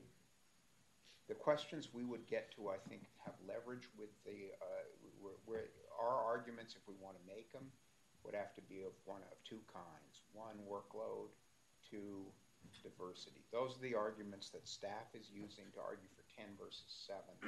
And the only question, I think, would be whether our staff, our, um, our staff, and we, have a different view, more diversity, more, more diversity, more broader range of people, or more workload to get it to some higher number. That would be what we'd have to say. Is ten the absolute top? There's no realistic prospect of getting more than ten? No, I mean, if. I don't think there's anyone who knows that that's the absolute top. That's just what staff is proposing. Oh, staff. can we- I think we're not gonna win the four years, though. We're not gonna, you know, that, That's a that fixed piece thing. feels like we're gonna, Because not uh, gonna all the other cons- uh, sub-entities, subcommittees, whatnot, are limited to seven. Right. So asking for ten is even asking for more Well, than, there are, Jenny gets more, right? And there are at least two or three others that have gotten more. I don't know if they still will, though. But we do more work. Are the other committees subject to four-year terms as well? And would that, ap- that was my question, will that apply to people who are presently sitting on the committee? I don't think, I think, I don't think everything is prospective. Oh. I don't think any other, I don't think any other committee has a production issue. I mean, our production will be substantially impaired if we're limited to even ten. So it just, it, it, doesn't make sense to try and squeeze us into this same model that, where people are just basically meeting and discussing common business without having a production. So I, I mean, we've got not just the opinions, but we have the COE articles as well. And um, it just doesn't make sense. If the bar, bar is serious about wanting us to generate opinions, it ought to be prepared to have an adequate the ethics committee adequate to do that. Unless they're happy with one opinion a year instead of two or three. And the ethics symposium and the new arbitration assignments. Not, and I think we highlight how long these ethics opinions are around. Right. And how we have so much trouble getting them through as is. The fee arbitration, uh, panel or or committee, how many are on that currently? I know it's being sunset. But if the expectation is that this committee will assume the responsibility of two standing committees, uh, there not be consideration of that in terms of the number of members and uh, workloads anticipated? I mean, it's essentially asking this committee to do more with less, which That's exactly what they're. understand how that might seem appealing, but uh, it is a volunteer. For a longer committee period of time.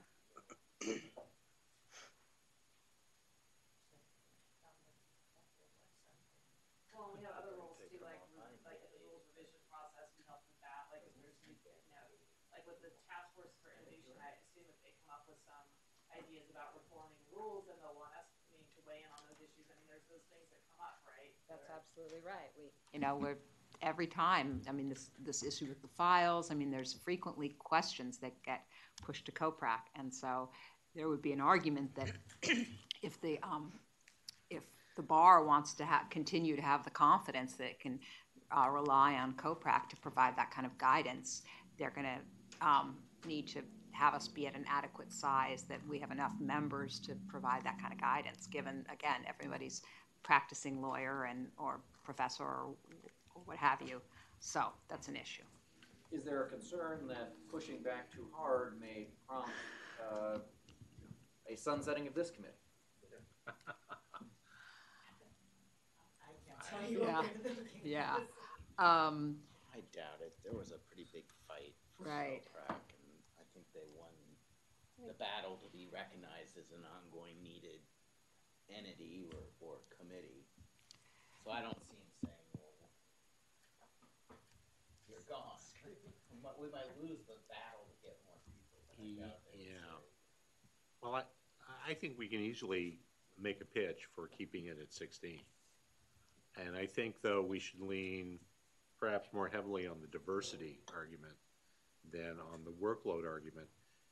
And Just because my sense of this discussion is the, the board's perfectly happy to take less production in, in service of their goal, which is to save pennies. Um, But I think in terms of the diversity argument, I think we can make a good argument that the committee to, for, even with reduced workload, for that workload to have relevance, significance, that it needs to be the product of a diverse group of people. Uh, I don't think, assuming the arbitration advisories, when you look at the number of advisories over the years, it's certainly a lot fewer than the ethics opinions. And, and mostly what it appears that MFAA has done recently is go back and revise old arbitration advisories to bring them up to date. Uh, I don't get a sense that there's a lot of ongoing current production needs on that end. So I don't think that's going, I, I, that'll, that's some additional workload, but it doesn't strike me as being a tremendous amount of workload. But, I mean, typically, you're gonna wanna ask for what you want, and I think what we want is sixteen members. When you respond, we will list all the things you hear. Eventually, we will point out diversity and, and we'll stabilize them up. The symposium, yeah. Yeah. To address their concerns, what, what are their concerns? Money. Money. Well, I, I, yeah, I think so. From the conversation we had with Andrew that was a while back, it's, it seemed like it's actually maybe not money as a primary driver. It seemed like there's this kind of notion that um, it's hard to control committees that are of a larger size. They, there's a, they have a consultant that did a sort of analysis for them that suggested actually, um, this is what we were told, seven is the ideal number for any committee. And the, Which i- and, sounds and like the ideal fruit out of is The banana. Old Testament, right? Any, Any committee, they don't even know what the, committees do all kinds of different things. Wow. So they said that the larger the committee, the more stalemate they get. Like they basically, it's like, okay, this this is not going to get voted out because there's too many people on the committee. And but the thing is, if you think about it, almost all of our opinions when we vote it out, it's unanimous. Yeah. We don't have So a lot of another- controversy. That Yeah. You know, I mean, and it's good. really well thought out, and a lot of Yeah. people give their different And- experiences and input, and Yep. so which makes it a great quality Right. product. But Right. that I think that was it. The larger the group, it's harder to get things done. So we did address that. Yes, yeah. Um, just one point, and then Steve, I'll grab to you. Um, sorry. I s- That goes to David's diversity point. Right. I mean, that the exactly. nature of what we're doing here actually requires that and benefits from that. Right. It's, it's not an obstacle, it's what gets you to the type of product we're trying to do or what we're doing. We need the- a variety of different people weighing in, and it needs to be vetted the way we vet it. Yeah. And I think we could point to a, a long history of highly superior work product Right. to, to bolster that. Steve did some really good quick research on comparable, uh, committees in other uh, states, um, and the, their their um, committees are Yeah. huge compared to us. I was gonna say, the smallest one, um, is, I think, of, of any state of ro- remotely comparable sizes, like twenty-nine. Say, we're the, right. I haven't, fi- I haven't, I never, I, because Andrew told me that was a bad fact, or useless fact, I It's a haven't. fake, fake news. I haven't chased down the Texas one I, yet. I but would do it. I I, I, I'm happy to I pull think it's that very- information together. It, it look, it makes it look kind of crazy, because we'd be going on a per capita basis in terms of how big our state bar is, we'd end up with something like one-tenth the number of committee members that any other state had. And that, to me, look, you know, that, that has some force. Steve. What's the mechanism for presenting this? Are you guys gonna appear and, um, make a presentation? Are we gonna come up with like a written document to submit or?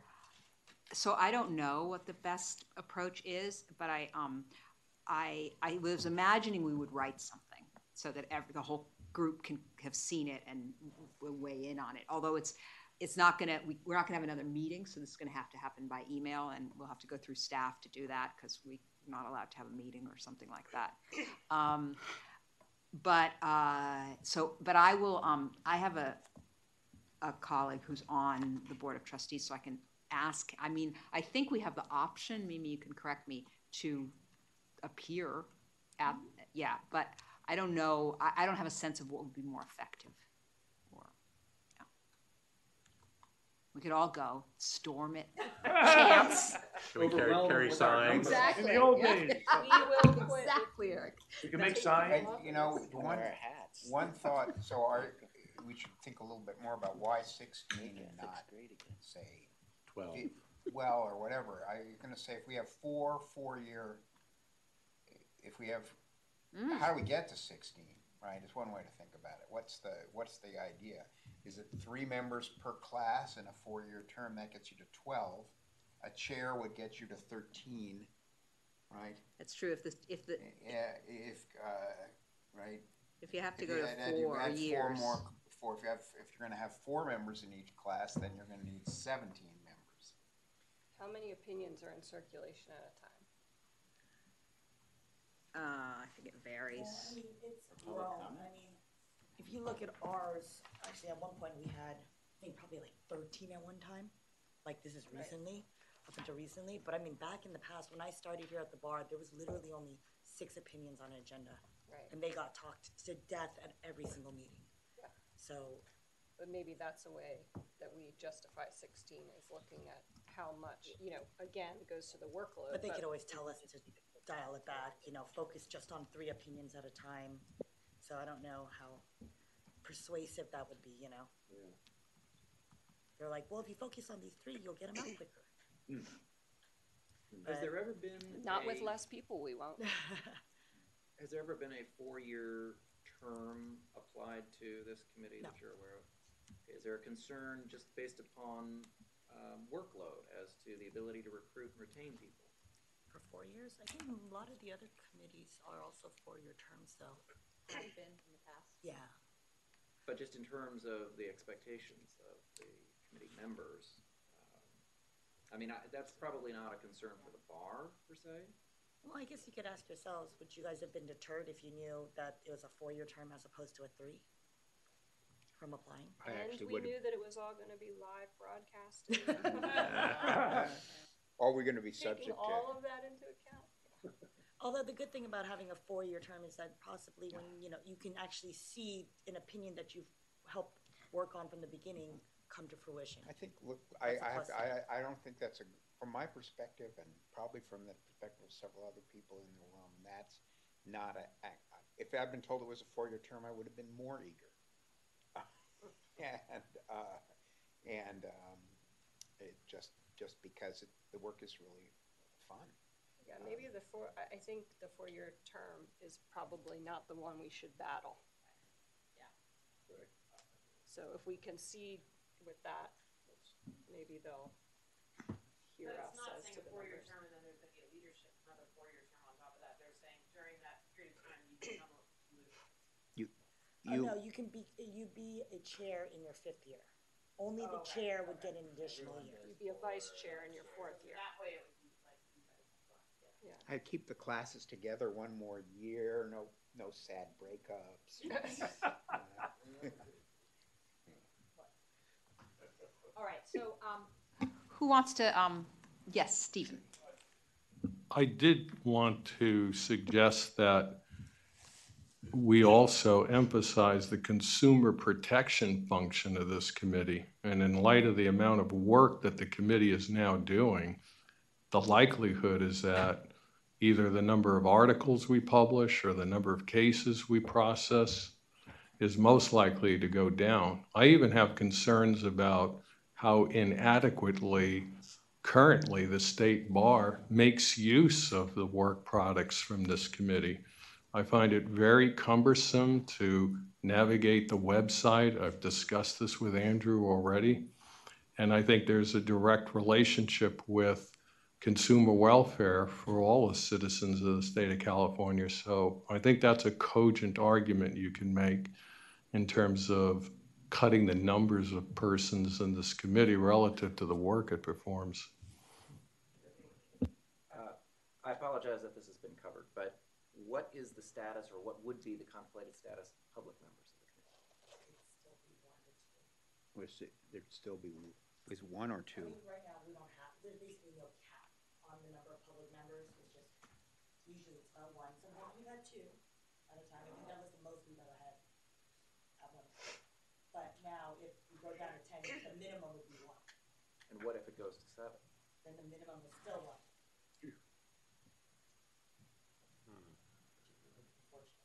Unfortunately, we have six at this Um, So, um, is there someone who wants to, um, take the lead on drafting a letter? Um, just getting a, getting a draft out there, Would so. it be appropriate first to take a straw vote or a vote of some kind to support that? Um, Just formally, just to sure. have something on record? I'm, I'm just, I'm not sure Uh, about what the legality is. Yeah, I'm not sure either. Do we need to? You can take a straw poll. Yeah, okay, sure. Let's take a straw poll. I, I feel like I've had a straw poll based on the comments, but, Yeah, no, I um, think so. but, uh, sure. Uh, let's just have everyone, um, well, let's, let's put it this way. Uh, here's, the proposal is to write a letter to the, um, Board of Trustees expressing our view that the, um, that the committee should stay at the current size it is. Um, anyone, is anyone opposed to that? Friendly amendments? Okay. Who's gonna write it? I'll volunteer to write it. Thank you, David. Take a crack at a first draft. Yeah, and let's How figure out soon- the timing. Yeah, Yeah, soon do we need this? when do we need it to get it? Well, when's the meeting? The thirteenth and fourteenth, is that right? Yeah, well, March have to be a fourth. long letter. Yeah. Uh, What'd you say, March fourteenth is the meeting? Yeah. So, I mean, usually they post agenda materials at least ten days in advance. So you're looking at. Business days? Business days? I'm sorry, I can't. Friday of next week? Friday of next week. We need a final letter by Friday. So we need a, well, I don't think the letter needs to be, you know, encyclopedic in length, so. No. Agreed. So,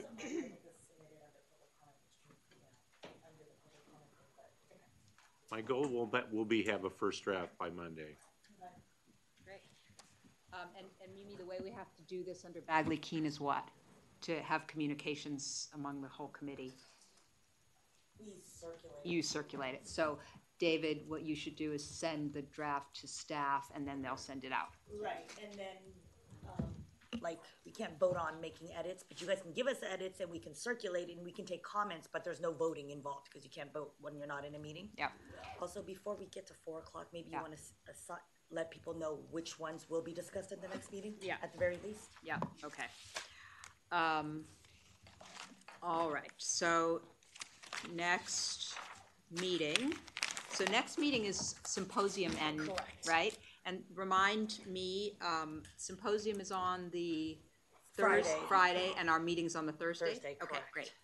Um, so we'll definitely want to talk about the marijuana opinion again. Uh, and, um, we will definitely talk about, um, uh, the, the ancillary business. Okay. Um, we'll hope to write. Okay, fantastic, so we'll have that. Um, Marshall would really. and Marshall would like to really get want his, Which one's Marshall's? uh, seventeen triple oh three. Okay.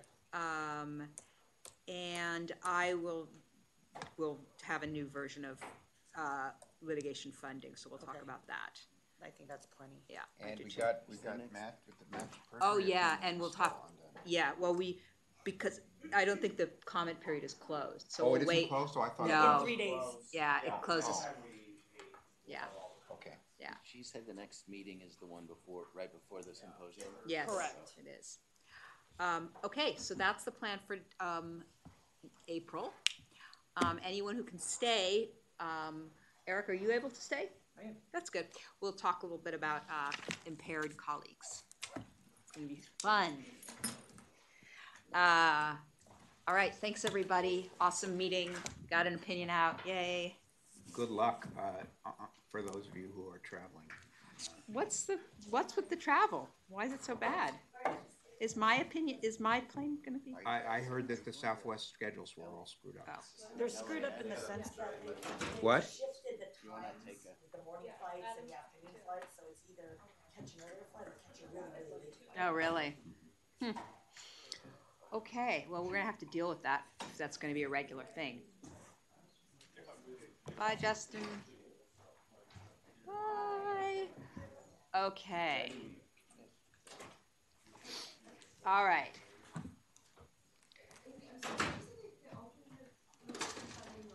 Yes, It- but it will not be this one, it will, you will, you will have a fresh, new draft that you'll get, so don't bother with that old dingy one. Are you having leave too? Bye. I don't know, do we have, yeah. Ah, cool. We won't be voting. Oh, thanks. Let's, let's vote it all out, guys. Here we I didn't mean it that way, I just meant. All right. Uh, I am not gonna start with comments, but I just wanna say I really like the new, uh, I, I like the new approach with the, um, with getting rid of that old senior dude who was confusing to me. And, um, and, uh, and with the. For him, too. Yes. And, um, and with the big firm, little firm, I think those, those are all fabulous changes. So, do you wanna, uh, give a spiel? Sure, so, uh, I mean, as Amy's observed, the comments provided prior. The comments provided, uh, prior to the last draft have been incorporated in terms of refining, uh, some of the facts, uh, taking into account more directly the specific responsibilities under five point one and five point two relevant to uh, managerial or supervisory attorneys. The idea being that the size of the firm um, may have some impact as to more practical aspects, but nevertheless, the duties remain largely consistent and are individual, such that they can't be, um, you know, there, there's no Nuremberg type defense. Uh, I did have some questions that I had written on this red line draft that I'd appreciate public comment about. Um, and one of the things I couldn't help but notice is the, the digest itself is about a page long when viewed on a single page, which strikes me as perhaps a bit excessive.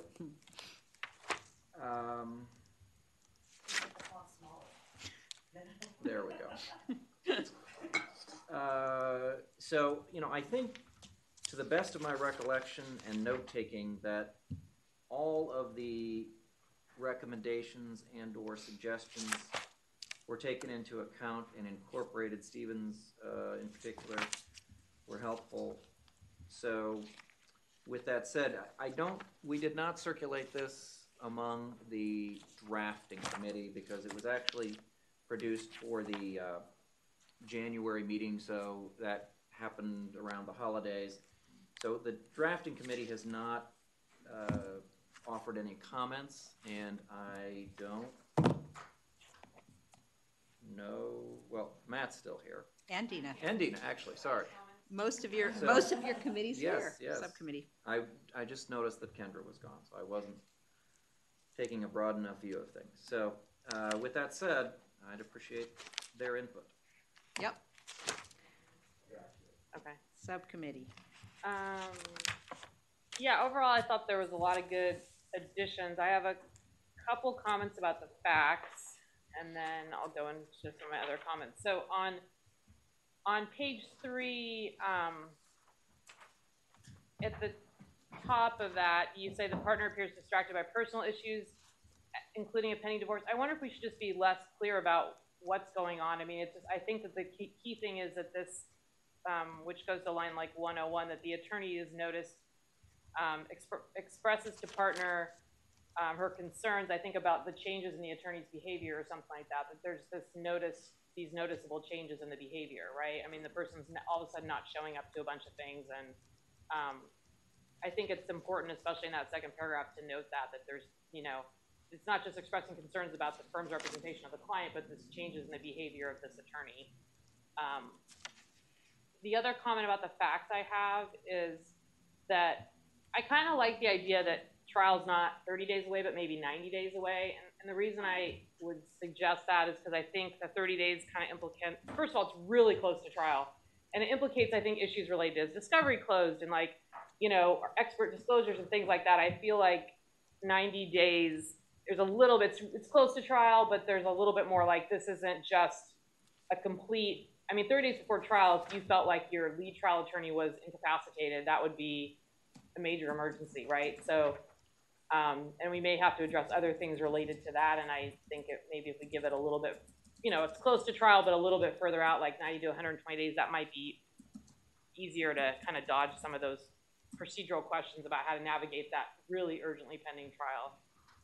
Um, on line 152 at the end of that paragraph, um, the just the the comment about the impaired lawyer. I wondered if you wanted just to do a citation to one point one sixteen A two there, um, related to that rule. Um, A two at the end of line one fifty three, just an impaired lawyer who cannot continue to represent clients competently owes a duty to cease the representation. I think that's out of that rule. Yeah. So we should Mhm. cite to the rule. Okay. Um,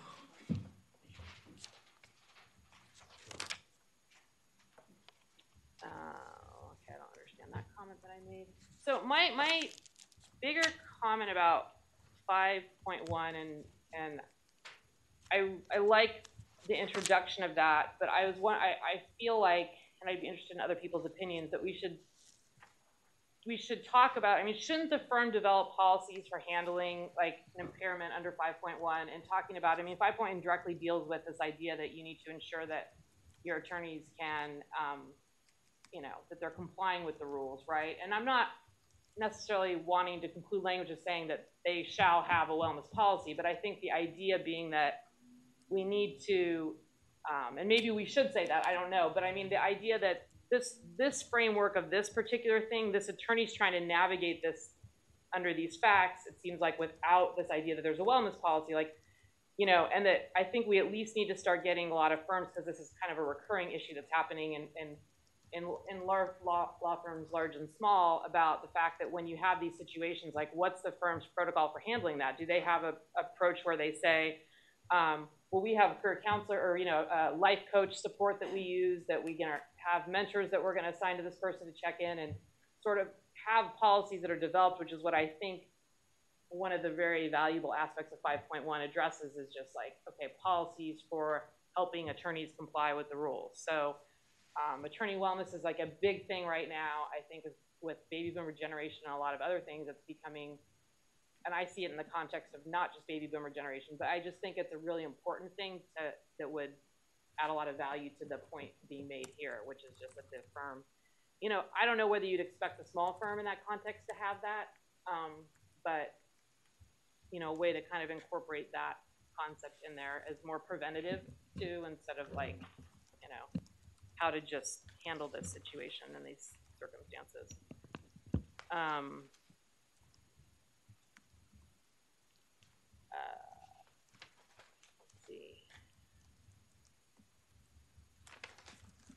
I thought in 269, 270, it was a little unclear about whether we are talking about informed written consent in those circumstances or not. Because I think you listed several things. I just had a question there, I guess. Um, the the footnote three. Um, I was wondering, and I was interested in what other people thought about this concept too. I this sort of relates to some of the issues that came up in the departure memo, but I, the concept of the fact that this, these, um, what the law firm's obligation would be to an attorney who's leaving and whether they'd have to tell clients about that. I just would wondered if we needed to make sure that we said something about, you know, under 8.1, just making sure that they didn't say anything false or misleading. I think that's a treacherous area. I get the point being made about um, that you wouldn't necessarily want to endorse uh, a um, allow a client to uh, impaired attorney to represent the client of the firm without. But I just I, I I wonder, and I guess that opinion is saying specifically that the firm has a duty to to tell the client that there's this impairment if they were like the attorney was going to leave and and the client was interested in going with the attorney under footnote mm. three. And so I just, I was, I mean, eight point one is probably the wrong thing, but I just, I wondered, I'm sorry, eight point four, but I just wondered about the idea that, um, you know, kind of balancing that with this, I, they, how they, it's such a treacherous area. I just would want to make sure that firms weren't saying things like, you shouldn't go with that attorney. They're crazy or they're not, they're horrible or they're, you know, like making these comments. I don't want to feel like we're kind of endorsing that. I'm not saying firms would do that, but it just felt, feels like a little bit of like permission to disclose maybe personal things related to that you've already done a good job of covering that they have to be really careful about the privacy issues, you know. So I don't know. But that, that to your point, uh, I think the point is a good one that if, if you're if you wait if it's 30 days before trial and now you're dealing with it, then that's kind of a problem. And the point about having policies in place well before a crisis like that happens, I think is, is a, a very good observation um, and consistent with 5.1. In terms of uh, the size of the firm, I mean, I've always told lawyers that, you know, if, if it's more than you, if it's you and one other person, you need something in writing. You need to systematize your procedures. Sometimes, even if it's only one lawyer, you probably need to sit down and write it out.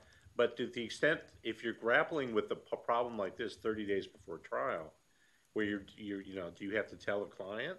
I mean, it seems to me we should encourage firms of all sizes to, to, to contemplate having some kind of policy like this in effect, and, and everybody on notice of what the policy is, well before any crisis occurs. In, you know, and the, you know, having to tell the client, well, this lawyer's impaired and, and can't go forward with the trial thirty days before trial. I mean, it seems to me it's, that's, the barn door has already been closed and the horse is long out. Yeah, and this is sort of like that, that, that footnote three is kind of like the, um, related to the, talking about the duty to communicate and it would extend even if the attorney leaves as like sort of that side note. Anyway, I, I don't know, I just was kind of wanted to throw that idea out there. I'm not sure that I'm providing a very, a great way to, to navigate that, that particular point, but I just wanted to put it out there. Um, I think that the, yeah, I, I again made a note on three oh two, that paragraph there, just that the firm policies for hand, handling, evaluating wellness committee, you know, would, uh, be helpful in that section too, if we could kind of discuss that there. And there's a couple places I just think if the firm had policies, that would be really helpful for the attorney to know what to do. Um, and then, uh,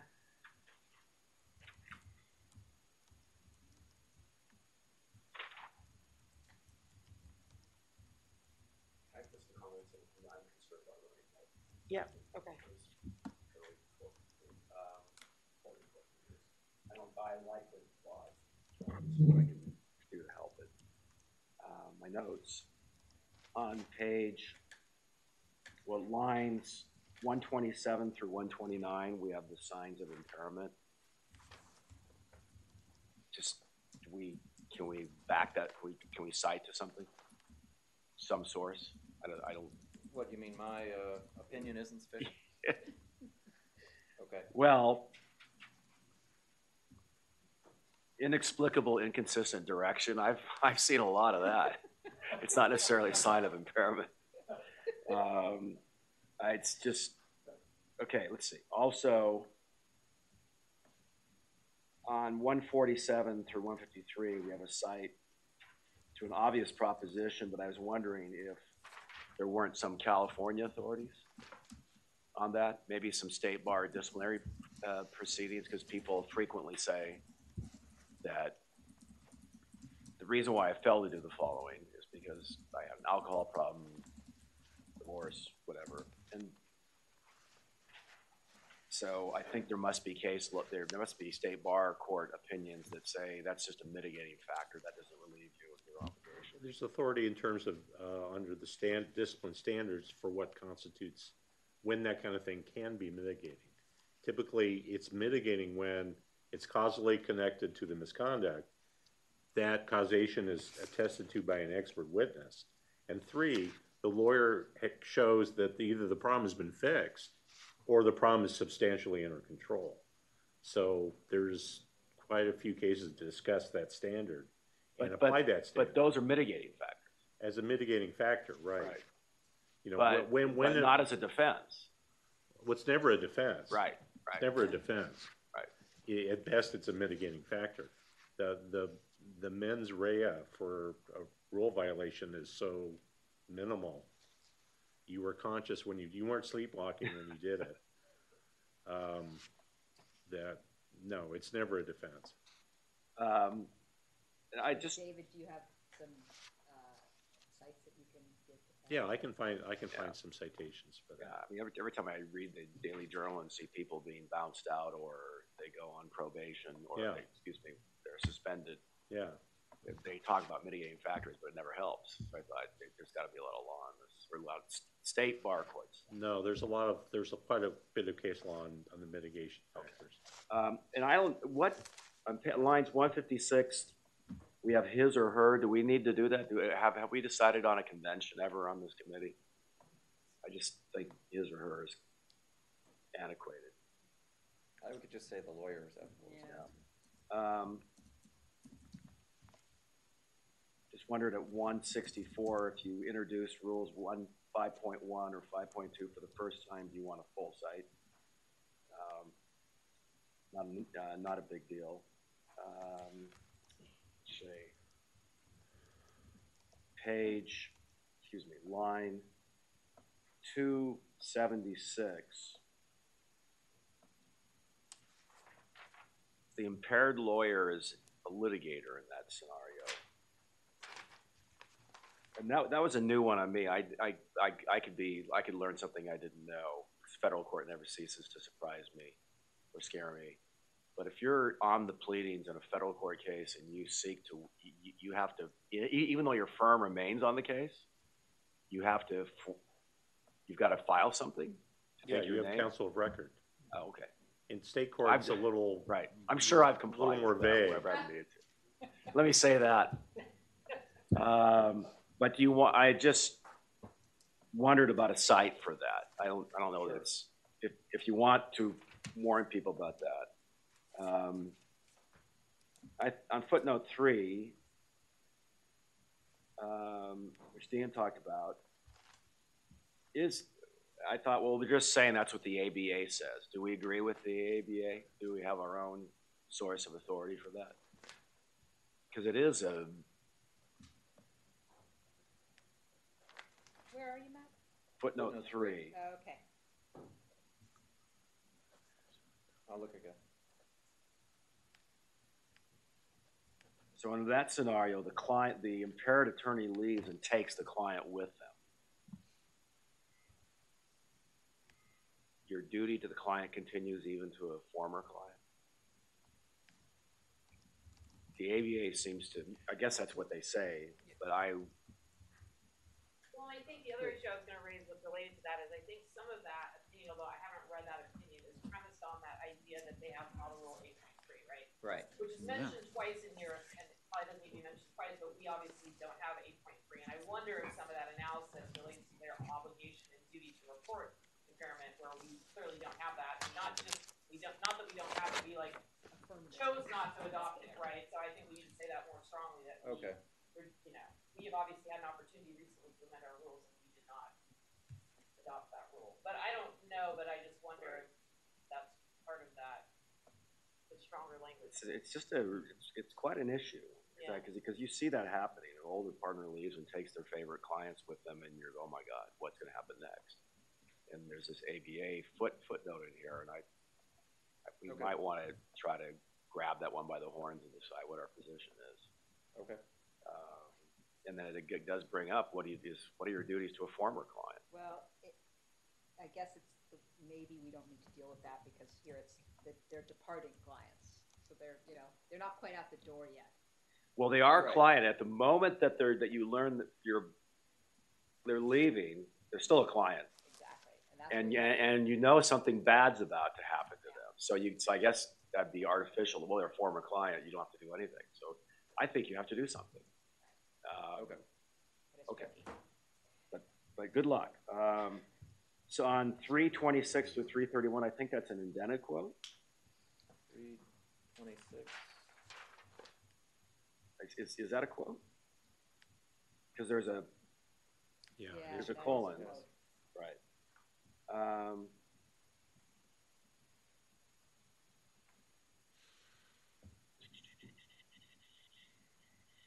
I think I have one more.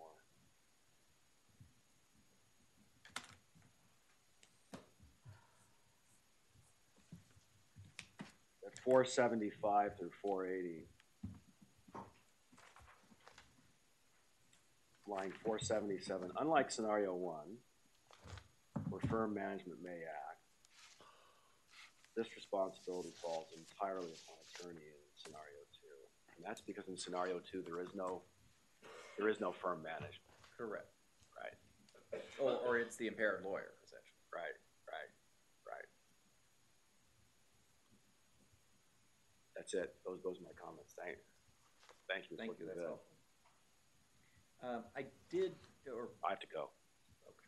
I'm- no, it was actually more directed to Dina, but if there's other comments from anyone else who's left, Yeah, I just had like two more things to finish, and is that okay? And then we can, yeah, so, um, on, uh, I think, I was just gonna say in footnote four, the beginning of footnote four, you talk about that ABA opinion, and, and one of the things that come out of that is that, number one, to adopt measures to prevent an impaired attorney from violating ethical obligations. So that's consistent with the policies. And so I think if we're gonna, you know, sort of follow that to some extent, that opinion, then that shouldn't, obviously not be in a footnote and be more consistent with the, what we talked about. Um, and at, I had a little trouble kind of following the, when scenario one and scenario two were being discussed, line two seventy, sorry, three seventy-two. I, or three seventy-three, I think that we're talking about scenario one again there, but it doesn't specifically say, I think some of that's kind of, um, I think, I think could be just like tightened up a little bit with that. Okay. Um, I think a lot of, there's a lot of really good things in there, and, um, it's a lot of really, I mean, it's, it's, it's much needed opinion, and it's gonna be really helpful. Um, I think those are my comments, if there's others I can email them to Eric. Okay, thank you. I think organizationally, one thought might be to look at what um, was done in the opinion about the um, advice on of in-house counsel. You know, the one that Mary Baldwin was the lead on, because there you had the three scenarios, and they were, you know, and basic. I guess what I think is it might be better to go through everything under scenario one, One and then everything under two. and then under two, but you won't have to re-say. You'll say most of these are the same as in one, but here are the differences when you've got a small firm.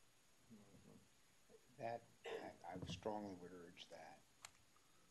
Um, My main thought is that I think that the opinion really could use, particularly the way the law is laid out, the, it's not very well organized, it seems to me.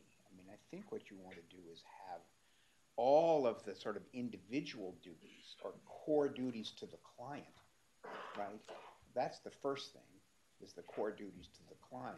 Then there's the question of the relative roles of supervisors and subordinates and or a managers, supervisors and subordinates. And you don't really have supervisors in there, which you probably should because supervisors' obligations are different than managers. Managers' obligations are to have procedures in place, right? Supervisors' obligations are to actually do something, right? And so it feels to me like you want to lay it out. Here's hmm. the basic things. The client needs to be competently represented. They need to be informed of significant developments. Whatever the list is, the sort of basic things that flow to the client. Then 5.1, 5.2, 5.3.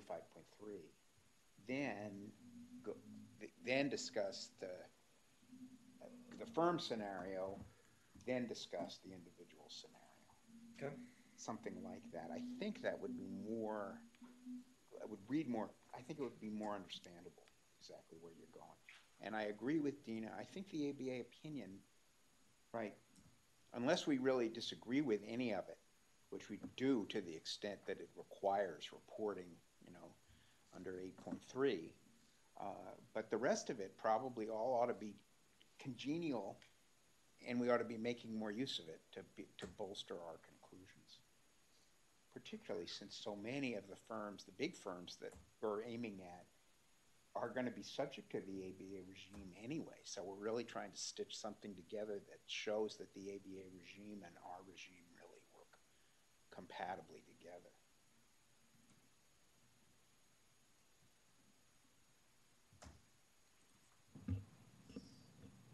Eric, I had one quick comment or question just to follow up on Dina's points about whether there are resources, additional resources being made available to address the situation. The opinion calls for that, but it really doesn't describe how to do that in much detail. And I went and looked up what's on the state bar website, and under the lawyer assistance program, they have self analysis tests for anxiety, depression, and drug and alcohol abuse. They make it clear that they make available free consultation, education. And then there's another state bar um, publication, I wasn't aware of this, a wellness guide for senior lawyers and their families, friends, and colleagues. They talk about mild cognitive impairment and a whole bunch of other things. So just for your consideration, if you thought they were useful, I thought that might fill in the gap in terms of particularly scenario two, where you have either a solo practitioner who doesn't have a, uh, a, a, an attorney or, or a committee within a larger firm that could lend assistance to this, especially for that, you know, that person trying, trying to deal, well, I guess it would be at least two. It would be at least two or more people in the small firm dealing with something like this. But just something to consider, because I, I was impressed when I looked, found this stuff last night on the website. Might be something you want to include in a footnote or somewhere in the opinion.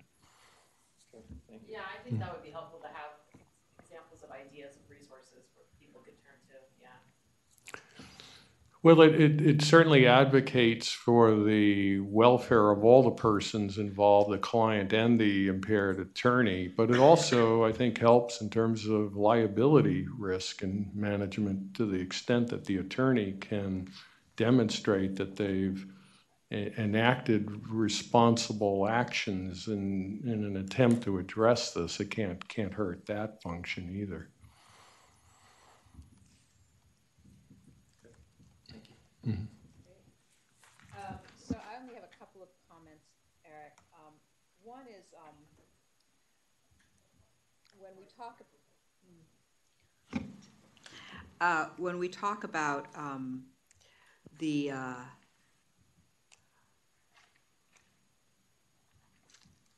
the attorney's, um, obligations, particularly, I guess we're on scenario two, I'm on, what I'm, I'm in sort of line three fifty-seven, that portion of the opinion.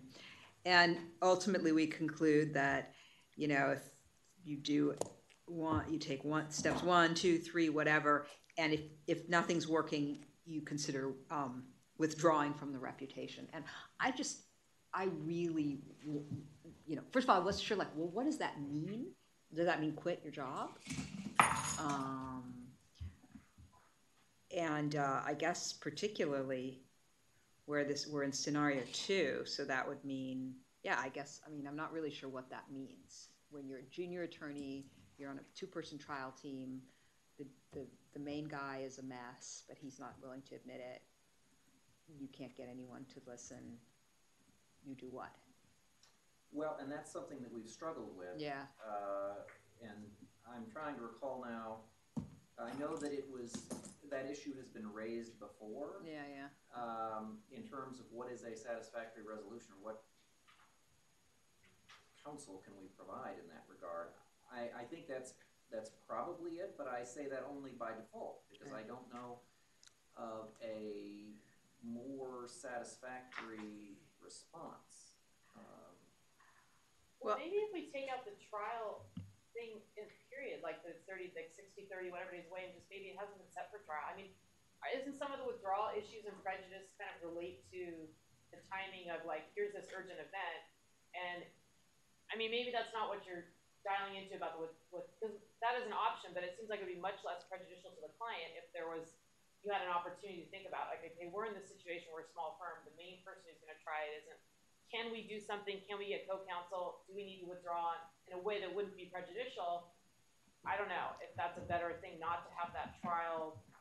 It, it, may well be, because that does afford, I, I mean, it doesn't completely address Amy's concern in that nobody's listening to the the subordinate lawyer. But at least it raises the prospect of affiliating with other competent counsel. It, it affords, I think, potentially more options than might apply if, as- in particular, we're talking about a scenario where it's thirty days before trial, it's a small firm, the uh, senior lawyer is non-responsive to your concerns.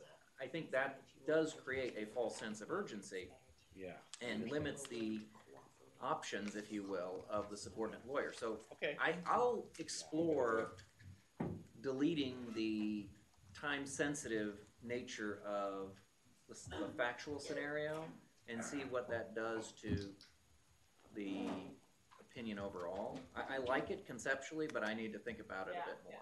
Or maybe the matter was just set for trial, I mean, I don't know, but something where it's less pressing, I don't know. I mean, I don't, when I, and I've worked on this now for, been in the league on this for a while, I- I've never, as we've altered the focus, it has been increasingly less important Yeah. that trial was imminent. Right. Yeah.